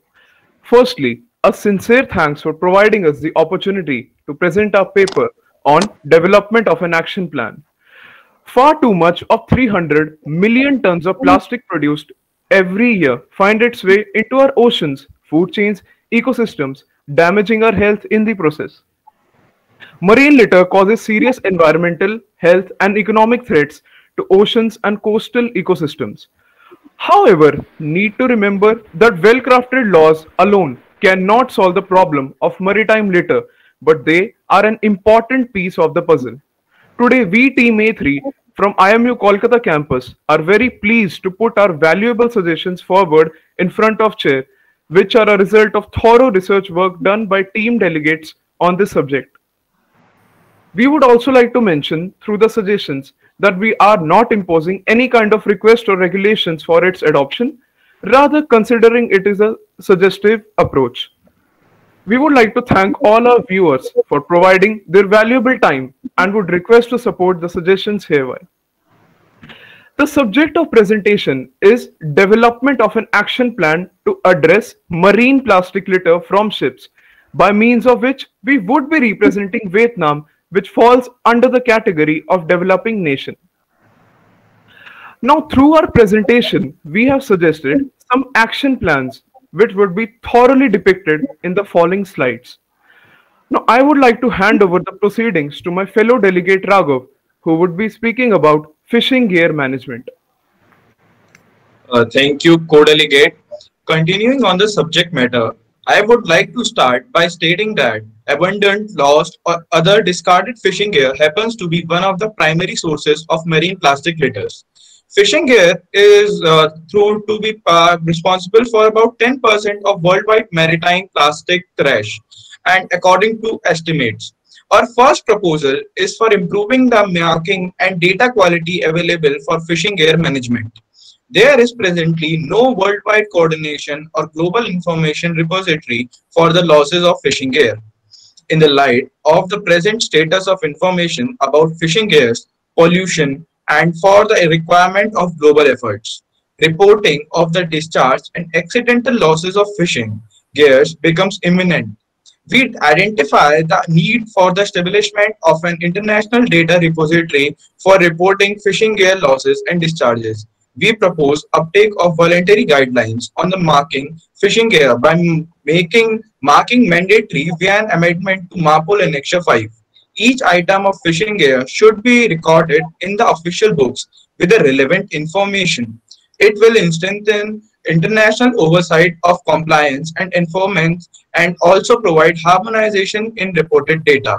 In the second proposal, we recommend defining the reasonable measures that should be taken to avoid a major loophole that weakens the prohibition and leads to inconsistent implementation across countries. Several measures should be considered reasonable at a global level. And if they are not taken, a ship should not be eligible for the reasonable precaution exemption. For example, equipment on board to try to recover any lost fishing gear, equipping fishing gear with buoys and trackers to enable their location and recovery. And fishing vessel personnel should be regularly trained to prevent accidental losses, reduce soak times, and best stowage practices. With Proposal 3 on garbage management plans and cost structure, our team suggests that there is currently no guidance on the components and design for port reception facilities of uh, trash at ports. As a result, we suggest enabling ships to dump all their MARPOL Annexure 5 trash in port for a set cost, known as a 100% indirect fee, in order to remove the motivation for uh, fishing vessels to illegally abandon fishing gears at sea. We also recommend the reduction of the 400 GT minimum tonnage essential for garbage management plans in MARPOL Annexure 5. Since most of the fishing vessels fall below the margin, we also request to provide greater advice on acceptable losses and gear labeling and provide quantitative guidelines for port receiving facilities. Now, I again will request my fellow delegate to deliver ending note to our presentation. Thank you, fellow delegate Raghav, for his words. Now I'm going to highlight some key points about our propositions. We being the representatives of Vietnam, a developing nation with mentioned limitations and constraints, have tried to make our proposal as effective and easy to implement as possible. And being a primarily fish-based society with heavy consumer, we have primarily focused on fishing gear reforms. We, along with recognizing the importance of regional work, have advocated for a better international cooperation so as to provide much needed synergy for effective solution. We have focused highly upon finding the loopholes and shortcomings of the current system and thus providing suggestions along with them like we have recognized the need for defining reasonable measures in Annexure 5 we identify that there is a need for coordinated effort across the agencies and stakeholders for effective solution of the problem. Thank you very much for your patient listening. These are personal suggestions and can be worked out further in discussions with the working group.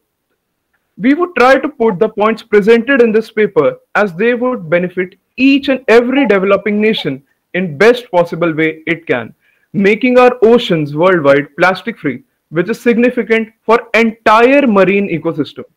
Thanks to the chair and co-chair for patient hearing. We are open to all type of comments.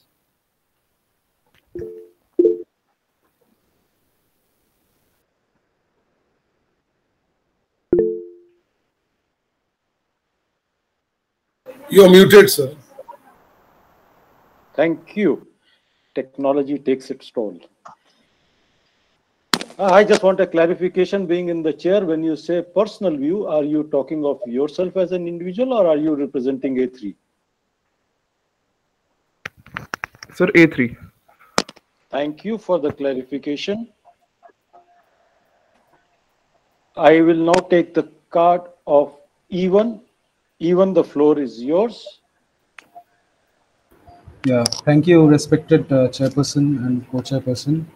Uh, team A3 has suggested that fishing uh, um, fishing nets provide only 10% of the pollution that is part of the world of the ocean plastic pollution. Uh, I would also say that we support the training of fishing vessel personnel in their proposal too.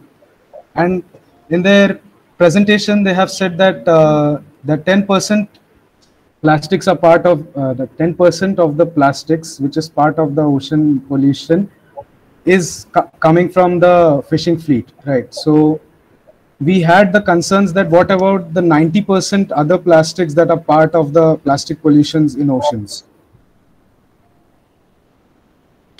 Thank you, E1.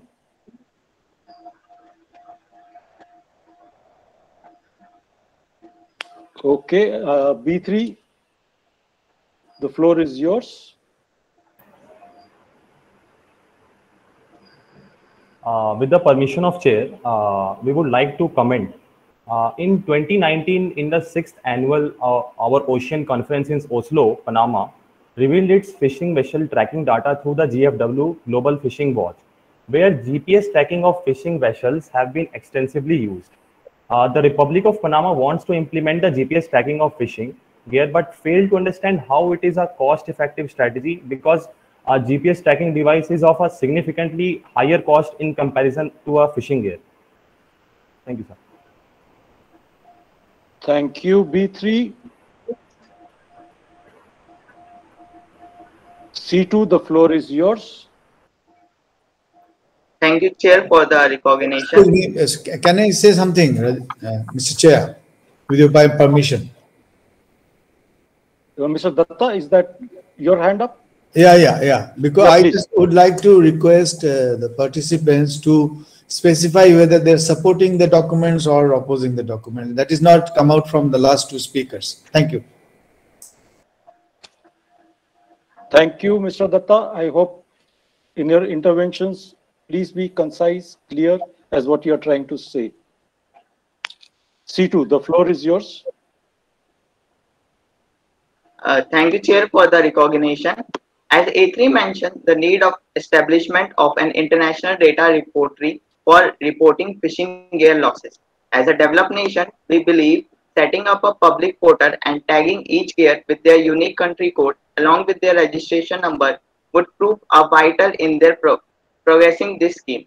Further, with the large participation of fishermen and the seafarers in identifying and locating marine plastic litter during their fishing activities.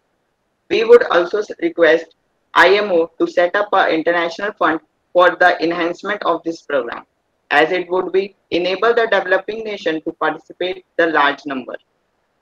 Uh, we, the delegates of Denmark, extended our full support to them and we look forward to working with them. Thank you, C2. And as far as your request to IMO, you may kindly put it forward in a paper as to what request you have specifically to IMO at a relevant session. Uh, carrying on with the interventions on the paper of A3, at the moment, we would restrict the interventions on that content. If you have any other views which you want to take up, they would have to come through paper submissions. I hope C2 uh, that addresses your query on IMO establishing a fund. E3, the floor is yours. Thank you, Chair, for your recognition. We would like to extend our support to the proposal of Team A3 for the reduction of 400 GT minimum tonnage for the garbage management plan. And we would also like to suggest an additional point that uh, the garbage manage management plan should be modulated according to the requirement of smaller vessel. Uh, to the requirement smaller vessel, that is, according to the amount of garbage produced and the garbage management facilities available on the board. Thank you. sir. Uh, A3, uh, can you please switch off your, mute yourself? You're coming in as disturbance. Thank you, A3.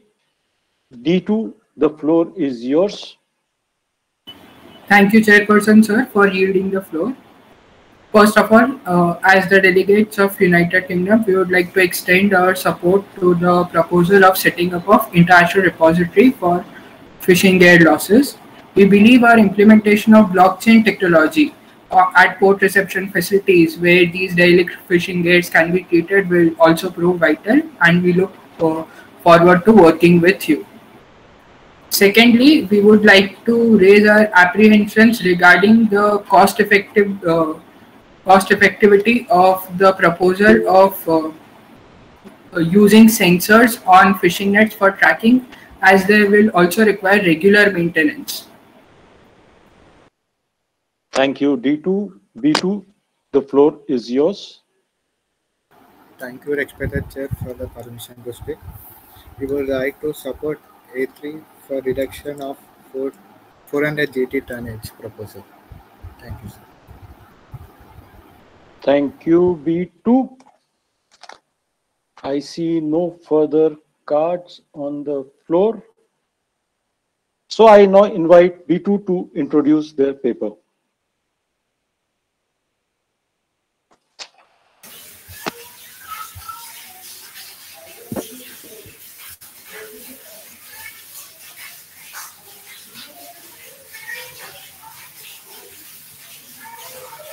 Good afternoon, respected Chair, Co-Chair, and delegates from all countries.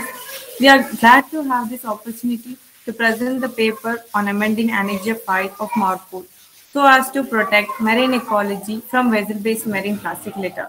We were very pleased to put forward our suggestions and the research work done by our team on this subject. I would like to reiterate that these are suggestions and not imposing any kind of regulations. We would request everyone to support our ideas. We are the delegates of Russia. Here is our introduction. We as a developing nation under Division B, our team roles in IMO proceedings are large interest in providing shipping services, large tonnage, limited legislation, fisheries, national level manpower supplier, and large R&D. Here we go with our 2050 strategy, which is already mentioned in 27th and of our base paper. According to UNEP, every year 8 million metric tons of plastics enter our ocean. To, on top of that, 150 million metric tons that currently circulate our marine environments. That's like dumping one New York City full of plastic into the ocean every minute of every day for an entire year, and that much plastic is bound to have an impact on ocean's ecosystems. Here we are with our three strategies reduce, find, and remove. As our idea is to reduce plastic litter, here we are with the first idea about fishing gears. The fishing gears are mainly classified into two types. One is active fishing gear method, another is passive fishing gear method. For the benefit of IMO delegates, we have mentioned this in the 21st and 26th points of our base paper. The most often used technique by the fishermen is active gearing method. This is beneficial to the fishermen, but not to the marine life. It is a fact that catching capacity of the fishes is high in active gearing with least amount of time. But this method have been killing targeted and non-targeted organisms, including endangered and protected species. In this way, active gearing method leads to ghost gearing. Probability of losing nets is high in active gearing due to poor weather conditions, conflict with other vehicles, vessels, gear overuse are the few possibilities which may lead to loss of gears. Discarded fishing gear that is no longer under the control of fishermen, which may lead to trap and kill aquatic life. Passive gears are relatively simple in their design, construction, and use. They are gradually handled without mechanized assistance other than a boat, and they require very little specialized training to operate. So we can strongly say that the weather condition will never affect the passive gearing because the gears were fixed at certain areas. The fisherman is very low. The, the count of losing their nets for the fisherman is very low in passive gearing because the control of the net is not in the hands of the fisherman to get out of his control. As we can see on the screen, active gearing method specifically implies that organisms caught in derelict fishing gears die as a result of predation and starvation. Derelict fishing nets uh, and trapping being killed, killing targeted and non-targeted organisms, including endangered and protected species. In this way, active gearing method leads to ghost gearing and can continue to ghost fishing for years once the gears, gears are lost under the water surface. In conclusion, active gearing is major destructive method, so we promote passive gearing, which is future of marine life. Me and my co-delegates request IMO to conduct awareness programs to educate fishermen about passive gearing method and also to fishing companies encourage the method of passive fishing gear, which helps to reduce ghost gears. With the permission of chair, I would like to invite my co-delegate Pula Gautami to continue the presentation. In continuation of paper by my colleague delegate, with chair permission, I would like to present. Good afternoon, chair, and good afternoon, my colleague delegates. There are many organizations which cleans the floating plastic on the water. Then what about the plastic going deep inside the oceans? According to the point of 16 and 17 of our base paper, here we are with our second idea, which includes our other two strategies. Analysis of ocean sediments from deep as deep 3 kilometers suggests there could be more than 30 times as much plastic at the bottom of the world's ocean than there is floating at the surface. Suspended plastic materials in the ocean have been more harmful as the plastic materials are swallowed by marine animals and fisheries will cause them suffocation which also leads to their death. We all know that sonar has been used to detect the submarines and underwater equipment since 1916. To detect the underwater plastic materials, we suggest to use Navy ship sonar waves, also known as military sonar waves. These waves are eco-friendly waves as they don't harm any fisheries. So we strongly suggest to use this military sonar waves to find the plastic litters deep inside the ocean. When we completely detect the plastic materials along with the location of the plastic, we will detect the type of the plastic and the density of the plastic in the ocean using these waves, which will help us to find the suspended plastic. Then we have to implement our third strategy of removing. We are proposing to use merchant submarines to complete our third strategy. According to our research, there are two-digit number of submarines present with our developing nation, Russia. So we are proposing to use the merchant submarines to implement this methodology effectively to collect the gas and abandoned plastic which is settled at the bottom and affecting the flora and fauna of the ecosystem. We would like IMO to kindly promote this to other countries which have naval provisions in their countries. Inactive submarines can also be taken into consideration. You all know that we are looking at this kind of exercise to remove the plastic from the ocean. I suggest IMO to take this crucial step to remove the plastic suspended in the ocean. Over to Jansi for the further presentation. So respected chair and co-chair and all the IMO delegates, I'm repeating again how our research work done. You can see the front part of the merchant submarine is a Navy ship sonar dome specially made to detect plastics and gears without harming marine animals, which is our motto. The merchant submarine is a barrier and conveyor belt system that concentrates and extracts plastic from deep ocean.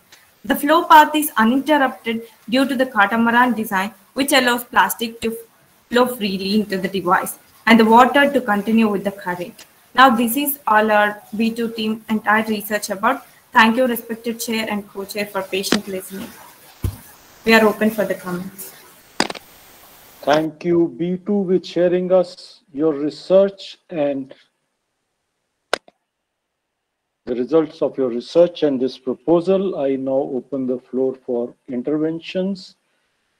Uh, C2, the floor is yours.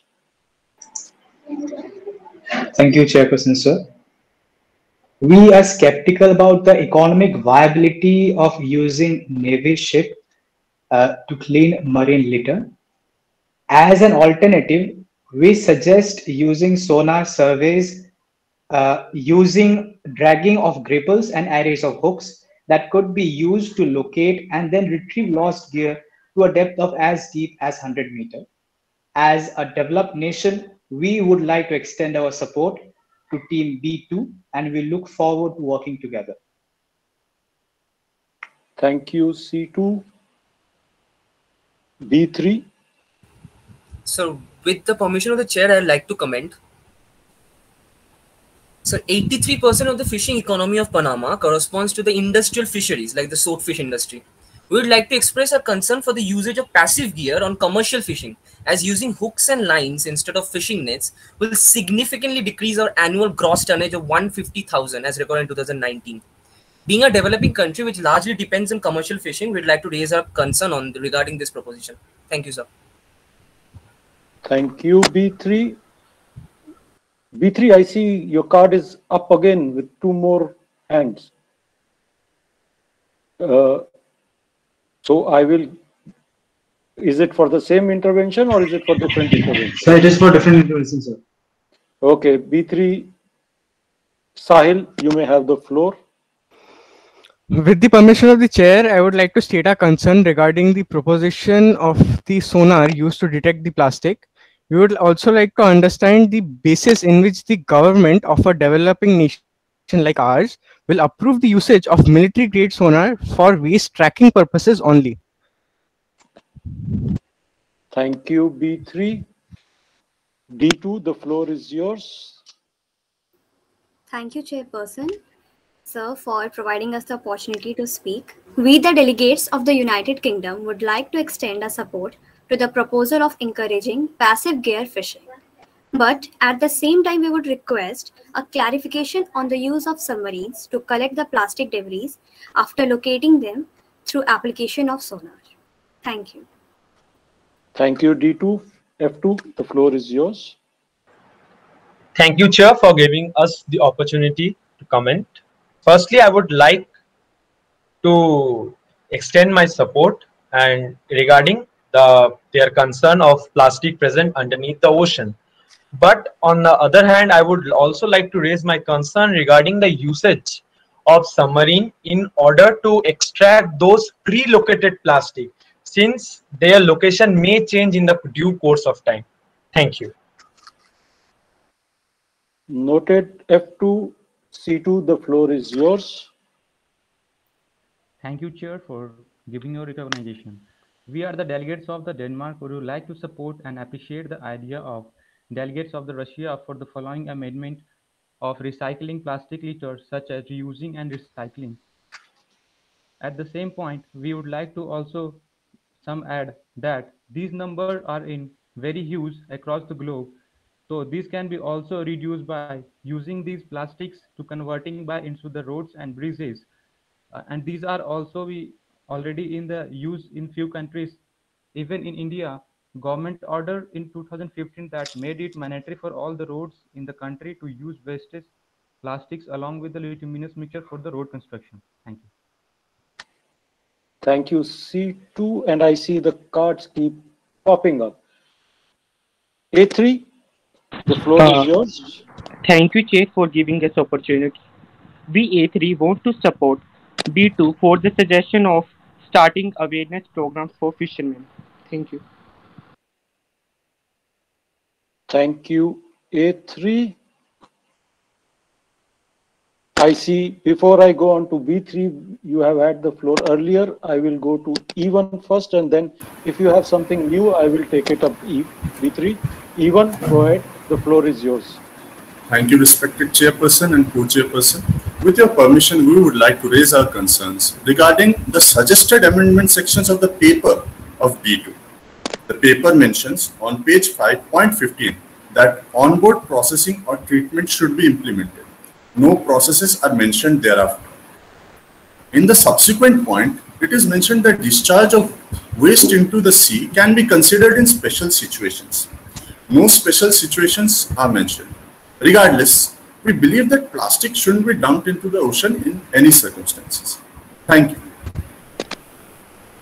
Thank you, E1.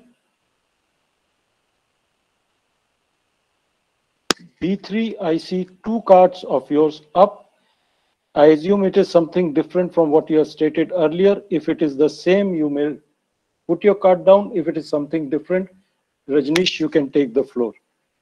Thank you, Chairperson, for Chairperson for giving me the opportunity to speak. We would like to extend, we would like to concern about the marine, about the military sonar. No doubt it's a good idea to track uh, plastic, but as a Republic of Panama, we may face a high national security threat as we are putting our classified project at risk, which are which is for benefit of the world, but yet to complete. This would re- result in the project being un- being co- compro- compromised, and they might result to, to be hand in, in the wrong hand. Thank you, sir. Thank you, B3. B3, Anurag, you have the floor. Uh, thank you, Chair, for sharing the stage. Uh, we would like to raise our concern about the cost effectiveness of this proposition. As they've mentioned about a decommissioned submarine, uh, which will be recommissioned for the sole purpose of plastic debris tracking and not retrieving. So, we, sir, that's we are uh, concerned about cost effectiveness. Thank you, sir. Thank you. Thank you. I see again card of, okay, E3, you would like to take the floor? Go ahead. Sir. Thank you, Chair. For, thank you, Chair, for your recognition. Uh, we like we like to extend our support to the team B2 for their uh, proposal of a passive uh, passive fishing gear, passive gearing fishing techniques, and we would also concern about the econ economic uh, economic difference between the active fishing gearings and passive fishing gearings. Thank you. Could you repeat the last part? I don't think it was very clear to me what Sir, we would to say. like to, we, we are also concerned about the econ the economic difference between these their active fishing gearings and passive fishing gearings. Okay. Thank you. Thank you, sir. Thank you. I see the B2 would like to respond to some of the things. Uh, B2, yes, you can. And please uh, keep it focused to the point. Thank you, Chair. I would like to thank every co-delegates of IMO for their comments, and I would like to uh, make that clear that our fishing, passive fishing gears are made with hooks and nets, which are which will not lost under this uh, water, because it will help because it will uh, help marine animals to not stuck in the gears and not get killed and i would like to tell that sonar everyone asking about sonar which is sonars which are attached to the merchant submarine are just to detect the plastic under the sea. And the merchant submarine which is uh, already we have said before it is having a conveyor belt system which will collect the plastics in the the way it was going on. This is all my comments about. Thank you Thank you for the clarifications, B2. I see no further cards on the table. I now invite B3, B3 to introduce their paper.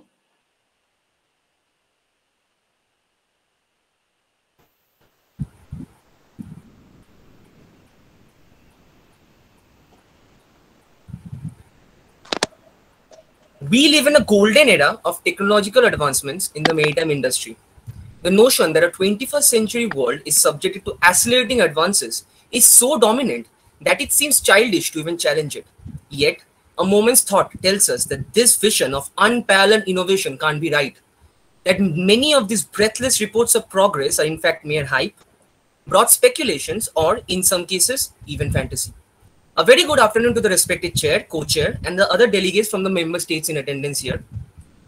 We, the delegates representing the Republic of Panama, in her powers as an IMO member state, would like to present a collaborating action plan to address marine-based plastic litter emanating from vessels. Representing Panama, which has been a member of the IMO Council since 1972, essentially means that we are adhering to all the parameters mentioned in the presented slide in front of the respected chair. Since its inception, the group has tried to come up with ideas that are going to be an improvement on the pre-existing model of waste management, whilst being cost effective as well. The idea was to bring together a set of innovations that are going to be adequately sustainable in the long run of operations, putting pre-existing technological advancements to use. The action plan is chalked out meticulously so that both the asset-rich member states of UK and Denmark and the relatively poorer IMO member states of the African belt and associated states can implement the amendments without any significant extra charges to the state's treasury. First action plan would like to propose are measures to specifically address the loss of abundant and derelict fishing gears. Possession of a unique identification number mandatory for all fishing gears on board a fishing vessel flying the flag of any of the IMO member states can be considered. These IMO license numbers would contain information about the vessel carrying it, along with its date of manufacture and other relevant information. But how is this going to be cost effective, you ask? This leads us to our next agenda on the plan. Initiation of time-bound subsidies for the replacement of fishing gear by the concerned port authority under the dominion of any of the member states can be taken under consideration. These subsidies would be given on the basis of gross degradation of the fishing gear relative to the original condition in which the fishing gear was received by the vessel itself. The persistence of the IMO identification number after the fishing gear return would also remain a necessity in this subsidy-based scheme. This strategy can basically act as an incentive for the fishing vessels and subsequently their owners to address the issue of ghost gear at its root making a database consisting of the details pertaining to the IMO integration number and the subsidy-based program on the fishing gear would successfully fulfill one of our major agendas of preventing, mitigating, and essentially curing the seas of the world of the dire impact that these ghost gears have on them. Please look at the sample database prepared by the group while I call upon my fellow delegate to continue with the same presentation. Thank you. Thank you, Co-Delegate Pratyay Biswas. Anthropogenic pollution poses a major threat to the marine environment due to its perilous effect on the biota, ecosystem, and functionality. Keeping this in mind, the next major agenda on the action plan is to consider the construction of offshore disposal structures under the umbrella of a pre-existing offshore structure, directly or indirectly aided by a member IMO state. The control center for the same will be located at the nearest port logistics facility present on shore. Only after a thorough inspection of the documents at this control center, the vessels will be given the green signal to dispose their waste at these offshore facilities. An adequate number of waste disposal structures would be strategically positioned around the pre-existing offshore platform and associated structures. Only the ships possessing the IMO identification number ratified by the Cape Town Agreement can discharge their waste at these disposal sites, thus ensuring minimum security concerns for the offshore platform. Furthermore, each of these disposal sites will act as a primary threat detection and security outpost for the offshore platform it is associated with.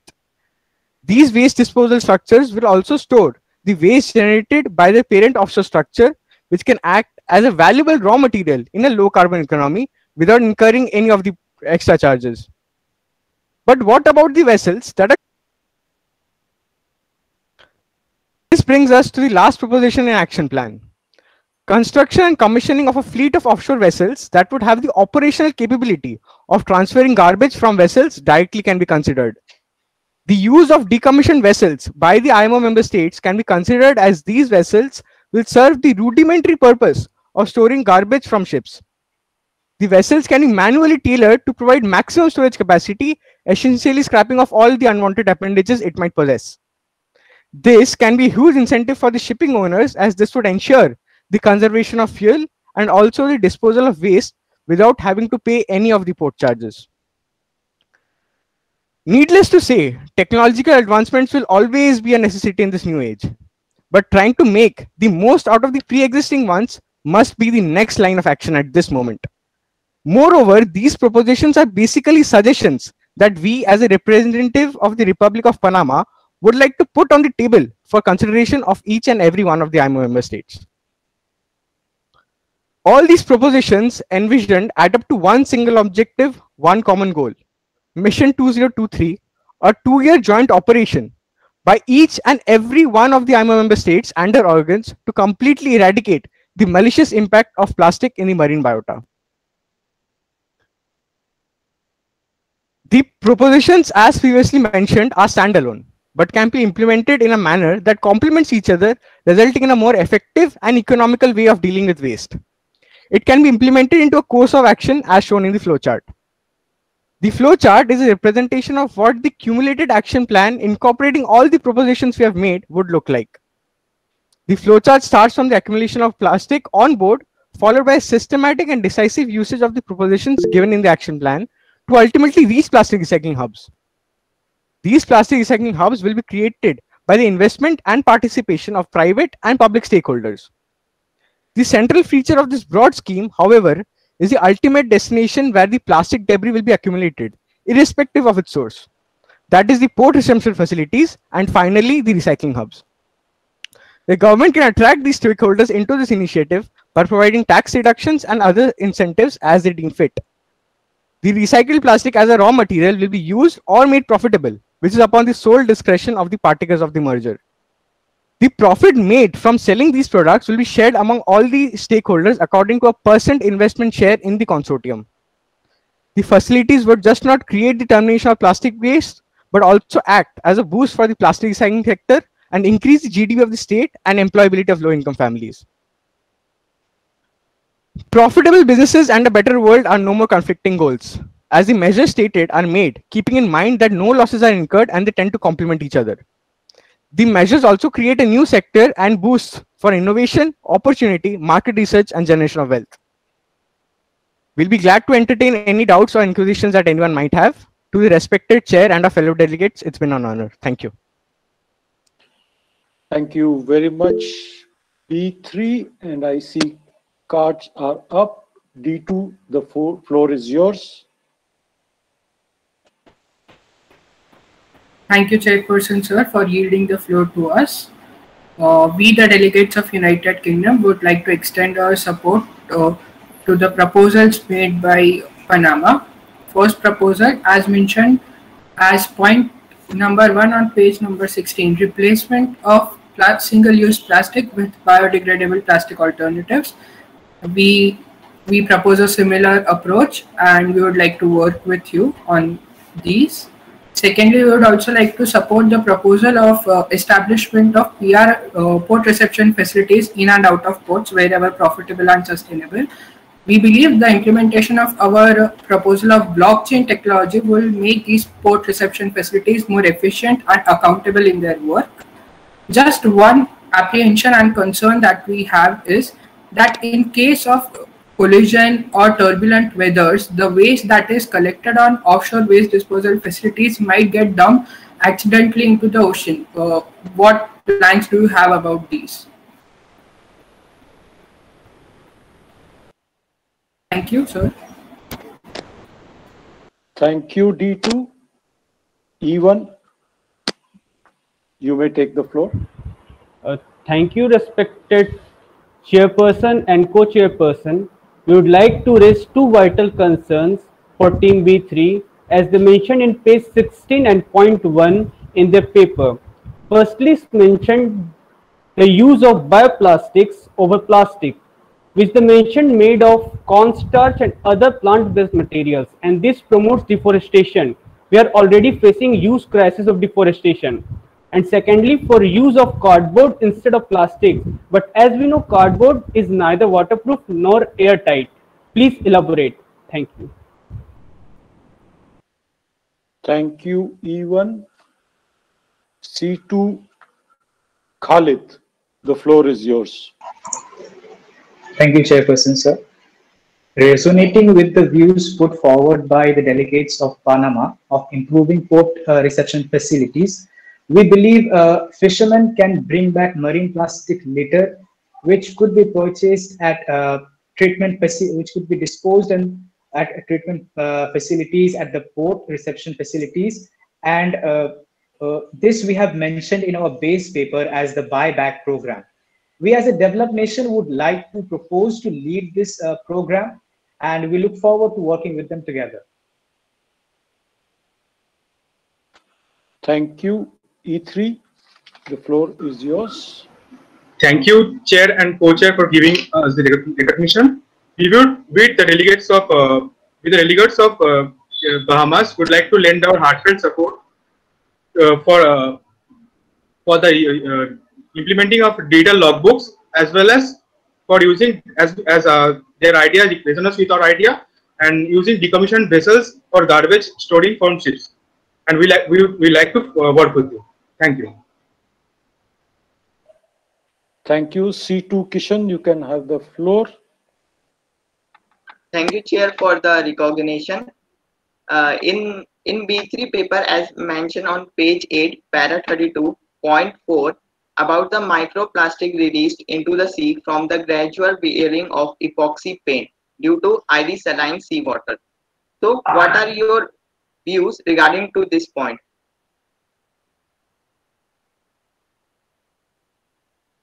You want to raise the issue of microplastics coming from vessels hull paints. As I see it in their introduction of the paper, they have not touched upon the topic. So if they wish to, in the response, elaborate on that, they could. Having said that, F2, the floor is yours. Thank you, Chair, for the recognition. We would like to raise our concern regarding the safety of the crew on board the decommissioned vessels being used, as there might be some uh, technical difficulties in the vessel before decommissioning. Thank you. Well noted, F2. A3, the floor is yours. Thank you, Chairperson, sir. We, Team A3, would like to extend our full support and assure that we fully resonate with the Team B3 for advocating the implementation of unique fish gear identification system. Okay. B2, the floor is yours. Yes, thank you, sir. With the permission of chair and co-chair, I would like to support the thought about port system and the reducing of fishing gears. And I would like to raise the query about the mission 2023, what they have told about the economic budget. Sorry, uh, the last part, what you said was not clear. Could Mission repeat slowly. Yes, sir. The mission 2023, they have told about the budget issue, economic budget issue. I have a small query related to that. To that. What is the query? I just want to know the economic, uh, the budget issue, the, how much it takes to reduce the. And the- that, that uh, you can discuss on a bilateral issue. Okay, sir. Okay. Even you have spoken before. Is there something besides what you have spoken before? Yes, sir. This is a different approach. Thank you, Please sir. Uh, Sir, we would like to raise our concerns regarding point 4.2 on page 19 of their paper. Sir, they have mentioned here that they're going to uh, use offshore, offshore vessels to store waste. Sir, we are considering the efficiency of this since we can easily use land-based uh, landfills to store waste. Thank you, sir. Thank you, E1. I still see certain cards coming up. F2, you have also spoken before. You want to have another point? Yes, sir. Okay, go ahead. Thank you, Chair, for giving me this opportunity to comment. Firstly, I would like to extend my support regarding their usage of biodegradable plastic. But also, on the other hand, I would like to raise my concern regarding, to be very precise, regarding what is the source material for uh, making this biodegradable plastic, as they can face various objections regarding deforestation and all. But there are some sources which could be used or which could be implemented and also simultaneously they would also not have to do a deforestation that was my concern thank you Thank you. And I see the card of E3 up. E3, you have earlier supported their data logbooks and uh, decommissioned ship concept. Is it something different from that? Yes, sir, it is different from that, sir. Okay, go ahead. Thank you, Chairperson, for your recognition. The, we would like to extend our support for the team B3 uh, for the establishment of the recycling hub uh, beside the port reception facilities. and it will help us to improve the functionality of port reception facilities. And we believe that it will help to establish a better sustainable garbage management plan on port reception facilities. And we would like to we would like to collaborate with you in the future. Thank you. Thank you for your interventions. And yes, uh, the concept of an offshore waste disposal structure. To the best of my knowledge, offshore exploration areas are very carefully guarded against from fishing traffic, etc., because you could have various incidents. There is a security as well as a safety issue on offshore areas.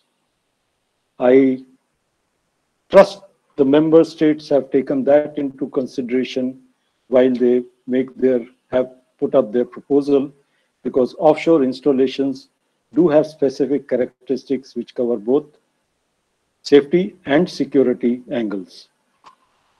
Having said that, there being no further cards on the table, I now invite C2 to introduce their paper. C2, you may proceed. Excuse me, sir. Sir, I had the answer to some of the comments, sir, if I could. I, uh, we are on to the next, uh, please be in time.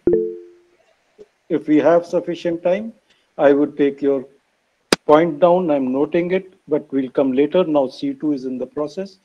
We will Yes, sir. continue with them. Yes, sir. A very good afternoon to the respected chairperson, sir, co-chair, sir, and all the honorable delegates present here today. We thank the council for giving us the opportunity to represent as delegates of Denmark and present our proposals the marine ecology from vessel-based marine plastic litter. 11 million tons of plastics are found every year in the open seas. One of the most pernicious form of marine plastic pollution is discarded, lost, or abandoned fishing gear, dubbed ghost gear. Every year, a depressing number of 10,000 nets and fishing gear are lost in the Baltic Sea alone. We would like to point out that ghost gear might cause a navigational danger that threatens the safety of seafarers, as well as cause harm to the aquatic life. While ghost gear and plastic pollution are worldwide problems, we still don't have an international agreement to tack- tackle the matter owing to fragmented legislation. Therefore, we attempt to quantify the problem locally and regionally and depict the immensity of the problem for the International Maritime Organization to discuss upon further. Owing to limited legislative implementation, our developed nation focuses on the domestic coastal areas in the Baltic region. To mitigate the problem of marine plastic litter by abundant fishing gear, it is necessary to first locate and then remove them. We, as a developed nation with medium research and development, coupled with strong manufacturing and industry capability, propose a three-step plan that could be implemented for efficient determination and collection of marine plastic litter, with a particular focus on abundant fishing gear. First, we have sonar surveys. Surveyors can photograph predefined regions of the seafloor using underwater acoustic sonar. Scanning sonar technology can be deployed with a resolution sufficient enough to depict objects with a diameter of less than one meter. Sonar scanning is capable of operating at a range of depths which has been used to identify ghost gear in waters as deep as 100 meters. Now, we survey by dragging of hooks. After there is a known location of concentration of lost fishing gear in a certain region, methodical dragging of gripples or arrays of hooks can be used to locate and then retrieve the gear. In most cases, removal can be completed quickly after the gear has been located by utilizing the same gripples or hooks that were used to locate the ghost gear in the first place. If not, we document the location with buoys or other means following further removal by authorities. We proceed further by using surface visual surveys. Visual surveys from boats are a great way to find the buoys of missing traps and gill nets. Boat-based surveys, however, are best undertaken in areas where concentration of lost gear are previously identified. When the grapples attached to the small fishing boats and survey vessels with outboard motors catch a ghost gear, it would be pulled up to the surface, a buoy would be attached to it, and then would be released. Subsequently, larger vessels can follow the surveys and remove the gear. Moving forward, we must consider how often fishing gear is lost, and we believe having an effective management strategy would be the most efficient way to avoid the abundant fishing gear from resulting in ghost gear in the first place. In this view, we propose a fishing gear identification program. This may be developed where fishermen would be required to tag their fishing gear with personally identifiable information. This program's objective is to ban excessive fishing gear use and thereby its unlawful disposal in order to eventually regulate and manage the use of fishing nets and traps. Denmark's economy is heavily influenced by fishing and seafood products, and regulating illegal fishing will help boost our economy. Likewise, we propose this keeping in mind that developing nations with a growing economy will also benefit heavily from this scheme. Additionally, in order to enhance the implementation of this program, the Council may conduct two types of evaluations. First, to verify the program's effectiveness through the introduction of demonstration projects. And second, to encourage fishermen to participate voluntarily in the program through the execution of sustainable public relations activities. One such activity would be an establishment of a public portal through which fishermen and other seafarers can record sightings of consolidated marine plastic litter for further identification and subsequent removal by authorities. We are pleased to have the support of Team A3 as they also believe reporting of lost fishing gear is critical to solving the problem of ghost gear. Now we call upon our fellow delegate Shomadip Shah for further deliberations. For the next part, we focus on the problem of plastic usage on board ships. We are dealing with a tremendous marine plastic litter problem as a result of the daily use of a huge number of plastic components present on board ships, which are discarded casually into the sea.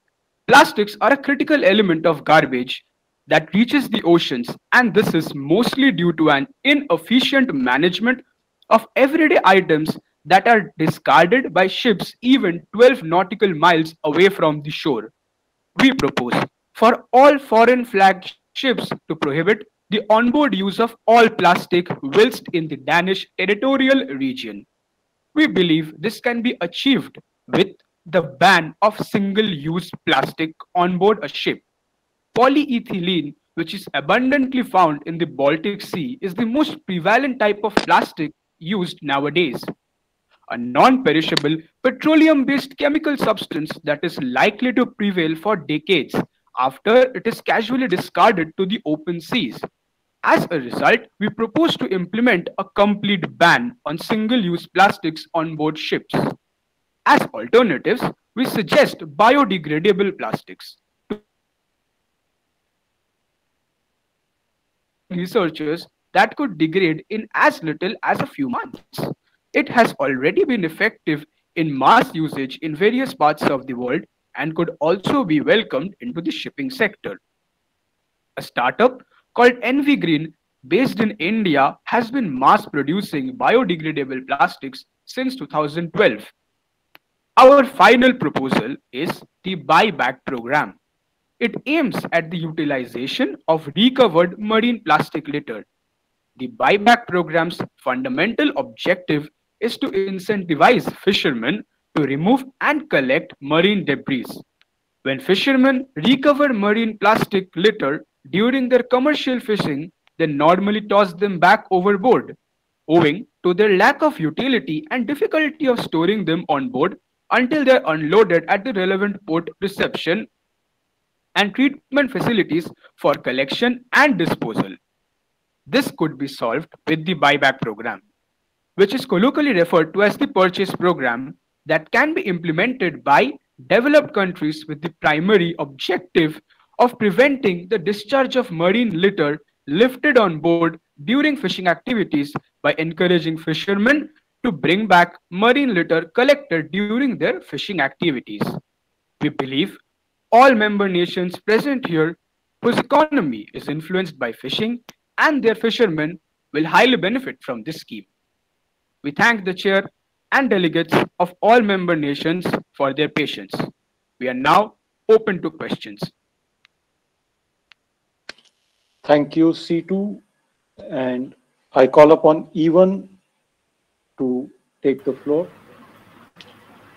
Thank you, respected chairperson and co-chairperson. We would like to extend our support on point three mentioning buyback program under course of action.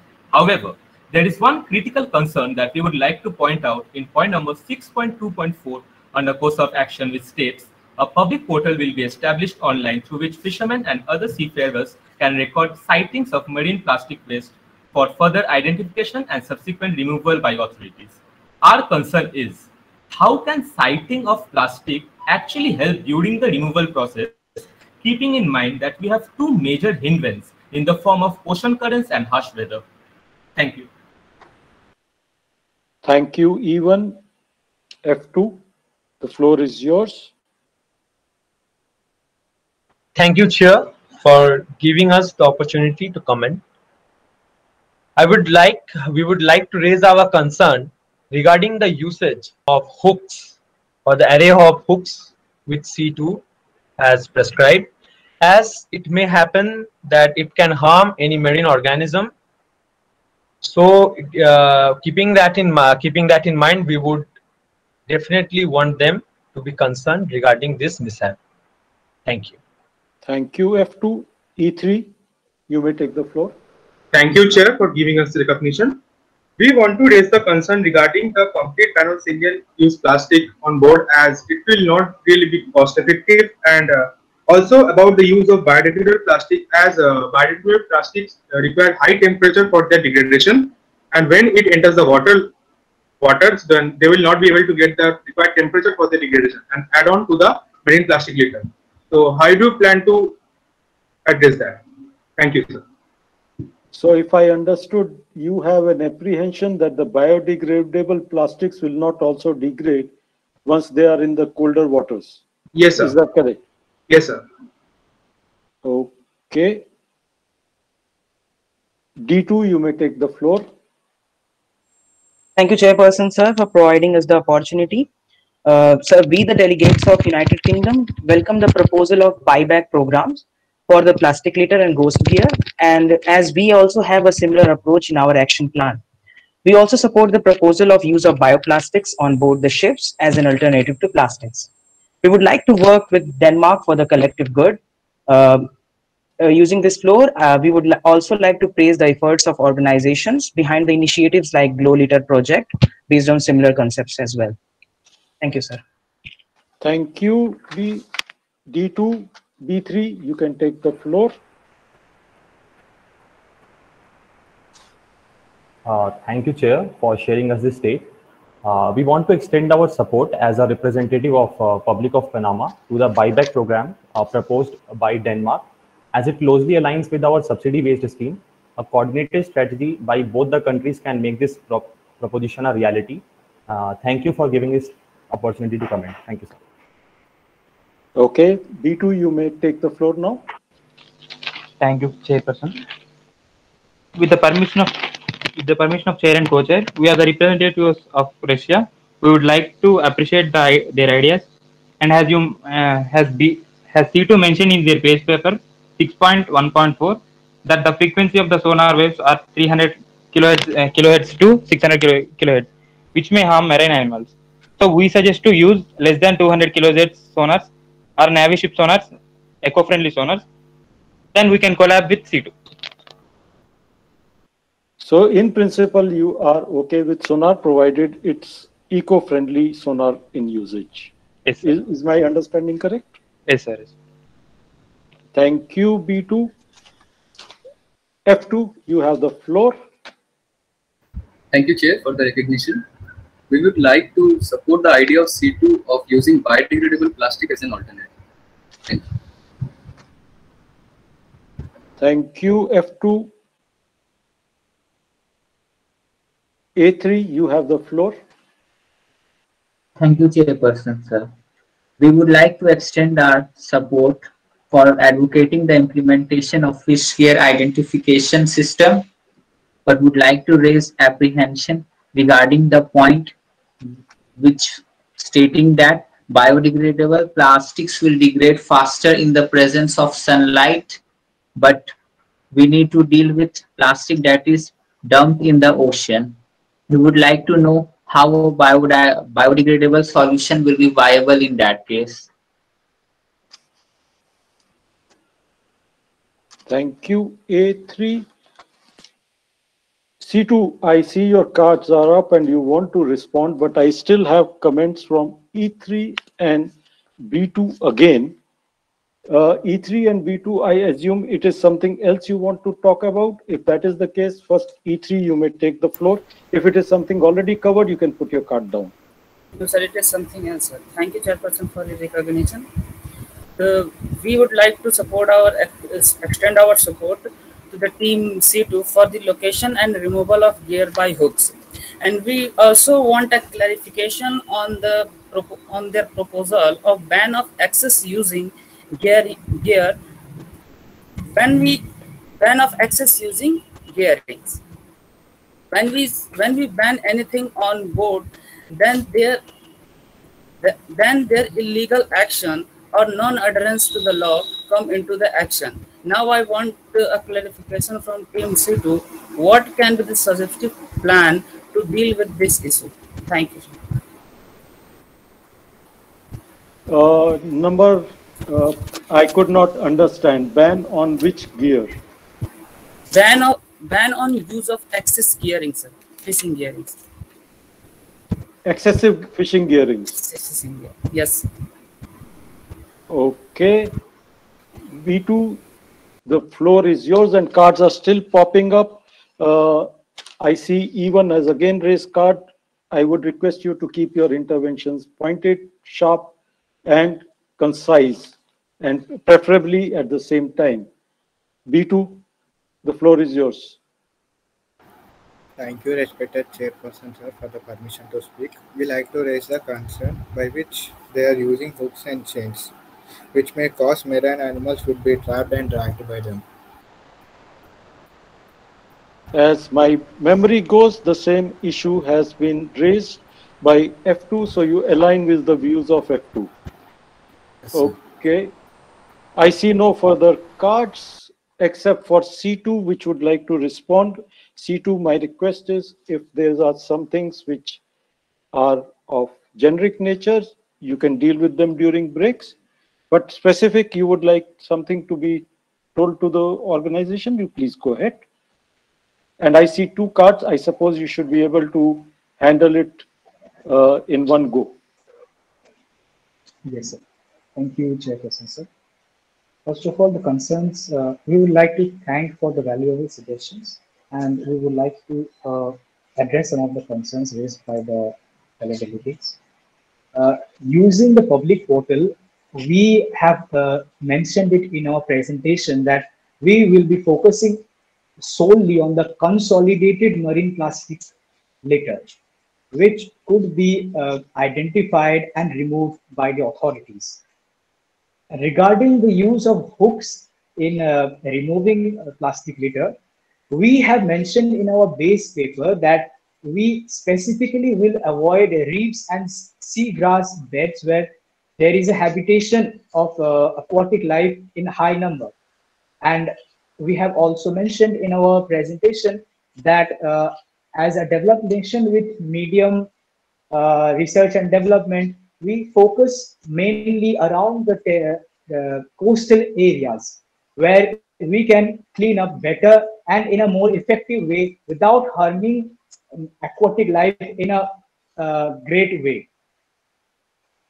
Uh, I would also like to uh, address the concern regarding the use of uh, biodegradable plastic. Underwater sea when it is dumped we are using oxo uh, oxo biodegradable plastic which contains uh, additive uh, that uh, degrades faster in comparison to uh, compostable uh, plastic. So we believe that it can be beneficial uh, using biodegradable plastic on board ships that will be also Thank you very much, C2. And I see your colleague agrees with you and so has decided to put the card down. So that could lead us to a faster cup of tea. But having said that, no, I have one job to do.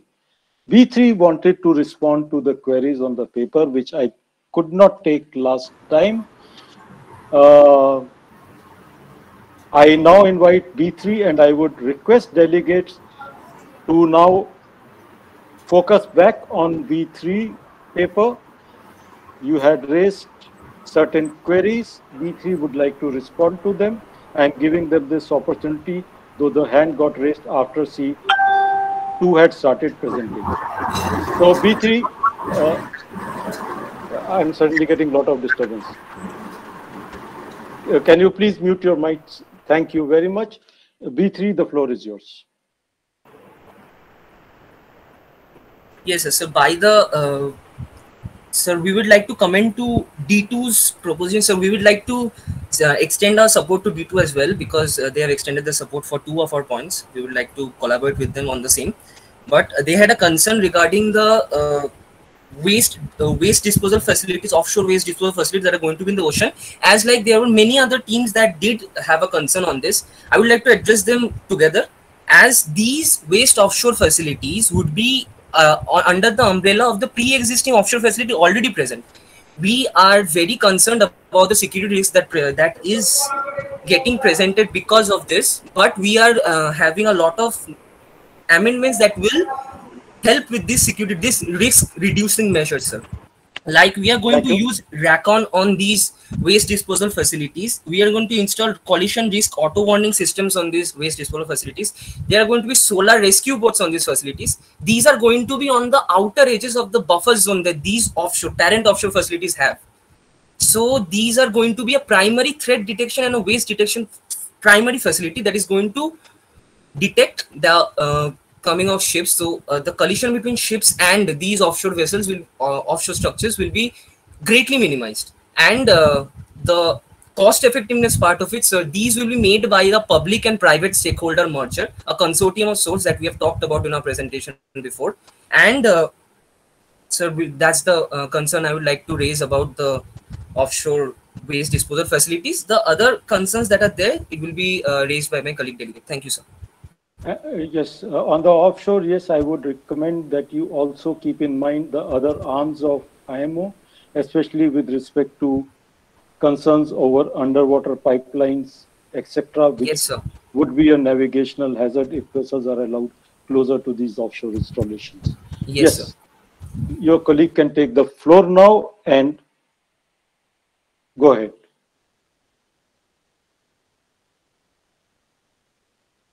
You are on mute. Anurag, you'll have to unmute. Right, sir. Uh, thank you, Chair, for sharing us this stage. Uh, we would like to comment, or, uh, answer the comment of F2, uh, as they have mentioned about decommissioned vessel. Uh, decommissioned vessels will be brought according to the basic requirement given in a catalog, which will be formed accordingly. Answering to the comments of E1 and F2, uh, using bioplastic is not a proposal of parity for us. Since we are fishing-based nation, bioplastic can be implemented by nation which can have a decent amount of production in agriculture. Also, cardboard is not a priority proposal since it will be applicable where the problem of seeping through the content of con- container is not there. And also, I would like to answer the comment of E1. The ship would not have to pay the surcharges levied in using the pot. Uh, thus, this would ensure that it's economical for ship and a measure of ensuring employment for the nation. I hope, sir. Thank you Clarified, very much. yes. Sorry, I hear somebody speaking. Uh, B3, you have one more candidate wanting to take the floor? Yes, sir. Even, sorry, it is not open for any further interventions. It was only to allow this. You can put your card down. Thank you. B3. Sir, we would like to thank uh, D2, C2, E3, A3, and F2 for the support.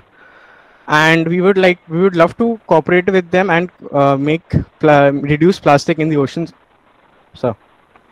Thank you very much. With that, I think it is a bit of time. B3, I think I am out of time now. It is not a constant Fastest fingers first competition. So please, you had your opportunity. Thank you very much. So now for giving us the opportunity, sir. You are welcome. Thank you very much. We now take a, I think, a well-deserved tea break. We require a bit of action to get back to the next four introductions. So we will take a break until 10 past 3. We will gather at 15, 10 and proceed further. Thank you.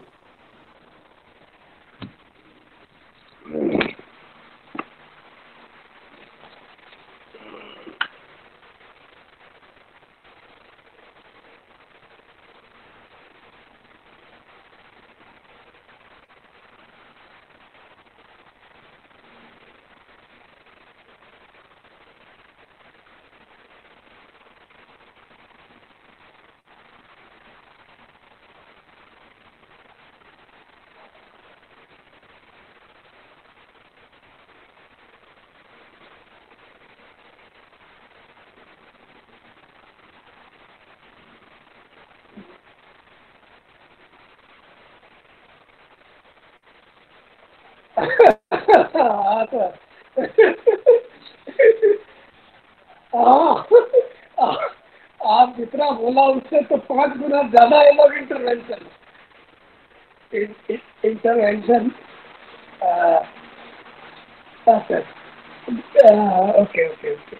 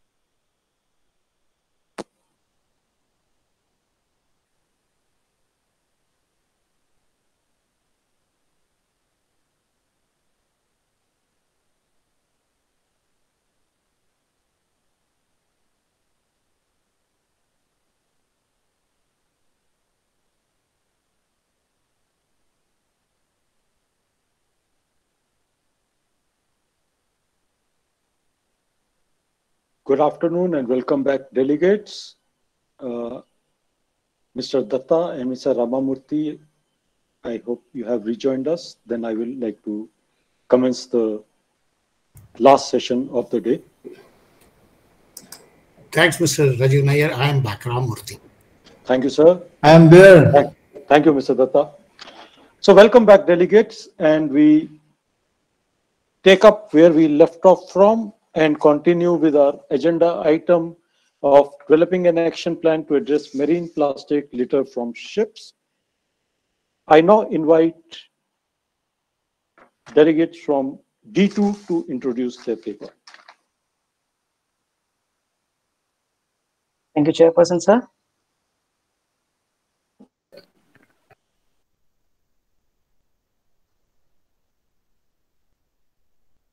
Good afternoon to the respected Chairperson, sir, Co-Chairperson, sir, and all the earnest delegates present here. We, the delegates from the United Kingdom, are extremely grateful for the opportunity given to draft an action plan to suggest amendments in Annexure 5, 7378 of MARPOL for protecting marine ecology from the menace of marine plastic litter. Our action plan envisions a plastic-free ocean, and therefore we de have devised the policies for efficient implementation across the globe. We seek cooperation from all the respected delegates for scrutiny and suitable modifications in the policies for it to ultimately achieve our collective vision. For tackling a challenge as alarming as marine plastic litter, an action plan targeted at its source is vital. The most prominent sources are shipping vessels, cruise passenger ships, which are responsible for generation of significant amount of plastic litter. Apart from these, inadequate port reception facilities and large-scale mismanagement of ghost gear by fisheries contribute to the menace. Our multifold action plan consists of five promising proposals tackling the challenges posed by the sources mentioned earlier. Requested your kind attention, we will move forward with two our proposals. Recycling plastic is not the ultimate solution, as only 10% of plastics ever produced get recycled, or rather say decycled as its quality deteriorates. Therefore, we propose a reduction in consumption of single-use plastic on board vessels right from the source by gradually replacing it with bio-friendly alternatives like fibers extracted from corn, mushroom, bubbles of seaweed water, and cellophane made from wood pulp. Other plastic materials like straws, Q-tips, stirrers are proposed to be replaced by paper or bamboo alternatives. Similarly, packaging materials extensively used on board can be replaced by upcycling corrugated bubble wrap, air pillows, cardboard, and paper. We also propose replacement of plastic bottles with recyclable aluminum can, as recycling aluminum saves 20% more energy than recycling plastics. Many of these alternatives are already under use in various industries, even shipping. As a developed nation with access to a formidable R&D, we aim to make the application of biodegradable plastic alternatives like the ones mentioned above more accessible and affordable by developing innovative methods of production. Moving forward to our next proposal, cruise ships over the years have become most frequent violators of MARPOL regulations. By large-scale dumping of plastic along with food waste, Carnival Corp Corporation, a prominent cruise liner in 2019, paid a sum of 20 million US dollars as a fine for its violation. We suggest that the countries take a lead in implementing legislative action to prevent such. Therefore, we propose cruise ships already under use to be retrofitted with biodigesters, a new innovative machinery over the period of two years. And the ones built after 2021 are proposed to be built with similar upgradation. Biodigester completely separates plastic from food waste. When the mixture is added with flour and certain mixture of enzymes, leaving behind a non-hazardous liquid byproduct and separated plastic left to be stored and processed later on port reception facilities. We suggest that the functioning of biodigesters be inspected during regular audits of cruise ships by port authorities in coordination with the environmental officers for a stringent implementation of policy. We believe the proposal to be economically feasible as the average cost is minimal in comparison to hefty fines paid by cruise liners for violations. Biodigesters are already witnessing acceptance among few, few cruise liners. Now, I kindly request the Honorable Chairperson, sir, to allow me to introduce our fellow delegate to carry out the remaining presentation. Thank you, sir. Moving forward towards our next proposal. Digitalization is one of the most up prominent upcoming trends in the maritime industry. We believe gradual digitalization can make reception facilities more accountable. Therefore, we propose execution of blockchain technology and IoT at port reception facilities for efficient handling of plastic litter. Blockchain technology along with IoT will be used to ensure that there is no lapse in handling of the plastic litter at reception facilities by making the data of garbage record book available to the concerned authorities through a centralized server system of port authorities. To make the proposal economical, implementation of extended producer responsibility is vital, wherein the non-recyclable litter will be segregated at the reception facilities on the basis of manufacturers and hence make them completely or partially liable for appropriate disposal. Our next proposal is concerned with ghost gear. Ghost gears are the discarded fishing gears which continue to harm the marine ecosystem and can last for 600 years. We propose the enactment of semi-biodegradable fishing gear, which is essentially a complex fiber made from blending the synthetic fiber with the biodegradable fibers of PBAT and PBS resins, and simultaneously registering more fishing vessels across the country with IMO to bring them under, under the jurisdiction of MARPOL. This would ensure the effective implementation of our proposal and a check on intentional loss of fishing gear. The use of biodegradable resins in the proposed fishing gear reduces its lifespan, thereby reducing the harm done to the marine ecosystem. At the same time, semi-biodegradable gear is more viable than biodegradable, as it is economically feasible than the biodegradable counterpart. In our country, the Fisheries Ministry has extensive exposure and strong legislative implementation, which makes it feasible for our nation to adopt this policy and to put it into action. All the efforts given above deem meaningless in the absence of necessary recovery of the plastic debris in the ocean.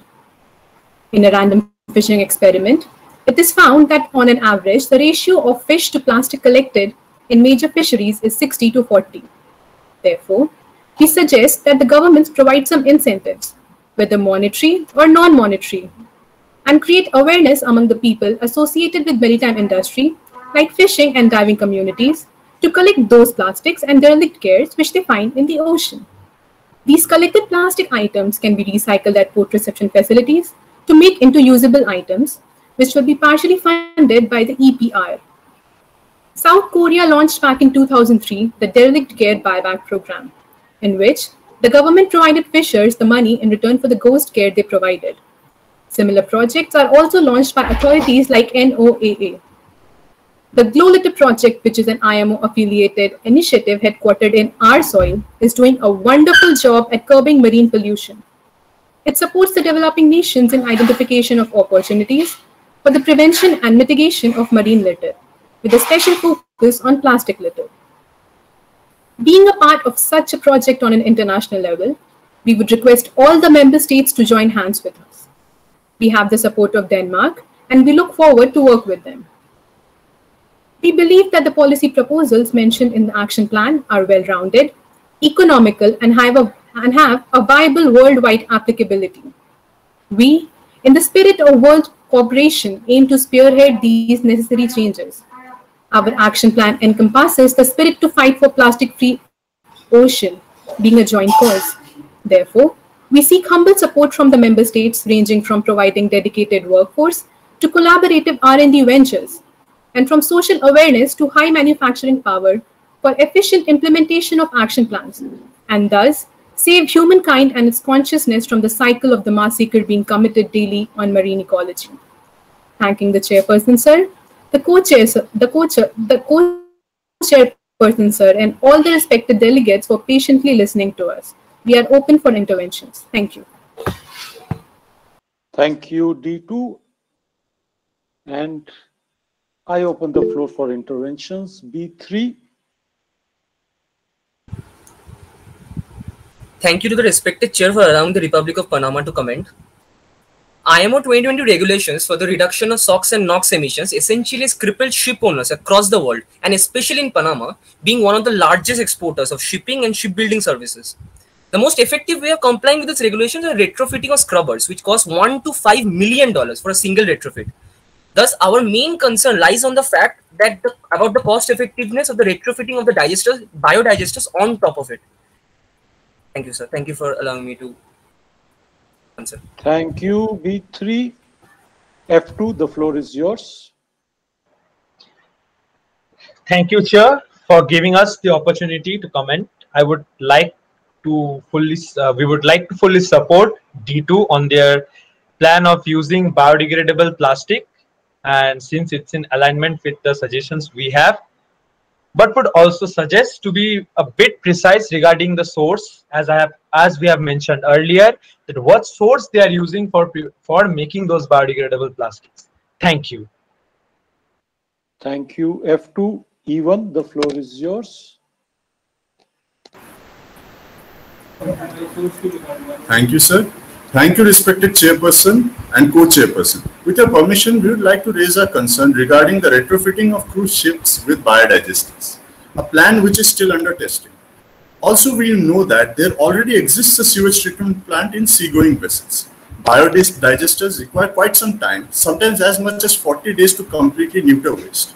How do the delegates of D2 plan to upscale the treatment plant, which will also increase the production of harmful gases like hydrogen sulfide and methane, which are a concern in passenger vessels? Thank you. Thank you, E1. B3, I have again B3. Anurag, I assume it is a different. Uh, with the permission of chair, I would like to comment. Uh, sir, Panama is a nation of limited legislative and technological implementation uh, because of that, uh, the representative of the Republic of Panama would like to address the function difficulties of adoption of the blockchain technology. Uh, the manpower of for the uh, ports of Rotterdam, Antwerp, and Hamburg who have already implemented this technology is very diversified in terms of size, operational level, and availability of resources, and also belong to developed nation. Thank you, sir. Thank you, B3. I now call upon F2 to take the floor.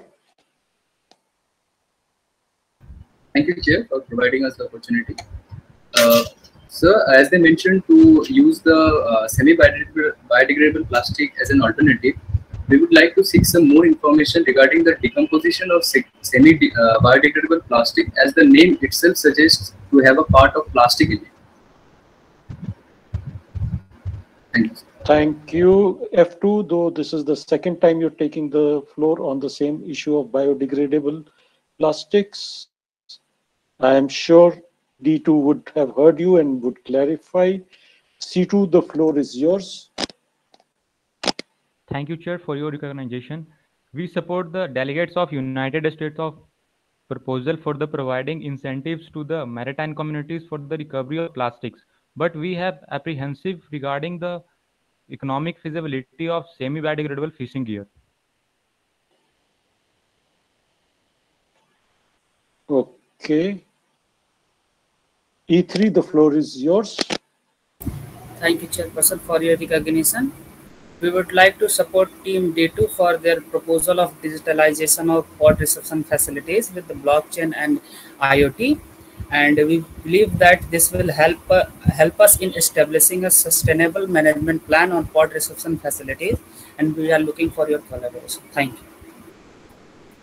Thank you e3 d2 i assume you want to respond so you have the floor now thank you chairperson sir for yielding the floor to, for responding to the comments raised and concerns raised by member states. First of all, I would like to, like to thank uh, teams uh, C2, E3, and uh, others who have supported our proposals.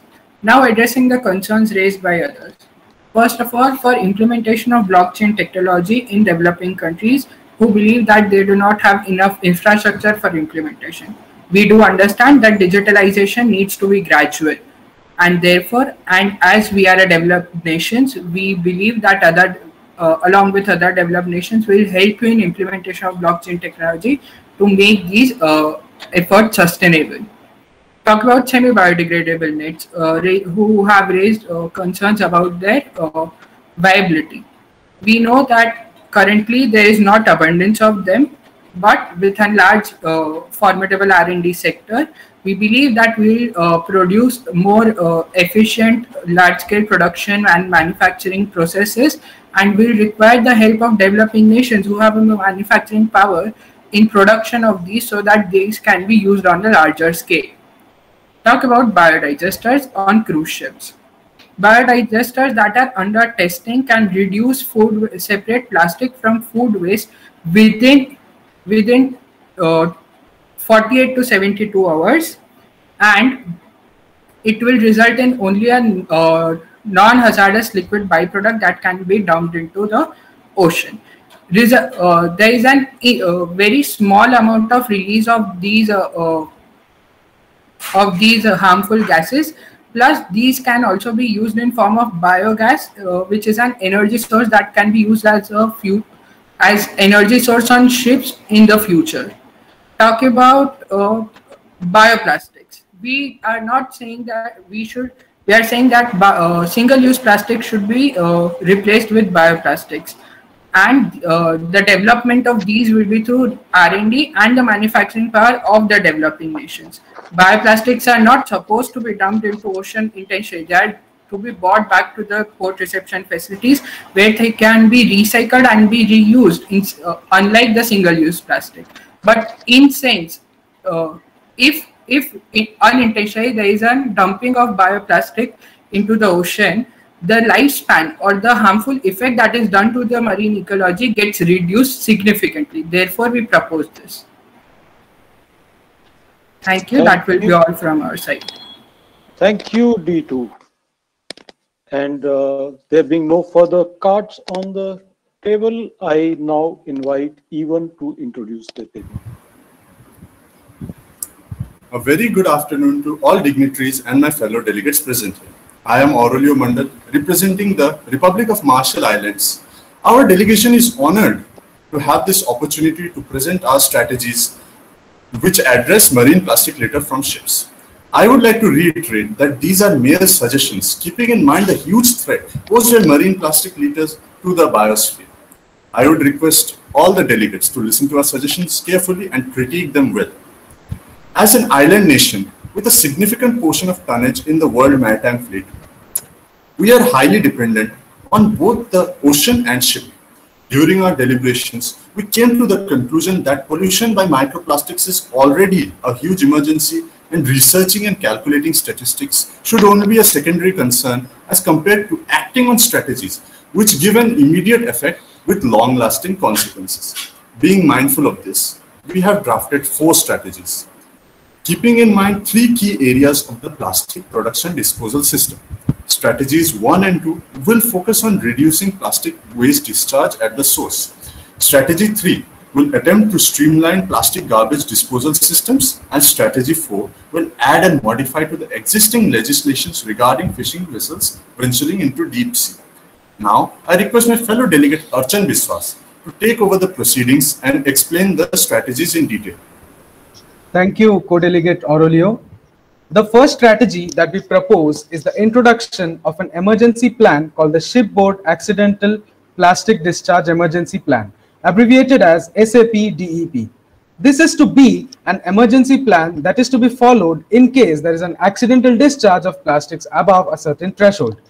The SAP-DEP calls for an amendment of Annex 5 of the MARPOL Convention and MARPOL Convention and shall take its outline from the already existing SOPEP and SMPEP emergency plans. SAPDEP shall ensure that there is a combined effort by all the stakeholders and the nearest member states from the accident site to take up cleanup operations and recover the maximum amount of plastics that has been discharged and also consider recovering sunk plastic. In case the SAPDEP is enforced, all the data is to be collected by stakeholders involved and the member states and submitted to the pollution prevention and response team for analysis and not cause any further mishappenings. The second strategy that we propose is to reduce the use of plastic packaging on board ships. We aim to use the least amount, most preferably biodegradable or completely eliminate plastic packaging on board ships. we propose a certification committee under the guidance of the Joint Group of Experts on Scientific Aspects of Marine Environmental Protection or GESAMP to certify the plastics that can be used in ships and also issue a certificate to the ships and ship chandlers allowing them to use certified plastics. If this strategy is to become law, the ships and vessels should only use products which are packaged in certified grades of plastic. The ship chandlers shall also abide by this law and only deliver goods in certain plastic packaging. In case of non-adherence of this law, it would attract fines along with cancellation of the certificates of the ships and the ship chandlers that would no longer allow them to use plastics on board or supply plastics to other vessels. I now give the floor to my fellow delegate Sumit Das to explain the further two strategies. Thank you, Co-Delegate Archan Biswas. In the third strategy, we propose the setting up of a committee under the guidance of GESAMP that would monitor the creation and maintenance of uniform garbage reception facilities at ports. The uniformity in garbage and plastic collection facilities would ensure quick and efficient transfer of garbage and thus plastics. This strategy aims to reduce the production of plastic waste in seagoing vessels by limiting the amount of plastic waste that they can produce. This committee will receive funding from all the ratifying states and shall use its resources to maintain uniformity in recycling plant infrastructure. Also, we would like to uh, propose two record books, one by the ship staff in the garbage record book to keep a record of the amount of garbage produced along with the amount of plastic waste produced. Second record book is to be maintained by the port facilities as to how much garbage and plastics were collected by them through various vessels. There will be a maximum limit to plastic garbage produced in ship in a year, which shall be recorded in the garbage record book. Now, let us talk about a fourth strategy. Once the fishing gear has deteriorated to the point where it can no longer be used, it can be recycled. However, it is dumped into the sea or stored rather than recycled as there is not a sufficient amount of incentive to bring the nets to recycling facilities. This problem can be solved if the IMO states and businesses work together and create a pull factor to reuse fishing nets. Keeping this in mind, several precautions should be deemed reasonable and if not undertaken should preclude a deep sea fishing vessel from claiming the reasonable precautions exemption. These precautions include deep sea fishing vessels should have equipment on board to attempt immediate retrieval of any lost fishing gear. Large fishing gear should be equipped with buoys and trackers to enable their location and recovery and to connect them with their owners in case of loss. Periodic training of deep sea uh, fishing vessel personnel should be undertaken, covering topics such as the precautions to be taken to prevent accidental losses. The above course will also teach the use of fishing gear retrieval equipment mentioned in point 1. This training will be administered by the registry under which the deep sea going vessel is recorded. The training will be given to the crew of the vessel after the owner has declared his crew. On successful completion of the training, the owner shall receive or renew their registration. This strategy aims to fix loopholes in MARPOL Annex 5 and to create a strict environment on fishing net recycling. This will mean that fishing uh, vessels will be careful with their nets as the legal side of the situation will not be lax. On behalf of Team E1, I thank everyone to give us an opportunity to present our ideas and strategies. We are now open for comments and suggestions. Thank you. Thank you, E1, for your presentation and your strategies. I now open the floor to interventions. Team B3. Thank you to the respected chair for giving the representative of Panama the opportunity to comment. We would like to raise the concern regarding the certification system for minimizing plastic in packaging and fail to grasp the understanding from the base paper and the subsequent presentation about how this is going to be an apt incentive for the packaging companies to reduce the plastic content in their packaging.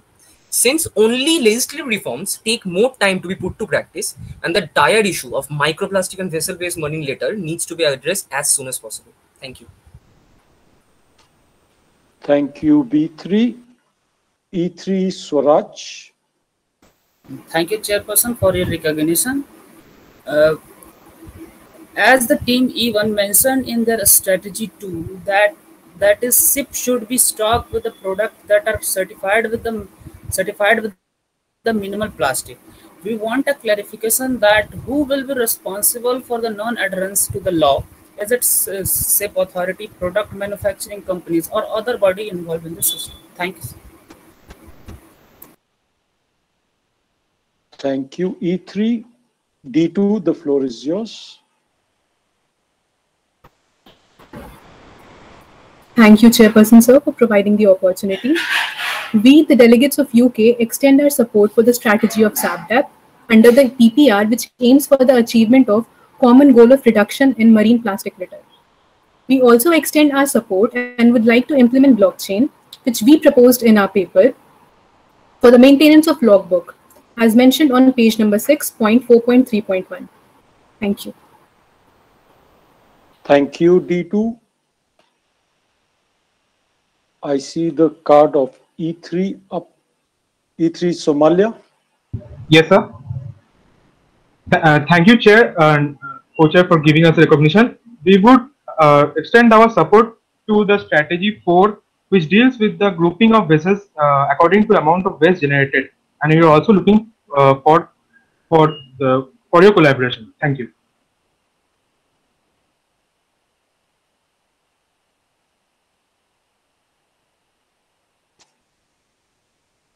Thank you, E3. Uh, okay. E1, you want to respond to this? Go ahead. Yes. Uh, thank you, sir, for sharing the stage with us. Uh, we would firstly like to thank Team D2 and Team E3 for extending their support to our strategies. As for the queries of Team B3, it is mentioned in our paper that in 4.2.3 in the expected outcomes section that the committee will spend some time to test the initial measures as we understand that any legal reforms take some time to uh, to get properly implemented. But this is absolutely necessary because we are not thinking about just the initial conditions we are also thinking about the future. And we believe in the future it will help out a lot.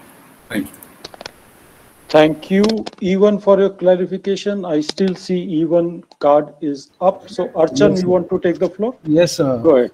Thank you, Chairperson and Co-Chairperson. For the second uh, concern that we had, it was who would be responsible for the second strategy. We'd like to say that we had already mentioned in the presentation that in case uh, these there is a non-adherence of this law, it would attract fines along with cancellation of the certificates for the ship as well as the ship chandlers because they will be the people who would buy it from the manufacturers, right?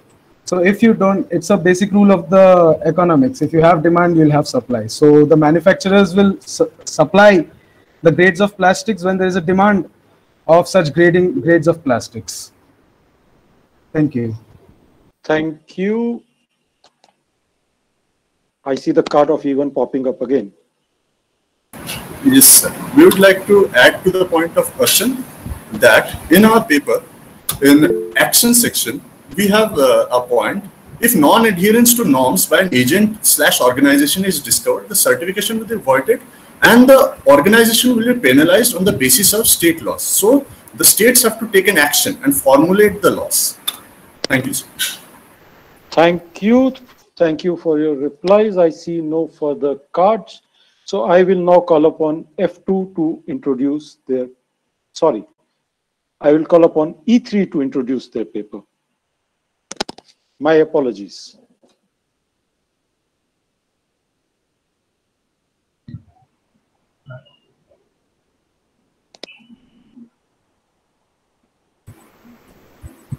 A very good afternoon to respected chair and co- co- co-chair.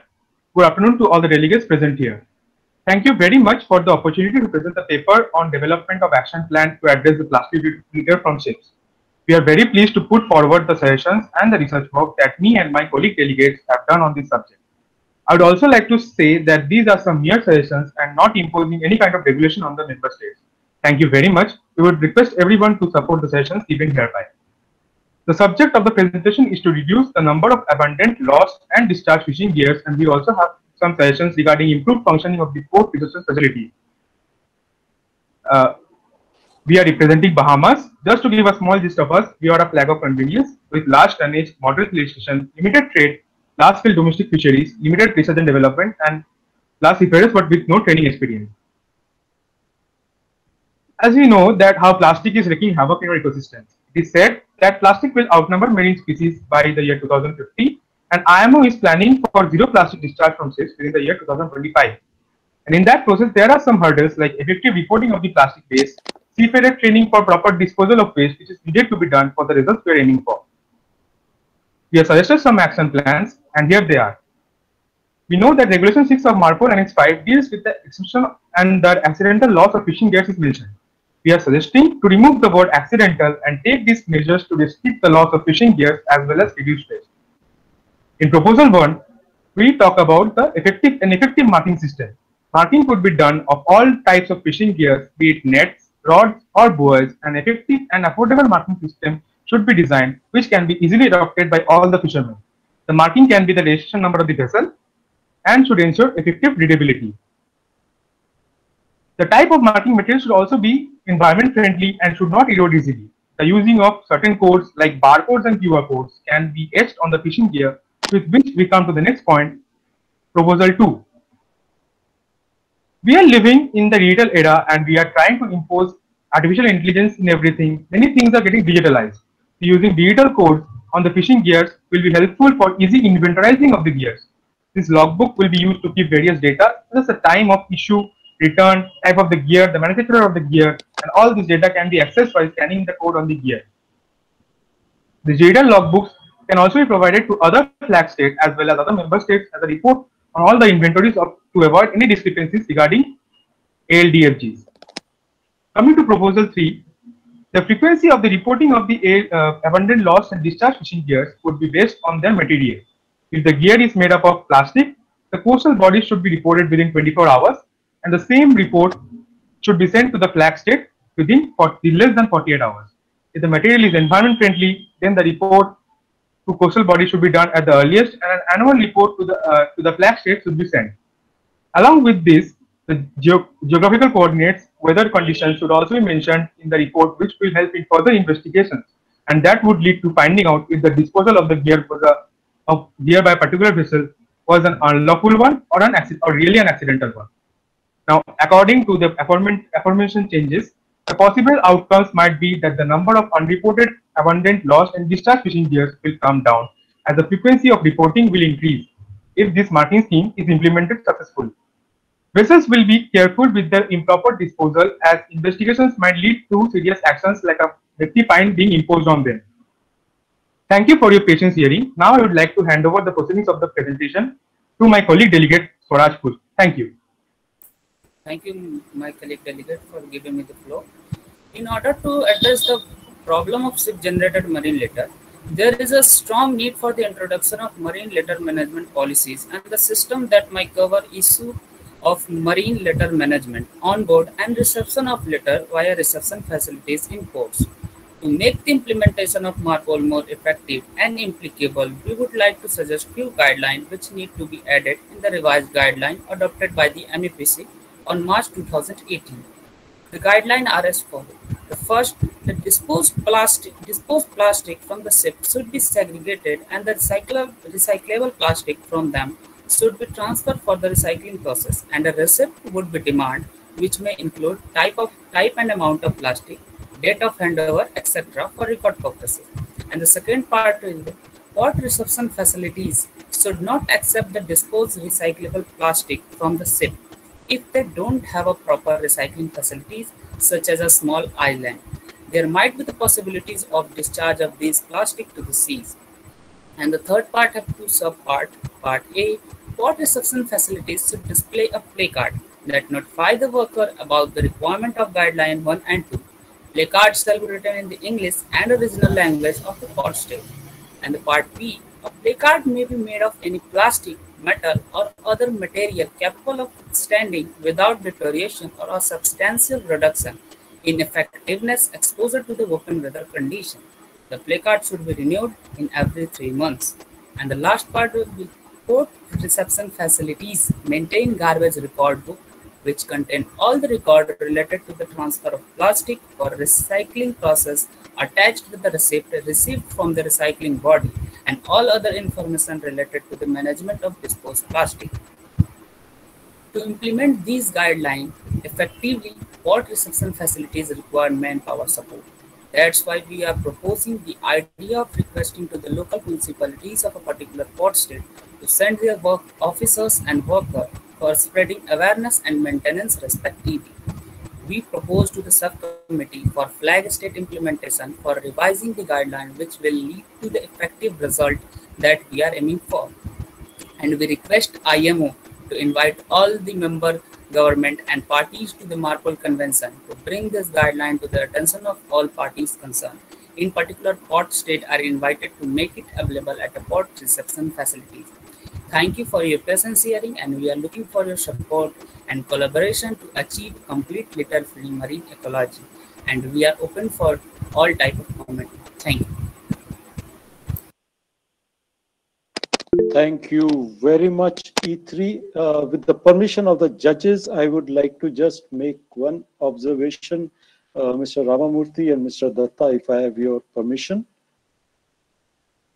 Uh, I Sir, go please go ahead. Yes. I have heard this disclaimer from in this session quite a few times that we are not proposing a regulation or a mandatory thing.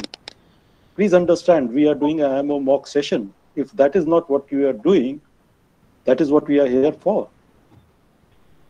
In your, you start by saying remove the word accidental from regulation 6. And I'm not specifically mentioning about team E3. There are other teams also who have done the same thing. So I would, I just wanted to take a minute off and tell you, yes, it is a job to be done. There are regulations and we are here for the purpose of improving, amending, whatever. But we are in the job of discussing regulations here. So please do not get into a disclaimer that we are not, I don't know what is the purpose of that. The whole purpose of the exercise, if you're saying remove the word accidental from regulation 6 annex 5, you are asking for an amendment to the regulation. Then how can you at the same time take a disclaimer that we are not talking about regulatory issues? We are, the whole purpose of IMO is to talk about regulatory issues. This is a generic comment to all the teams of Calcutta because I felt that somewhere along the line, you possibly, there may be various reasons, but I just wanted to set my views on this. If the judges have something to add on that, I would like to take it now before I open the floor for any uh, interventions. I fully agree with you, the chair, that this is probably it is a common thing for this entire presentation what has been made in Calcutta.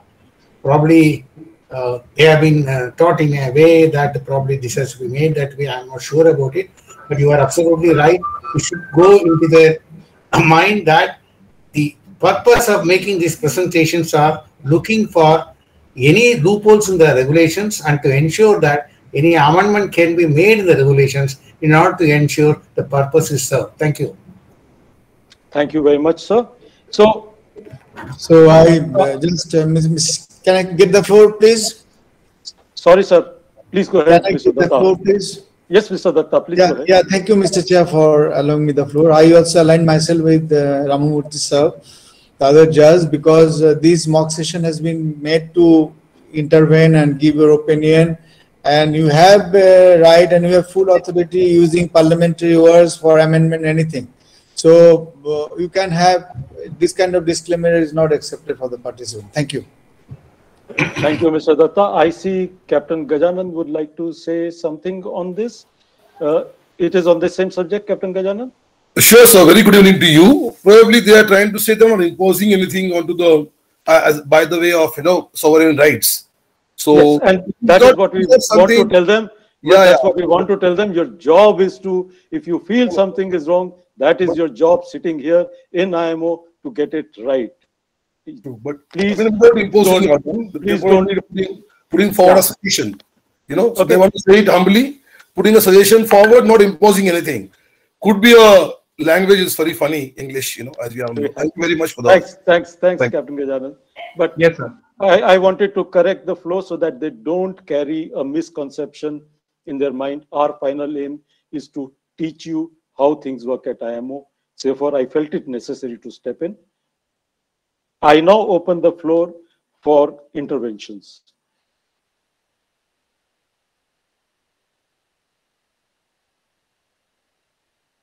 E1, the floor is yours. Yeah, thank you, respected uh, chairperson and co-chairperson. We'd like to support Team E3's paper, page number, page 4.2.4, and support the marking uh, to ensure effective readability and facilitate easy recognition. We'd also support Team E3's papers, page number 8, guideline 3.4.1, in the uh, which uh, allow, which allows to segregate plastics. However, we would like to raise concerns on what will be the methods used for segregating recyclable plastics on board a vessel, as stated in the paper.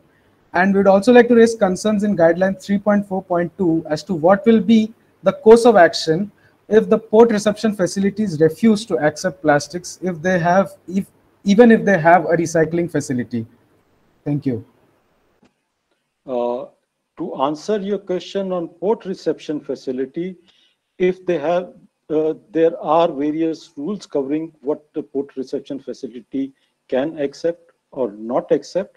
If they have the capability, they will definitely accept. In the case of plastics, even for small nation states, if I recollect correctly, they can enter into small regional uh, areas understandings, memorandum of agreements, where if one part is not able to do, the other one does. So that is how they go about it. But uh, you should not have an occasion to say that port reception facility will not accept.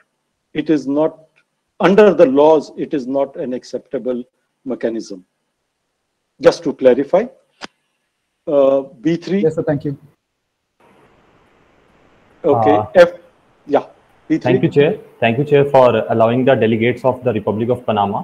Uh, we would like to extend our support to work with the delegates of Bahamas on their first protocol of an effective making system as it will synchronize with our proposal about possession of unique identification number mandatory for all fishing gears and their second protocol of the introduction of digitized database logbooks and other record keeping books to be used for garbage management plan as it will align with our ideas of common database to keep track of marine-based plastic litter. We, the representative of Panama, would strive to work with Bahamas in making this proposition a reality in the very future. Thank you, sir. Thank you, B3. Uh, F2, the floor is yours. Thank you, Chairperson, for giving us the opportunity to comment. We would like to support the idea of using barcodes and marking systems in the fishing gear and nets at, as it will help to keep the records of them and less pollute the water bodies. Thank you. Thank you, F2. I see the card of D2 up. D2, the floor is yours. D2 Samarth. Thank you, Chairperson, sir, uh, for, uh, for the opportunity to speak. Uh, sir, uh, we the delegates of United Kingdom extend our support to the proposal of Bahamas for uh, maintaining maintenance of a garbage record book by port reception facilities. And so we would like to extend our helping hand by working with them to digitalize this, digitalize this process and make the data more secure by implementation of proposal of blockchain technology and Internet of Things at these facilities. Thank you, Chairperson, sir. Thank you, D2. And I see no other member state except E3 wants to take the floor. So E3, you can respond now.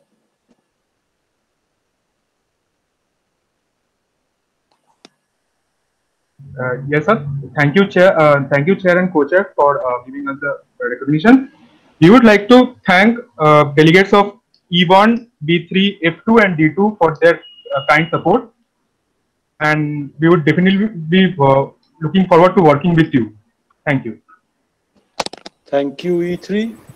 Thank you, I- Chairperson. E3 Swaraj, the floor is yours. Thank you, Chairperson, for your recognition. And I would like to answer a queries of E- E1. They have a question about the what is the what who will responsible or who will take the responsibility of segregation of recyclable plastic on port. As I have mentioned in the second guideline, the as I have mentioned in the first guideline that the municipal, municipal in the my action plan that the municipal port reception port estate have to should request to the municipalities of their particular port state to send their workers and officers for worker and officer for their maintenance and maintenance and awareness at the port.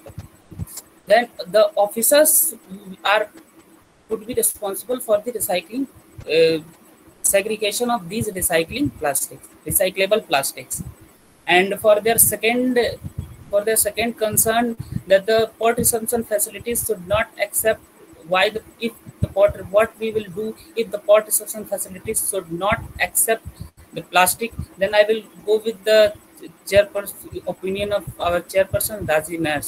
Thank you. Okay, so you put me in the spot. Thank you. Great. But uh, anyway, uh, I suppose I can leave it to you to discuss with even in the break the details of how things could be done. I'm sure if the aim is clear, solutions can be found. So with that, I open the floor to F2 to introduce their paper.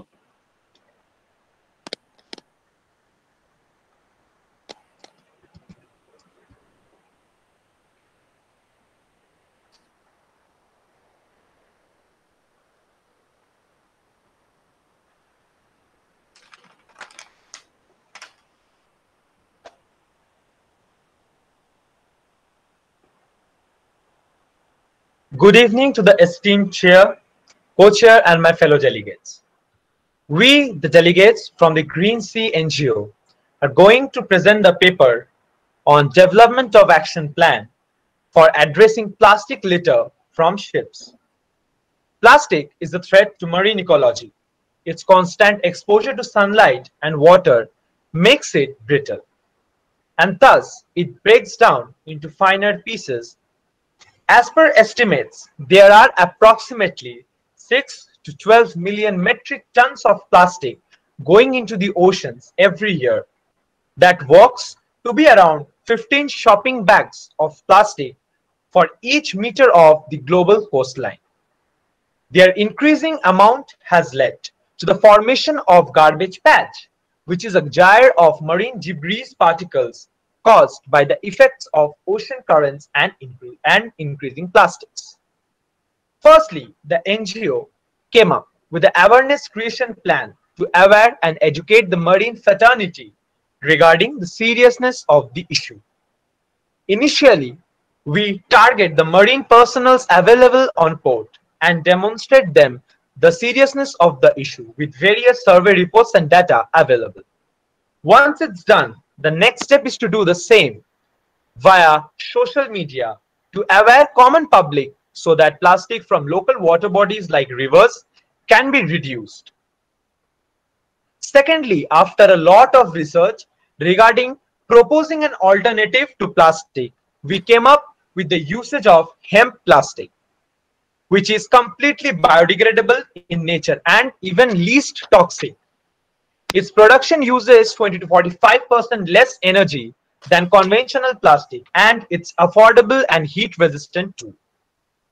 Plastic waste from ships are collected at various ports, but it is better to use up the plastic rather than just dumping it.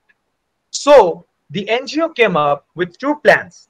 Firstly, we can channelize those plastics to plastic recycling plants where those waste can be transformed into something usable like bottles, etc. Secondly, after going through a lot many ways to transform plastic, we came up with the process of plasma pyrolysis. Now using this, plastic can be used as a raw material in order to produce methane and hydrogen, which are both considered as clean fuel. Even ethylene and other hydrocarbons can also be produced from this, which are raw materials for various other polymers. This process is rapid and potentially cheap, thus provides a range of business opportunity to turn something we currently waste into a usable product. Now I would like to pass the podium to Shubhrajit. Shubhrajit, please continue. As my colleague delegate has clearly mentioned in the second slide about the large quantity of plastics available from the data, it is very important to understand where the plastic is coming from into the sea. The first and primary source from which the plastic is entering these oceans are rivers and water bodies. If we are able to reduce or limit the entrance of plastic from rivers to the oceans, it shall prove to be a great measure. So now the question arises how? The Green Seas would like to bring it to the notice of the IMO to increase the use of interceptor for this purpose with the cooperation of member states. Interceptor is basically a floating device which has a capacity to harvest up to 1 lakh kgs of plastics every day. Here is a photo giving the interior parts of an interceptor. Another source that adds to the increase in plastic in oceans is due to fishing vessels. It is very evident that the fishing vessels have to carry a lot of instruments and materials made up of plastic for their work purpose. At the same time, it shall also be noted that these fishing gears, when misplaced in the ocean, greatly adds up to the increasing amount of plastic in the oceans. As a solution to this problem, we would like to propose to create separate passages in the fishing vessel area would be checked and the gears being carried would be noted and again be rechecked for any misplace of gears when coming back from the sea. Last but not the least, we would like to bring it to the notice of the IMO regarding some necessary amendments that are required in the point 2.4.9 of MARPOL 5 73 by 78 to make it fully implementable, which states that seafarers are encouraged to recover persistent garbage from the sea during routine operations as opportunities arise and prudent practice permits, and to retain the material for discharge to port reception facilities. The first question that arises whether the crew will be able to implement the same. Firstly, we would like to propose that some time relaxation be given to the vessels carrying out such operations. That is, the master or the crew should not be in any position to get charged or questioned by the charterer or their delay during the process. Secondly, lack of special mechanism in the vessels also adds to the point not getting implemented to its full potential. For this purpose, the mechanism being used up by the ocean cleanup group can be brought under the line. The main benefit of using this mechanism is that it does not require any, any extra source of energy for its purpose and the wind energy is sufficient to collect the plastic in the range of its operation. Lastly, we would like to conclude our presentation by thanking the chair and co-chair for providing us the platform to put forward our ideas. And we are hopeful that with correct implementation of the ideas put forward, we are sure to make about a change. Thank you for patience hearing. Now we are open to questions. Thank you. F2, I now open the floor for interventions. E1 the floor is yours. Thank you, respected chairperson and co-chairperson. We would like to point out one concern. Under draft action plan, in the penalty point, penultimate point, it states that a book must also be maintained to keep a note of lost equipment and the probable um, coordinate of where it is lost must be mentioned in order to make its recovery easier. Our concern is how can probable coordinate of plastic make recovery easier keeping in mind the impediment in the form of ocean currents and harsh weather conditions. Thank you. Thank you. E1 B2, the floor is yours. Thank you, Chairman, sir, for pro providing us the floor. We, the delegates of the United Kingdom, welcome the proposal of use of plasma pyrolysis for future generation fuels from methane and hydrogen, and also support the proposal to encourage the use of hemp plastic. As a nation with formidable R&D, we extend our help, helping hand for the support. Thank you, sir.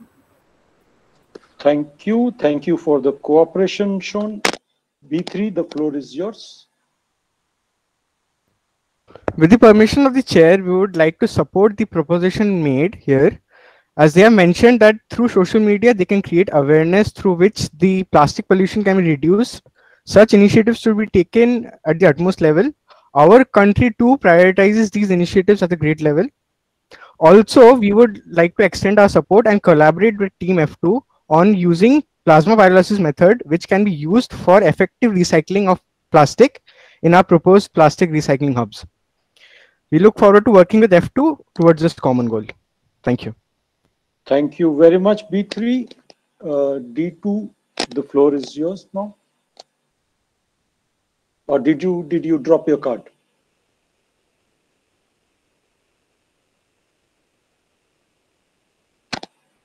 Okay, then I will move on to B2, Bravo to Ruthvik. Thank you, sir, for your recognition. We have a small concern about the plasma pyrolysis. Its main disadvantages are it needs large investment costs and operation, high operational costs related to that of incineration. Thank you, sir. Thank you, B2. B3, the floor is yours. Thank you to the respected chair and the co-chair for allowing the delegates of Panama to connect, comment. Panama is heavily dependent on inland fisheries as there are 13,062 individual fishermen based on this industry. We want to implement the idea of using interceptors to reduce the impact of plastic in the inland waterway, but fail to understand how it can be implemented by the Republic of Panama which has a medium R&D in shipbuilding, as these interceptors nearly cost about seven seven seven seven zero zero zero US dollars to retrofit. Thank you. So B3 effectively you're saying is it's a commercial issue for you. Yes, sir. Thank you, B3. E3, the floor is yours. Thank you, Chair, for uh, giving us recognition. You would like to support the delegates of uh, F2 on the plasma pyrolysis method as well as the as well as the limit set for uh, as well as in the page 3 in the base paper where they have mentioned the limit set for each car each type of vessels to carry uh, in case of plastic usage. Thank you. Okay, thank you. E3, C2, the floor is yours. Thank you, Chair, for the recognition. We, the delegates of Denmark, support the Green Sea NGO for using hemp plastic instead of non-biodegradable plastic. Since the initiative was matched with our action plan, we would like to further cooperate in the near future. Thank you, sir. Thank you.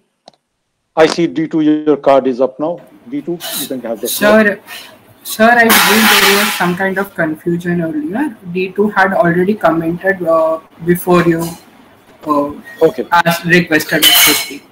That was Delegate Radhika Kumari, uh, who represented United Kingdom.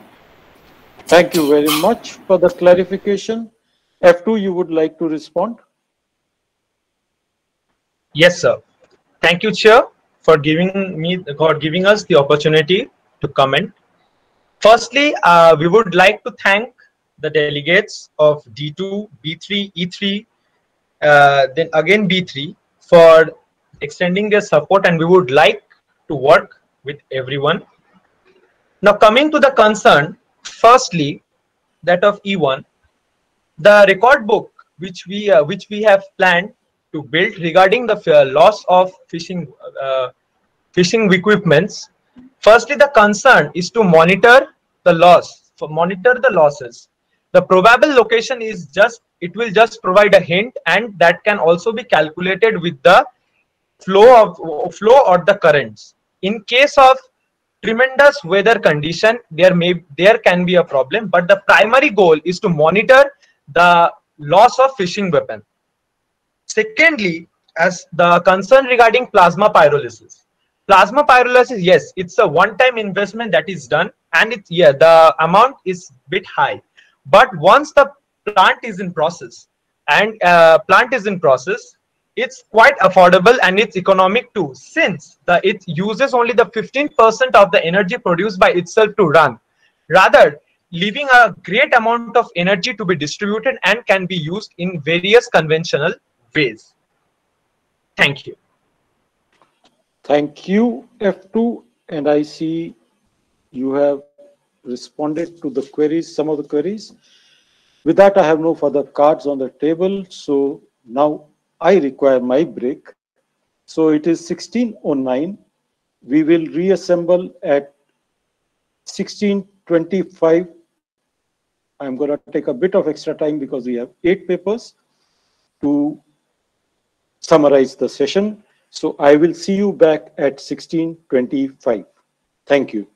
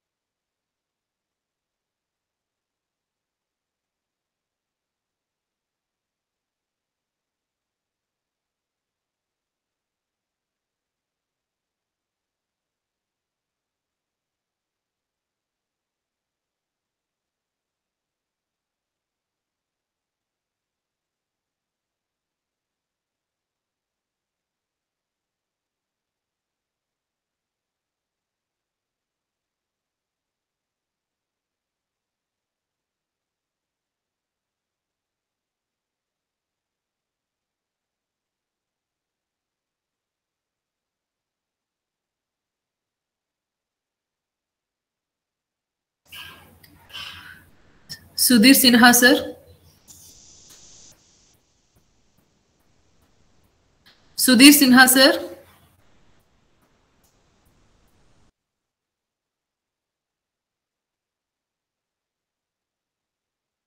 Uh, I don't have his phone number. Let me try.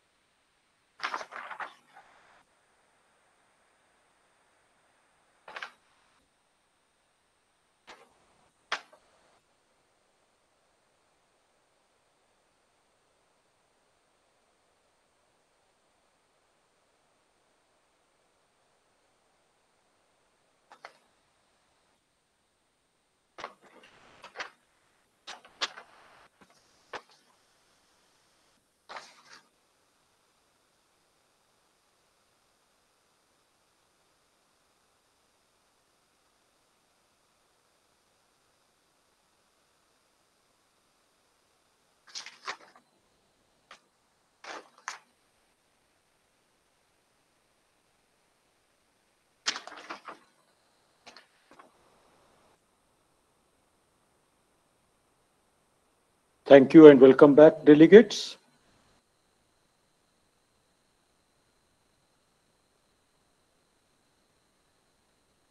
With the permission of the judges, I can proceed to sum up after the break. Please go ahead, please. Thank you. Thank you, Mr. Datta. Uh, I hope Mr. Ramamurthy is also joined back. Yes, I am back. Please go ahead, please. Thank you, sir. Thank you, delegates. Thank you. We had eight introductions of their papers in this session. We commenced with A3, lost fishing gear, discarded fishing gear were discussed, the necessity of marking of theirs, and international data repository was idea was mooted. There were also issues expressed about the Annex 5 garbage record book being applicable only to 400 tons and above. And there was also requirement to look at the word reasonable pre precaution and in a subsequent paper uh, also certain views were expressed on defining these terms so as to be able to have better implementation. While in principle, all the member states agree to the concept of marking, however, there are issues with respect to its being economical, feasible and implementable. Similarly, Team B2 talked of passive fishing gear instead of active fishing gear to control the effect of discarded uh, nets, etc., and also mooted an idea of using submarines. Both the proposals didn't get got some support for passive fishing, but not much. There was still a lot of queries on how it will work. And also on the aspect of using submarines, there was a question on both the economical and security aspects of such a move. Team B2 is requested that if they still support the passive fishing gear concept, maybe they would have to produce another paper giving more details of how that will be applicable in all areas and not create other issues, especially where the soil is of different types and you have various other ecosystems down there. So further research work and work may be required on that. B3 paper introduced concepts of port reception facilities of a different nature by utilizing offshore facilities as an umbrella under which an offshore reception facility is made and also utilizing decommissioned vessels or offshore vessels to be able to do that.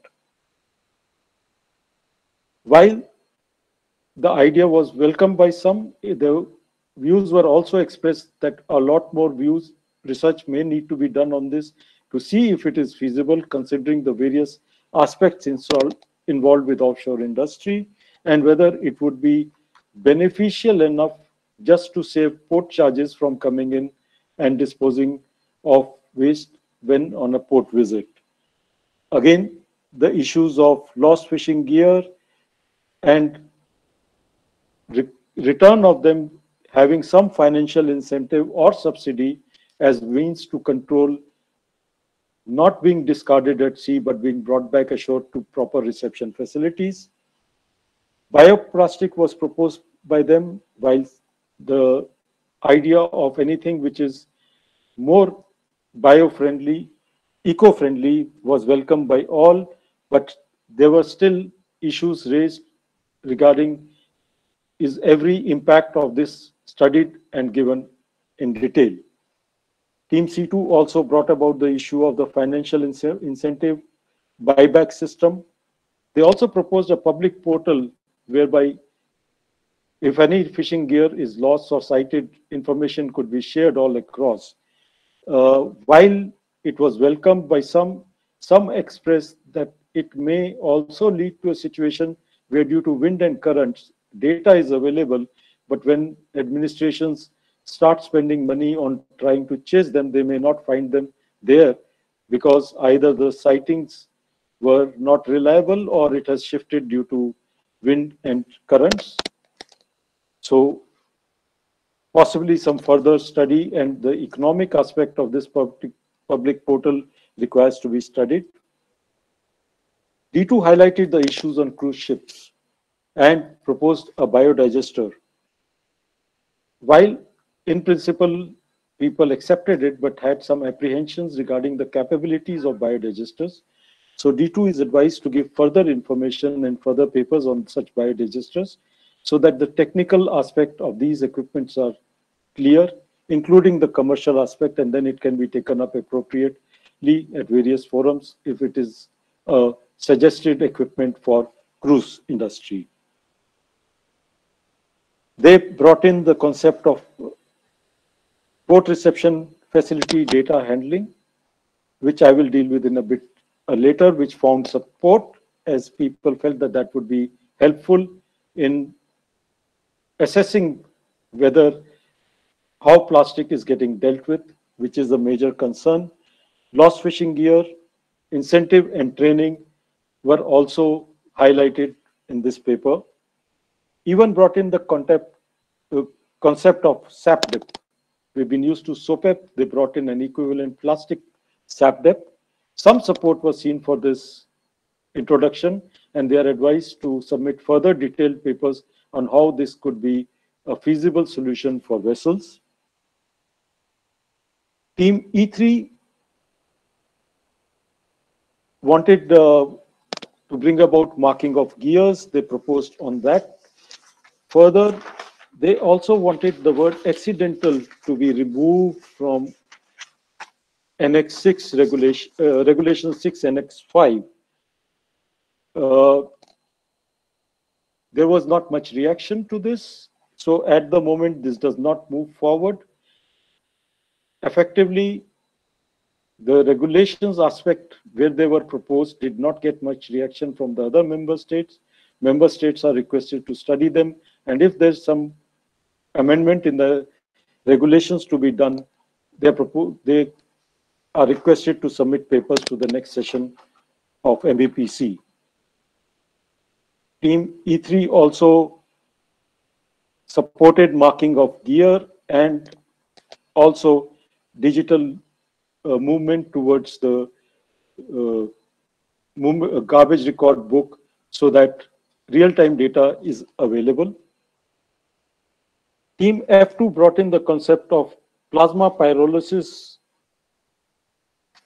as a means for recycling of plastic into something useful. The issue generated interest among the member states. However, they would like more information.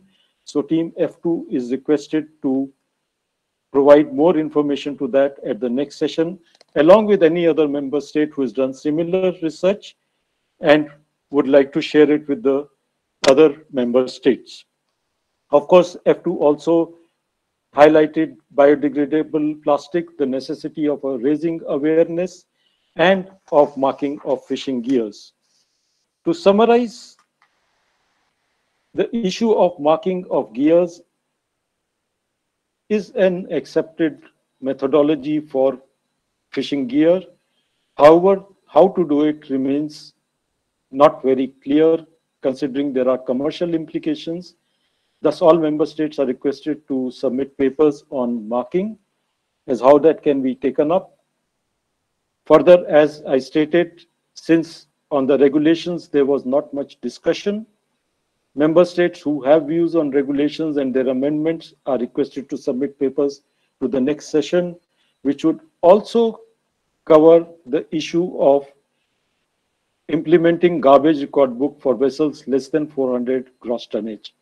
Here, I would remind member states that if they intend to cover fishing vessels under this, they must take care to correlate it with the other conventions and other international agreements to make sure that similar and not contradictory terminology or tonnages are used. With respect to the international repository of data, proposal put forward by D2 involved Internet of Things, blockchain technology, I propose we set up a correspondence group under their leadership. Any other member wishing to join can join that correspondence group and they can come with a detailed report to the next session of MEPC.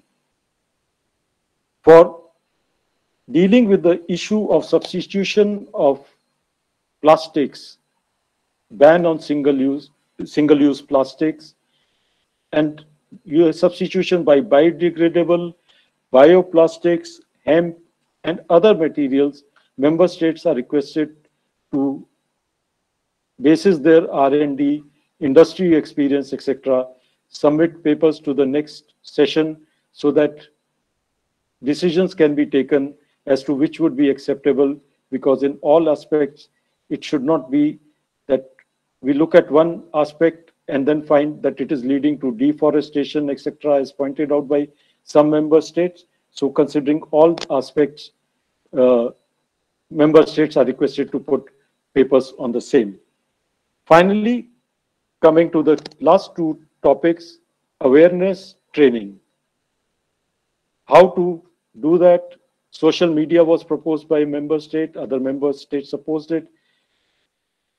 Considering the experience member states have on this, it would be helpful if they could share their experiences either as info papers or as submissions to the next session, and also on the incentive and buyback methodologies, subsidy, subsidy uh, methodologies which member states have adopted to assist them in recovering plastic from the oceans and taking them to the recycling facilities would be helpful and member states are encouraged to submit reports on that. With that, I conclude today's last session. Thank you very much.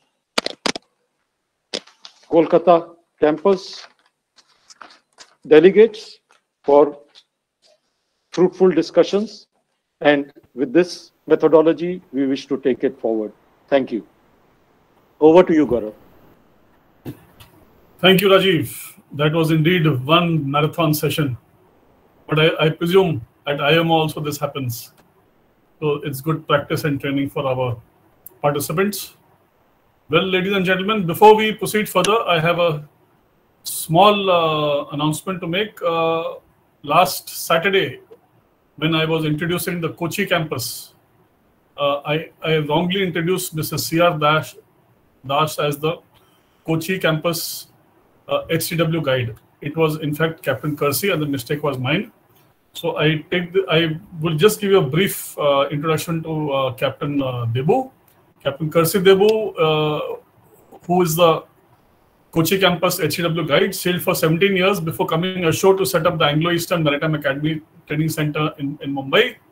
He is currently its uh, director and principal. He has a responsibility for developing and monitoring training carried out at various Anglo-Eastern training centers in Philippines, Eastern Europe, and India, which involves around 19,000 seafarers. Captain Deboo has been actively involved in, in uh, many maritime fora. He has served as a member of the Indian delegation to IMO HTW subcommittee meetings over the last decade and has chaired the drafting group for validation of IMO model training courses in the last five IMO subcommittee meetings. He is also the recipient of the prestigious National Award for Outstanding Contribution to Marine Education and Training.